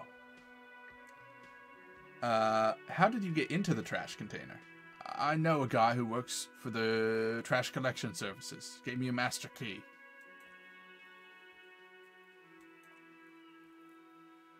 Thought I could cut costs. I shouldn't have disgraced myself. Gary, did you put the clothes of a murder victim into that trash container? Officer, please, let me explain. It's not like that. Do. I was only cleaning up. I live right across the yard from where he was hanged, and I saw him stripped naked, all the clothes lying around. People are animals, you know. Then what happened? Then I came out to clean up the rags because no one else would. I put them into the whirling trash along with a broken mug, admittedly. Uh, okay, I was coming to throw the mug away, and well, I threw the mug and then the clothes. Right, it was just civic duty. Exactly, civic duty. You wouldn't know anything about the missing armor, would you? Uh, armor? No. He changes his mind. I mean, yes, of, of course, I know he was wearing armor, but I don't know anything about it. Yo, Daniel Colin. Zach. Thank you so much. I really appreciate it. Thanks for using your Twitch Prime right here. Hope you're doing well. Thank you so much for hanging out. And six months. Is that a color change on the cup? It might be. I forget. Either way, I appreciate it. An infant could see he's not telling the truth. Let's move on for now. I need more composure.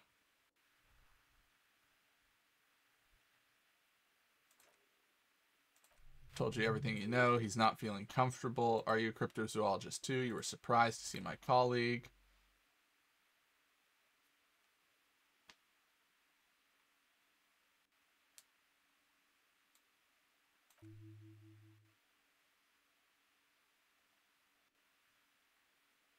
Gary, are you a racist? Hey man, he blushes. All I meant is that there's not many Seolites. Lieutenant is a native of Revachol. Oh, yes, of course he is. Ridiculous. All right, we need to up our composure, which means we're going to need speed. We're going to need, well, speed, certainly.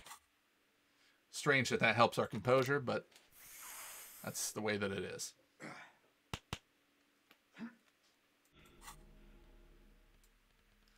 Okay.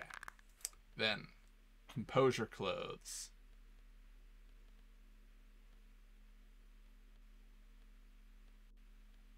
Composure clothes. Do I even own any? Yeah, okay, snakeskin. Windbreaker.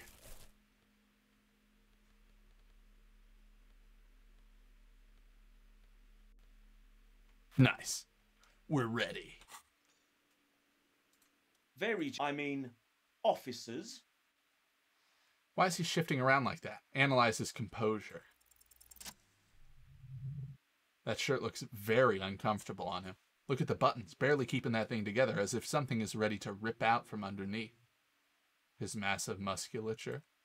No, he's scrawny. Try again. Something underneath it. Yes. Like a piece of ceramic armor, for example. One that makes a clicking sound when the plates meet each other. Meat. Meat. There's I've encountered now a, a few typos in this game, and they're always funny because it's uh, it's so well written. It's startling to me.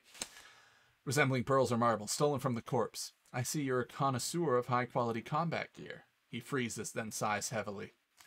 I, I knew you'd figure it out, officer. I'm sorry I didn't tell you at once. I was. He unbuttons the shirt. You see a gleaming white ceramic shine. A thin layer of interlocking plates covers his gaunt torso. I was ashamed of what I did. We're not detecting falsehoods, son. He's gearing up to admit the truth. This shame is surprisingly sincere.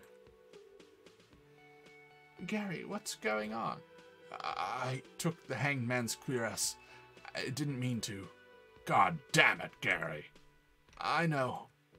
Shame on you. Give the cuirass to the officer at once. The woman looks at you, her eyes soft and pleading. Gary didn't mean to interfere with your investigation, officer. He's just uh, thick-headed and poor as dirt. But he's always helped us, given us a place to stay, and he's followed Morell into God knows what jungles. He's a loyal friend. Why did you really put those clothes in the trash? Everyone was picking those pieces off him, and I was watching them do it. They scattered his clothes all over the yard, everything was smelling. So I went there to take out my trash and started cleaning up. I had a lapse of honor, sir.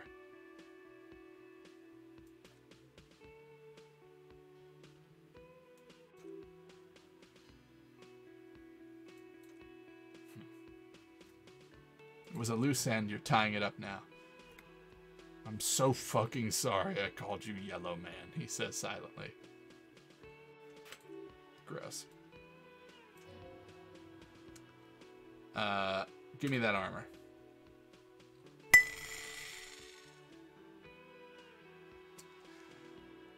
Item gain, Fairweather T500 Cuirass. He sighs again, hangs his head, unbuttons his shirt.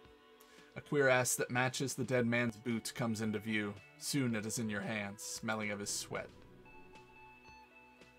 Don it and live. Why did you lie, Gary? Because I was weak. He's a scaredy cat. Do you know who killed him? I always thought it was a union, some union hardasses.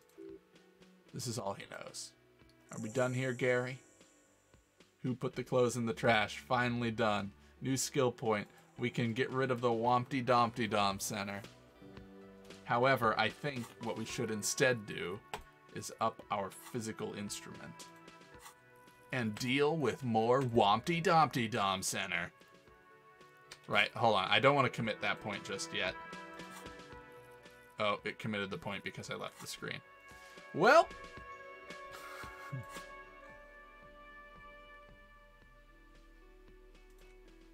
Pain threshold volition. Let's see how it looks. Oh, it's a shirt, not a jacket.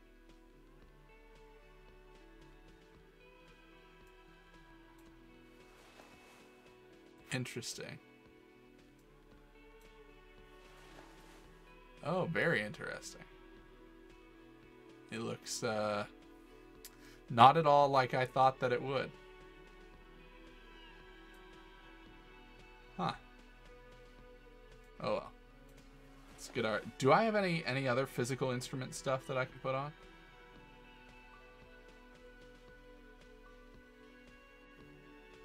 Yes. Tank top.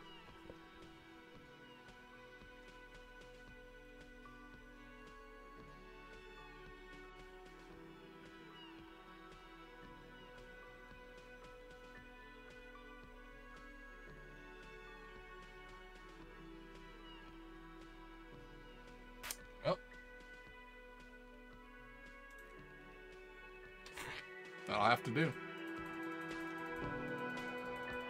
Now we go over uh, and try the ice cream machine again. Hey, Jazz Posse. Glad you could join us.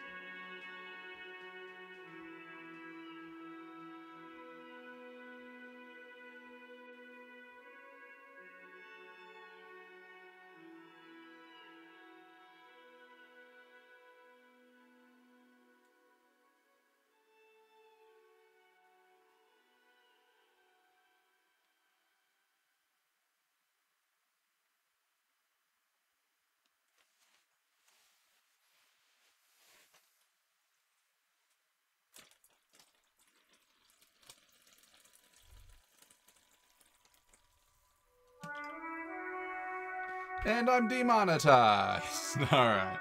Let's read this. What was that? Could it be? The Koldomama Dakwa?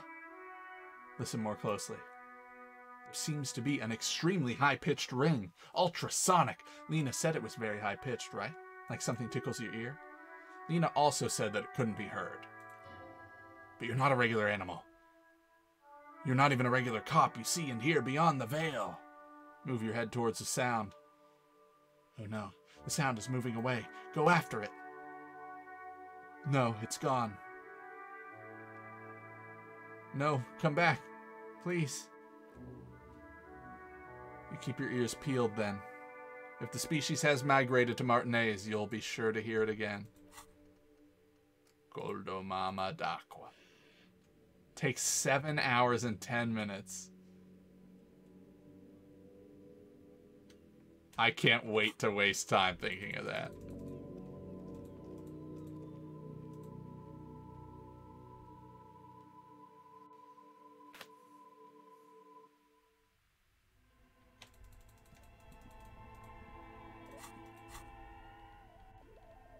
Okay. Oh.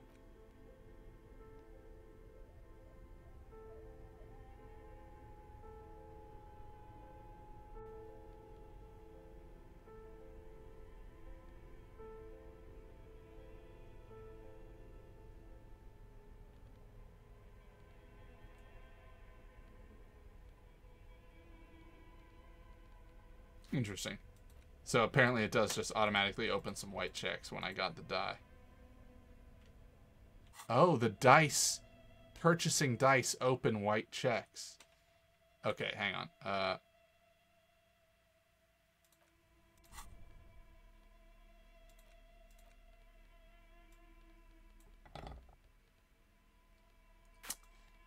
All the physique I can muster, I believe, so...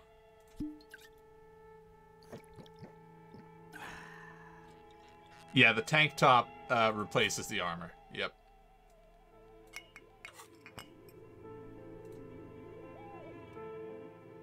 All right, physical instrument. Crack open the lid.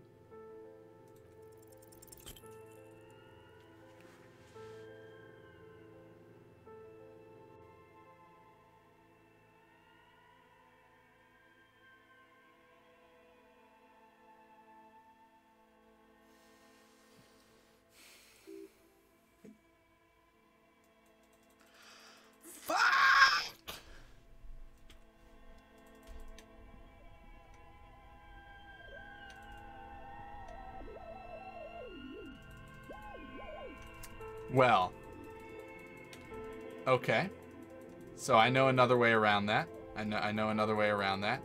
We're going to go up. We're going to go back to the dice maker. We're going to buy some more dice. Uh It's well, I hate that this is the dumbest room. Like I can't I know it. I know where it is. I've walked through this room. Let me walk just because I don't have the flashlight equipped. Alright.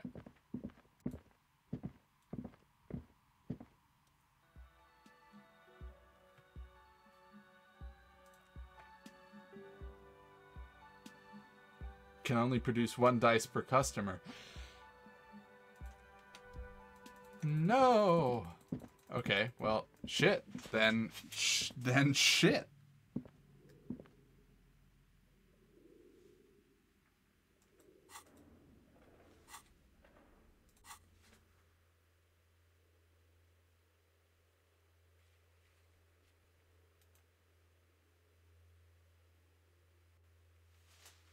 I guess maybe I can use physical instrument on the I don't know. I need to level up again is what I need to do, but god that sucks.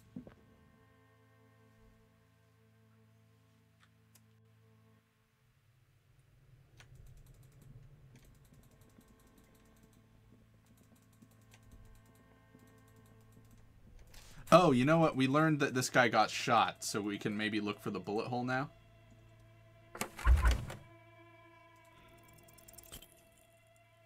We...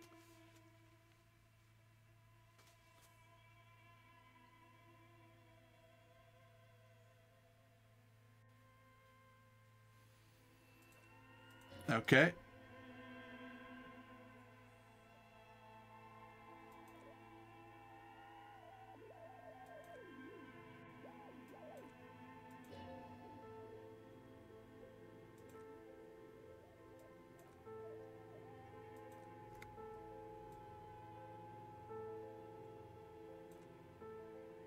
Okay, it forces me to find it.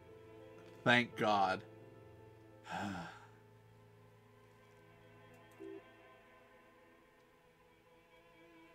An abrasion collar.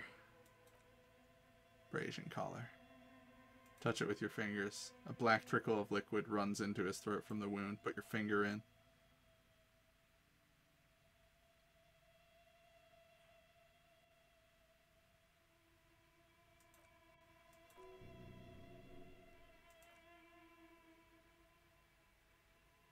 Bullet has torn apart his reptilian complex. This man will never sleep again, never wake. Push deeper.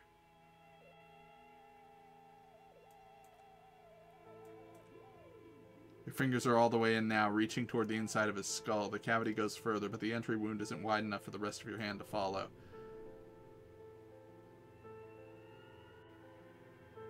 Punch a hole through his mouth. Wriggle in. Your fingers reach toward his skull. His cerebral cortex feels like jelly, cold jelly, until you feel it on the tip of your finger. This must be the bullet.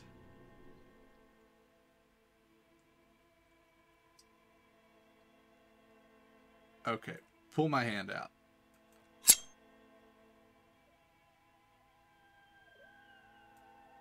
Searching for an exit wound. Withdraw your hand four centimeters. Pull your fingers back and nod. With a crack, he punches the knife into the skull, then one more time, and one more until the bone comes loose like eggshell. The bullet is still under your finger. Push it out.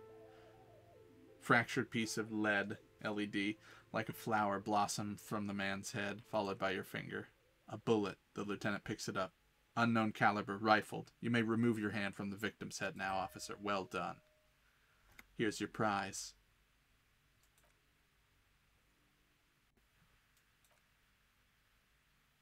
High velocity, temporary cavity in brain tissue, small exit wound on the uh, occiput. He underlines the injury forcefully. How does that sound? Correct. Opinion, fatal injury. This concurs with the Hardie Boys story and Klaasje's. Click, click goes the pen. And one last thing. We should amend injury number three, ligament mark, treatment. It's obvious the Hardie Boys tampered with it. We should have known. He nods. I had my doubts. There were no signs of a struggle. No claw marks, but still. His brow furrows while his eyes glaze over. The lieutenant looks regretful for not figuring it out before. Maybe the bullet holds more answers? Yes, we should take a closer look. I'm certain it has more to tell us. I think I need to wash. Wash off death smell. Your room comes with a bathroom. Make use of it in the evening. Alright. What happens next? We bag and carry him to the holding pen.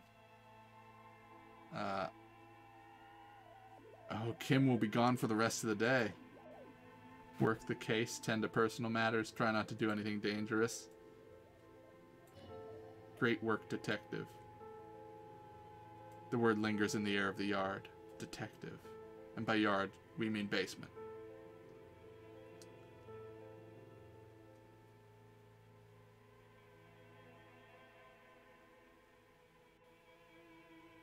Try to remove the boots.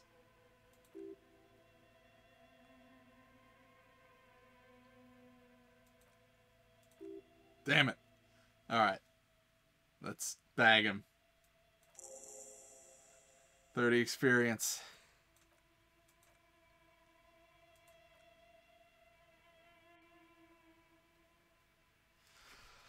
Okay. Holy shit.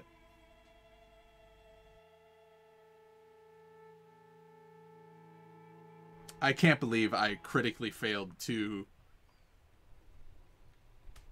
two checks. That sucks so bad. Um okay. Let's try to figure out what we're doing. I think uh, there's a check in here I can try to wake someone up.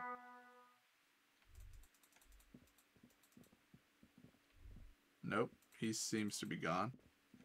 The map said that I could, though. Sleeping dock worker.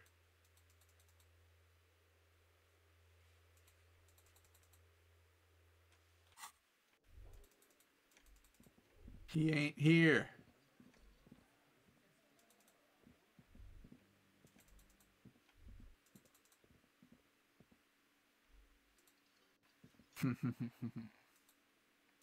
I wonder, can I get in my room uh, if I haven't paid?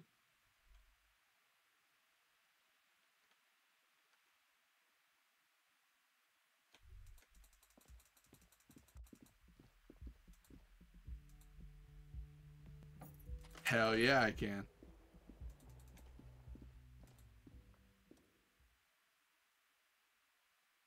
Run yourself a bath. Undress, close your eyes, and submerge. The water is only lukewarm, but still comforting, like amniotic fluid. A few beer cans are bobbing up and down along your flanks like sad duckies. You feel nice and lonely, and so, so tired.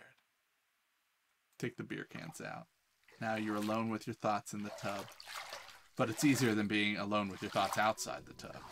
Oh, they're not even really thoughts, just assorted sensations. None of them acute enough to focus on. Imagine something. You see the corpse. You can still smell the cadaver on you. It's going to take more than one bath to get rid of that stench. Then, houses along a narrow street, a video rental, darkness on the planet's curvature. Linger a little. Your fingers grow pale and are covered with tiny whorls as the co- water cools. What are you doing? You're not some fat fish in fucking aquarium. Time to get moving. The waterline recedes as you stand. You are cold now. Your clothes stick to your still moist skin. How close are we to getting to try again? We're we're nice. We're at 69. Okay. Um Return to more. Okay, I can now that his wife has thanked me, I can tell Morell.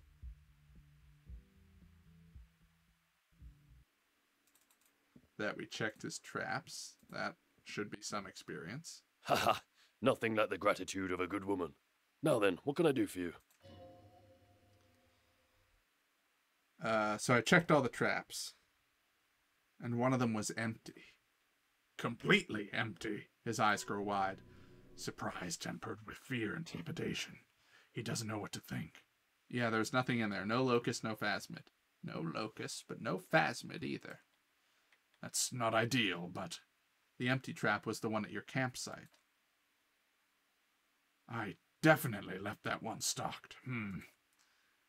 Right from the campsite. The old woman's face lights up. It just means the Insulindian phasmid is even more clever than we thought. You're dealing with a subject near and dear to them. It move it might behoove you to tread lightly. What a deft hunter. Oh, I wasn't trying to be uh Excuse me for getting emotional. This is a big deal for us. You've helped us twice now, and brought some great news too. My gratitude, and the gratitude of the Society Cryptozoologique de Revachol is yours develop an alternative theory. Fuck. Maybe they ate themselves. Auto cannibalistic locusts. I appreciate your unconventional thinking, officer, but really, cryptids aren't your area of expertise.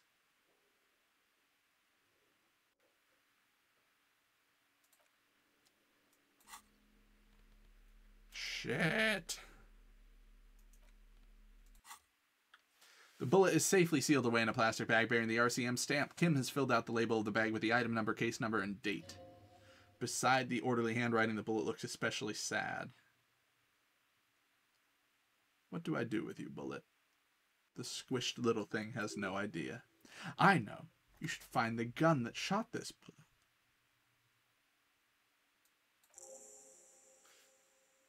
That sounds like something a police detective would do. First, you should learn all you can about this little guy. Feel the bullet. The squashed bullet has some sharp edges where the jacket has split open. It feels cold even through the bag. Yes. You wouldn't ordinarily have cause to handle jacketed bullets. The citizens' militia uses cast bullets only, little pebbles of metal loaded from muzzle, usually in a cartridge. Inspect the bullet closer. The jacket of the bullet is made of yellowish metal. It is blossomed out to reveal a dark gray core. The base of the bullet is close to 5 millimeters in diameter. Look at the jacket. You can just about make out a few striations near the base of the bullet. Little hairlines, linear. It feels standard. And the core? It's quite destroyed. Some of the fragments are still lodged in the wound. Far away, Lieutenant Kitsuragi is flipping through stations in his Kineema. He is not here examining the bullet with you. He should be. He would find this interesting. Mention it to him later when he's here. Hey, watermelon. I know, I need I do need some new dice. What a disaster. Does this guy have anything going on? It's all about money, yeah, sure. Uh, okay. What else can we do? Oh, yeah, I could go to his apartment. Uh, Yep, yep, yep.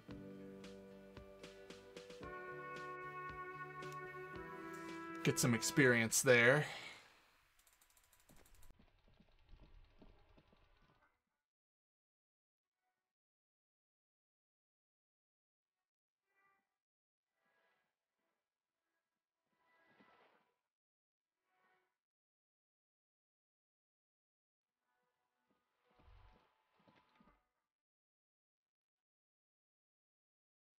Knock. Knock again. Stop banging on the door. I'm not letting any more strangers inside. Who am I speaking to? matter who I am. Now, go on, get out of here. This is the police. The police? Everyone knows the police don't come round here. But I'm not joking. No, I already told you. I won't be. Go check the backyard door. Maybe someone there will. Ma'am, we're looking for Billy Machine's apartment. We have important news to deliver. No reply. God damn it. Well, how do I... God damn it.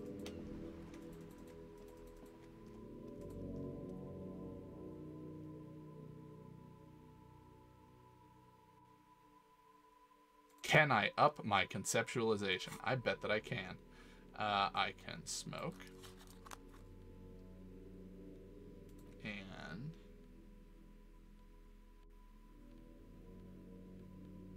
Put on a white satin shirt.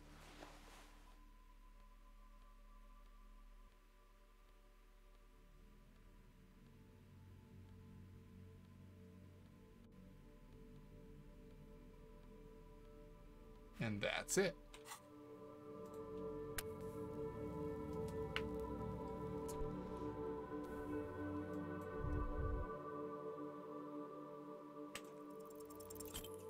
Yeah, figured. It's a wall.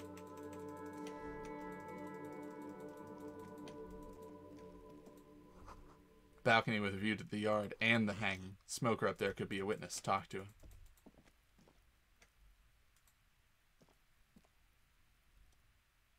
See a young man on a balcony nursing a cigarette. His eyes have been following you for a while. Not looking for any trouble, officer. He says in a quiet voice. Despite the cold, his shirt hangs unbuttoned on his frame. It's the voice of someone who has something to hide, my liege. You hiding something? Speak up. There's no trouble. I'm just speaking in a lowered voice. He says sotto voce. I don't want to be seen talking to the gendarmerie, if that's okay. I just want to finish my cigarette. It's the god of cigarettes and youth. Ask him if he's got any to spare. Can I get a cigarette? Apologies, but this is my last one. God damn it. I need absolution. Absolution? I don't know that brand. I'm pretty sure you can get Astras at the Frittte. Can't you just like toss that one I'm down? not sure that's a good idea. Shut up and throw, I'm kid. not throwing anything.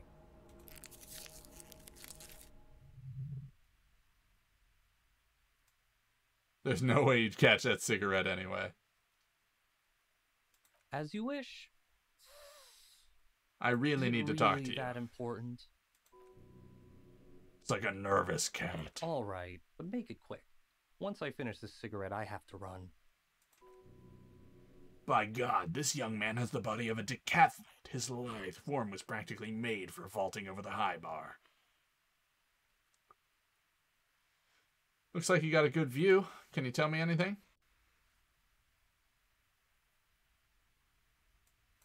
What'd you do last Sunday? Oh, You already asked me that, didn't you? Wait, is someone else investigating the lynching? Did I? No, not you. Some more muscular type. Was it someone from the police? Couldn't tell you. When was that? Last week? I don't know. Look. Snow. What? Oh, he's deflecting. He's young with a sharp memory. He hasn't had time to drown it in booze and chemicals. I had a friend over. What kind of friend? It was my Sunday friend. A Sunday friend? Oh, how intriguing. He doesn't reply, gesturing no with his cigarette. Someone hides behind a curtain. Those windows have eyes, and those eyes are watching, spying on you too. Son, do you train? Occasionally. Takes another drag. Why? Are you on the track team? No, I just like to look good. A light breeze pulls back a flap of shirt. I get it. Nothing wrong with looking good. Uh, I need to get in. Can you help me? Help you? No, sorry. I have to run. Can you tell me your name? My name? Martin Martinez. That's definitely not his real name. Uh, all right, we'll talk later. No, we won't. Convince him to stay. What a shock. Do you want me to cry? No, for God's sake. Listen, I really have to go. What if we just failed every check from here on out? That would be pretty cool. Okay.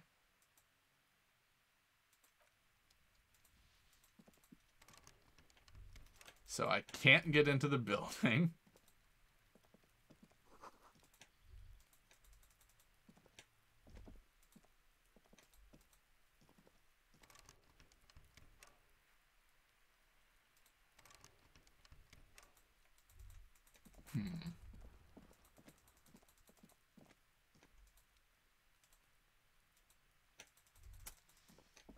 Let's see what this says about him.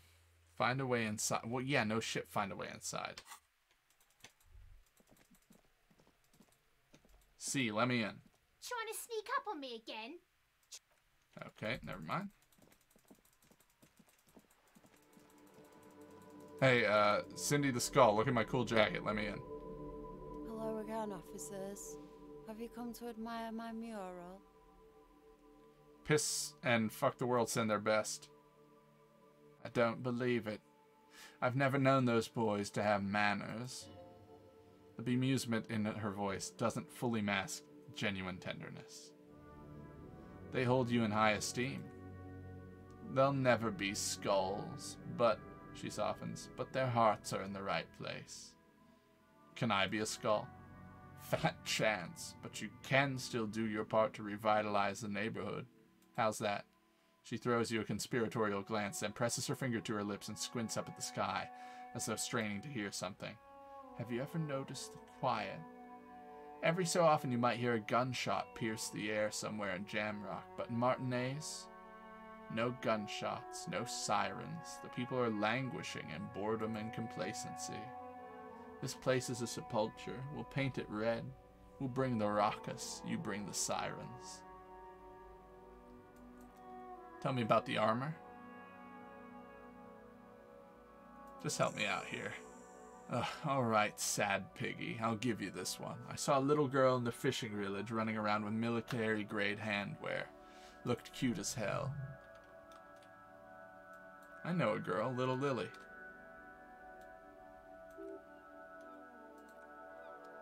Okay. Well, at least that's something to do.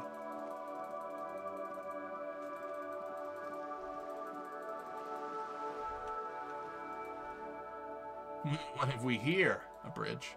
Bridge with loose nails, rotten-infested wood that creaks in the wind. Let death come. I'm a Revacholian badass.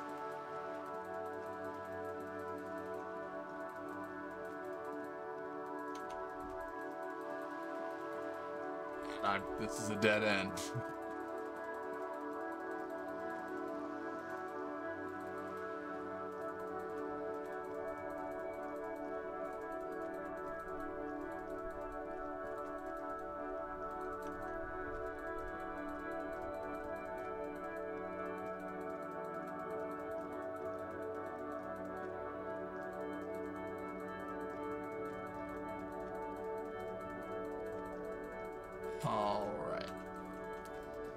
There. Just have to ask a little girl about taking gloves off a corpse.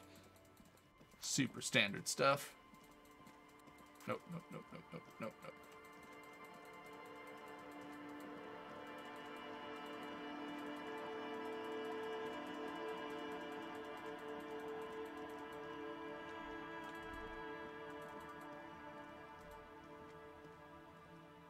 nope.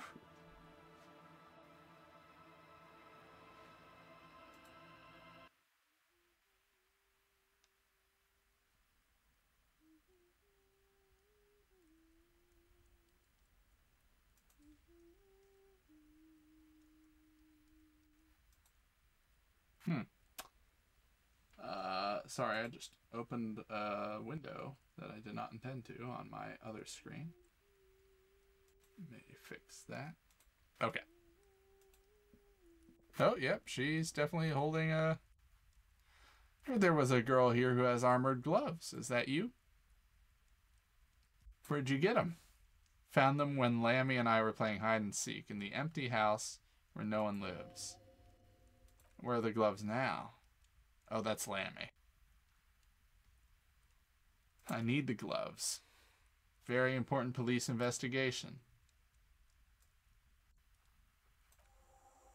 They're in my sand castle behind our house under the sand.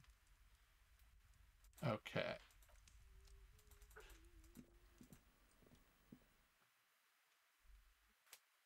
Yeah, I know. Beat me up with her armored gloves.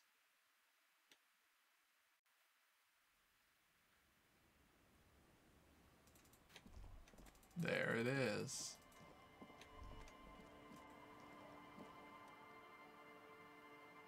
Weather has not been kind to Lily's little sandcastle. The once mighty towers are quickly eroding away. You can see something shining back to you from what must have been a vast underground catacomb network. Broken. A gush of wind disintegrates another piece of the cellar ceiling, exposing more of the mysterious glimmer. This shithole's about to collapse. The building's coming down on you. Need to get out of here. Smooth reflective surface. Are these the gloves you're looking for? Pull out the shiny object. T500 gauntlets. The walls and floors give way to the giant's greed, collapse and present you with a new pair of ceramic gauntlets. Okay. Oh, plus two to interfacing. My god. Alright. Let us reassemble our physical instrument uh, costume.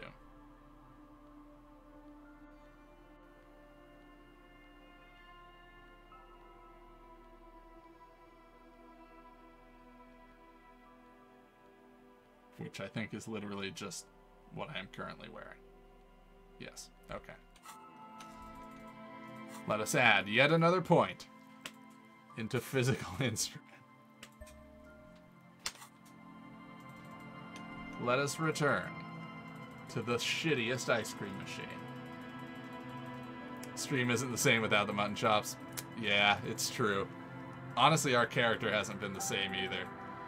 Been decidedly less shitty. How do you tell if it's a red check? Uh, if it's... If the color of it is red? It's a red check. I'm sorry, I really don't mean that to be like a, a cheeky answer, but yeah, red checks are red when you encounter them in dialogue.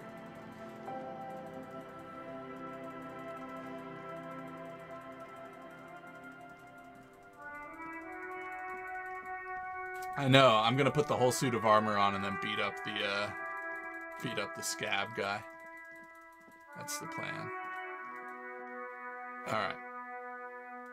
Into the basement we go. Oh, the red. Uh, here, I'll, I'll show you when we when we do this check. I'll show you when we successfully do this check. All right. For starters, we're gonna take a drink to raise our physique.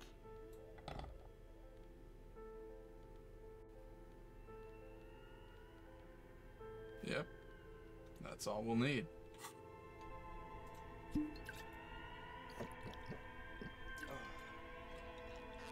Let's get after it. So, right here, this outline, this white color means it's a white check. Um, if this were red, this like white gray background, if it were red, it'd be a red check. All right, let's take another 97% chance. There's only one roll I can receive that will make me fail. It's double ones. Any other roll will pass. Holy shit.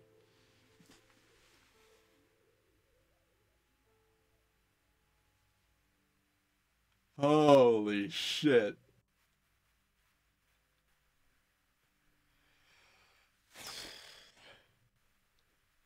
Wow.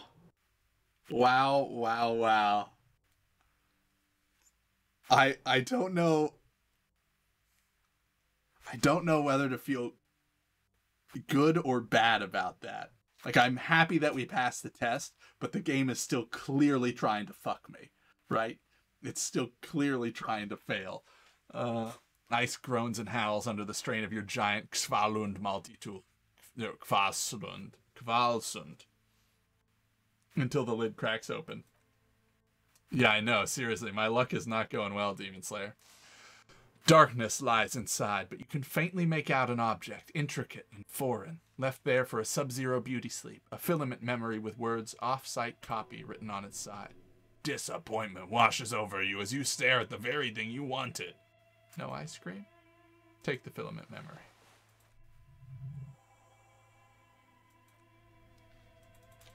Okay. Now, back outside.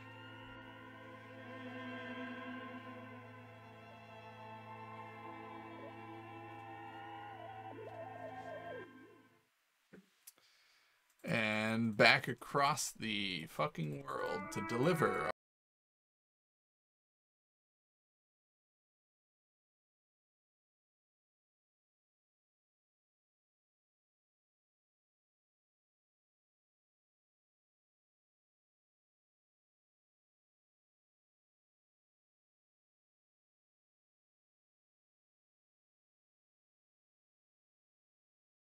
level up, and when we level up, we're going to get rid of the Wompty Dompty Dom Center in favor of something else.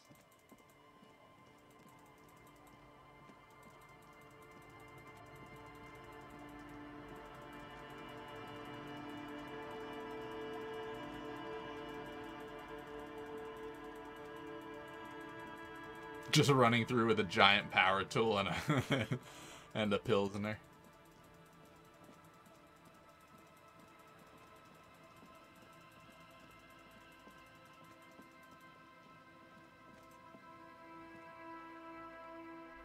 I mean, Wompty has been doing work, but like I'm trying to I'm trying to get a date, you know? I can't be nerding out like some sort of Wompty Dompty douche.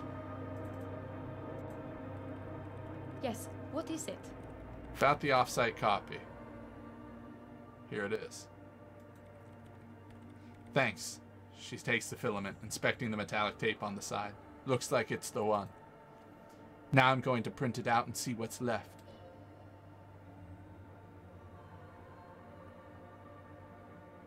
Wait, don't put it in yet. It might be dangerous. It's just depressing. How do you know? I have a theory. As the filament clicks into place. Lintel was able to divine the anomaly's location from this broken copy. I want to repeat their calculation, only this time with better equipment. Cold sweat trickles down your spine. This is spooky as hell. Play it cool. Now what? Soona doesn't reply, her hands running over the printout. She's looking for something, for her morning star, eyes scouring the millimeters. Here. I found it. Where? Hold on. She's behind the keyboard now, typing in some numbers that only she understands. The terminal beeps. The light inside starts pulsating like a glowing heart. Can I do anything? Shh. Just give me a second. I'm almost done. She jumps from the keyboard like a spring. I've got it. I found the location of the anomaly. You did it? You found the coordinates? I found the coordinates. She's beaming. Congratulations. Thank you. Time for a celebratory drink. Just a thought. So where is it? Where is your two millimeter hole in the world? There. She points at the other end of the church where a group of water bowls forms a rit- ritualistic arch in the swallow. Think you can help me again? Sure. I need you to go move those water bowls. Right. I'm good at intellectual puzzles. Figure it out. No, I don't need you to figure anything out. I've got a computer. Just walk over to the circle and follow my instructions. Move the third ball two centimeters to the left and the fourth five to the right. Sure, no problem. The third and fourth ball. Well, in what fucking how? Where do I start counting? Oh, okay. It moves like a ghost without creating a single trace of sound. Some water spills out of the bowl, wetting the floor. The lead programmer sends you an encouraging thumbs up. Time to run back, or maybe walk. This is a sacred place.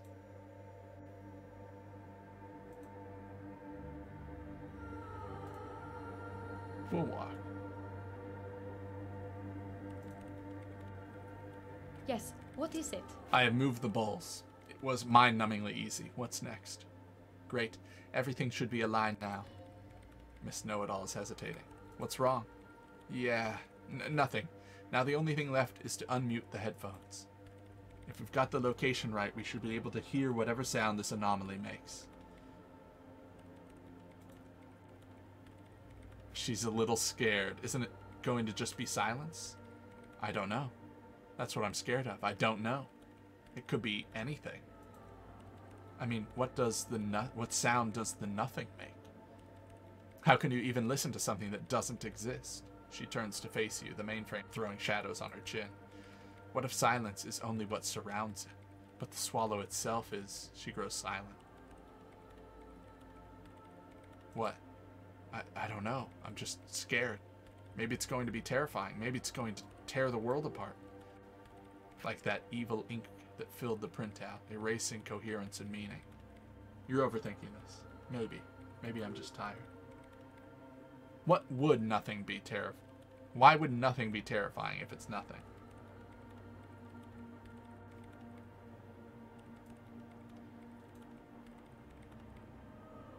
It's scary, but we just have to face it. No, why assume that something that has no presence, existence, or qualities has to be terrifying? Because it reminds us of, of death.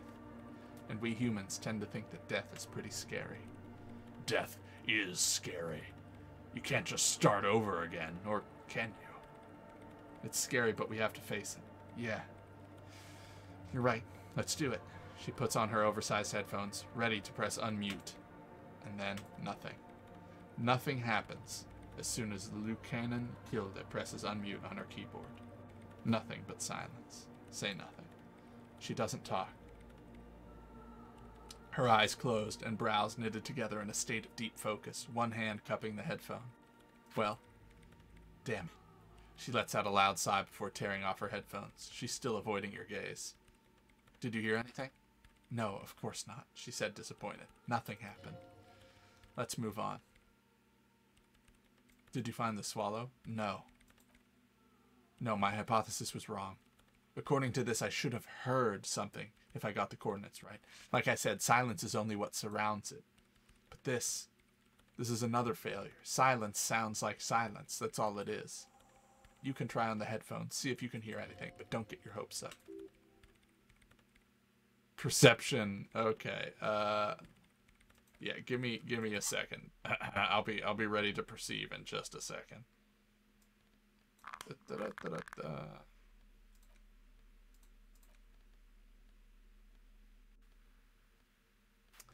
Yep, any second now. I'll be ready for perception.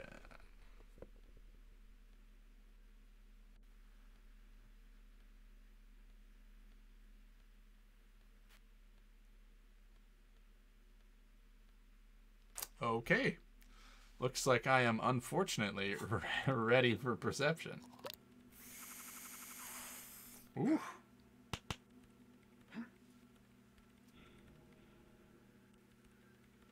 Yes, what is it?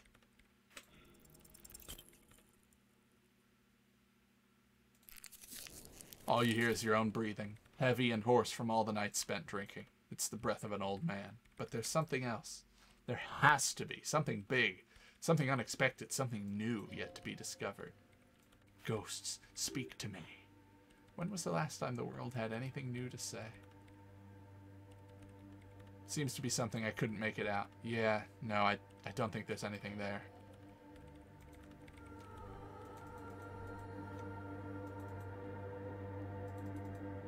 Wait, can you leave now so that my dudes Yes. can... What is it?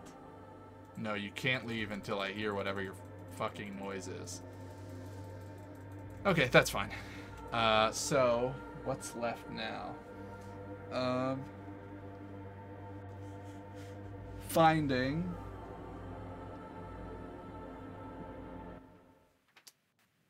Ruby. And getting my date. That's what's left now. How close are we to a level? Not close. Hmm. You know what? I am very hungry.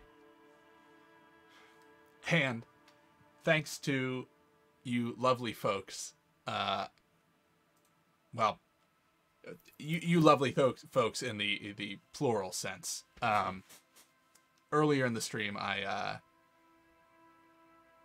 I it, anyway, not important. The point is, I'm gonna go buy food and I'm gonna eat, and it's gonna be great.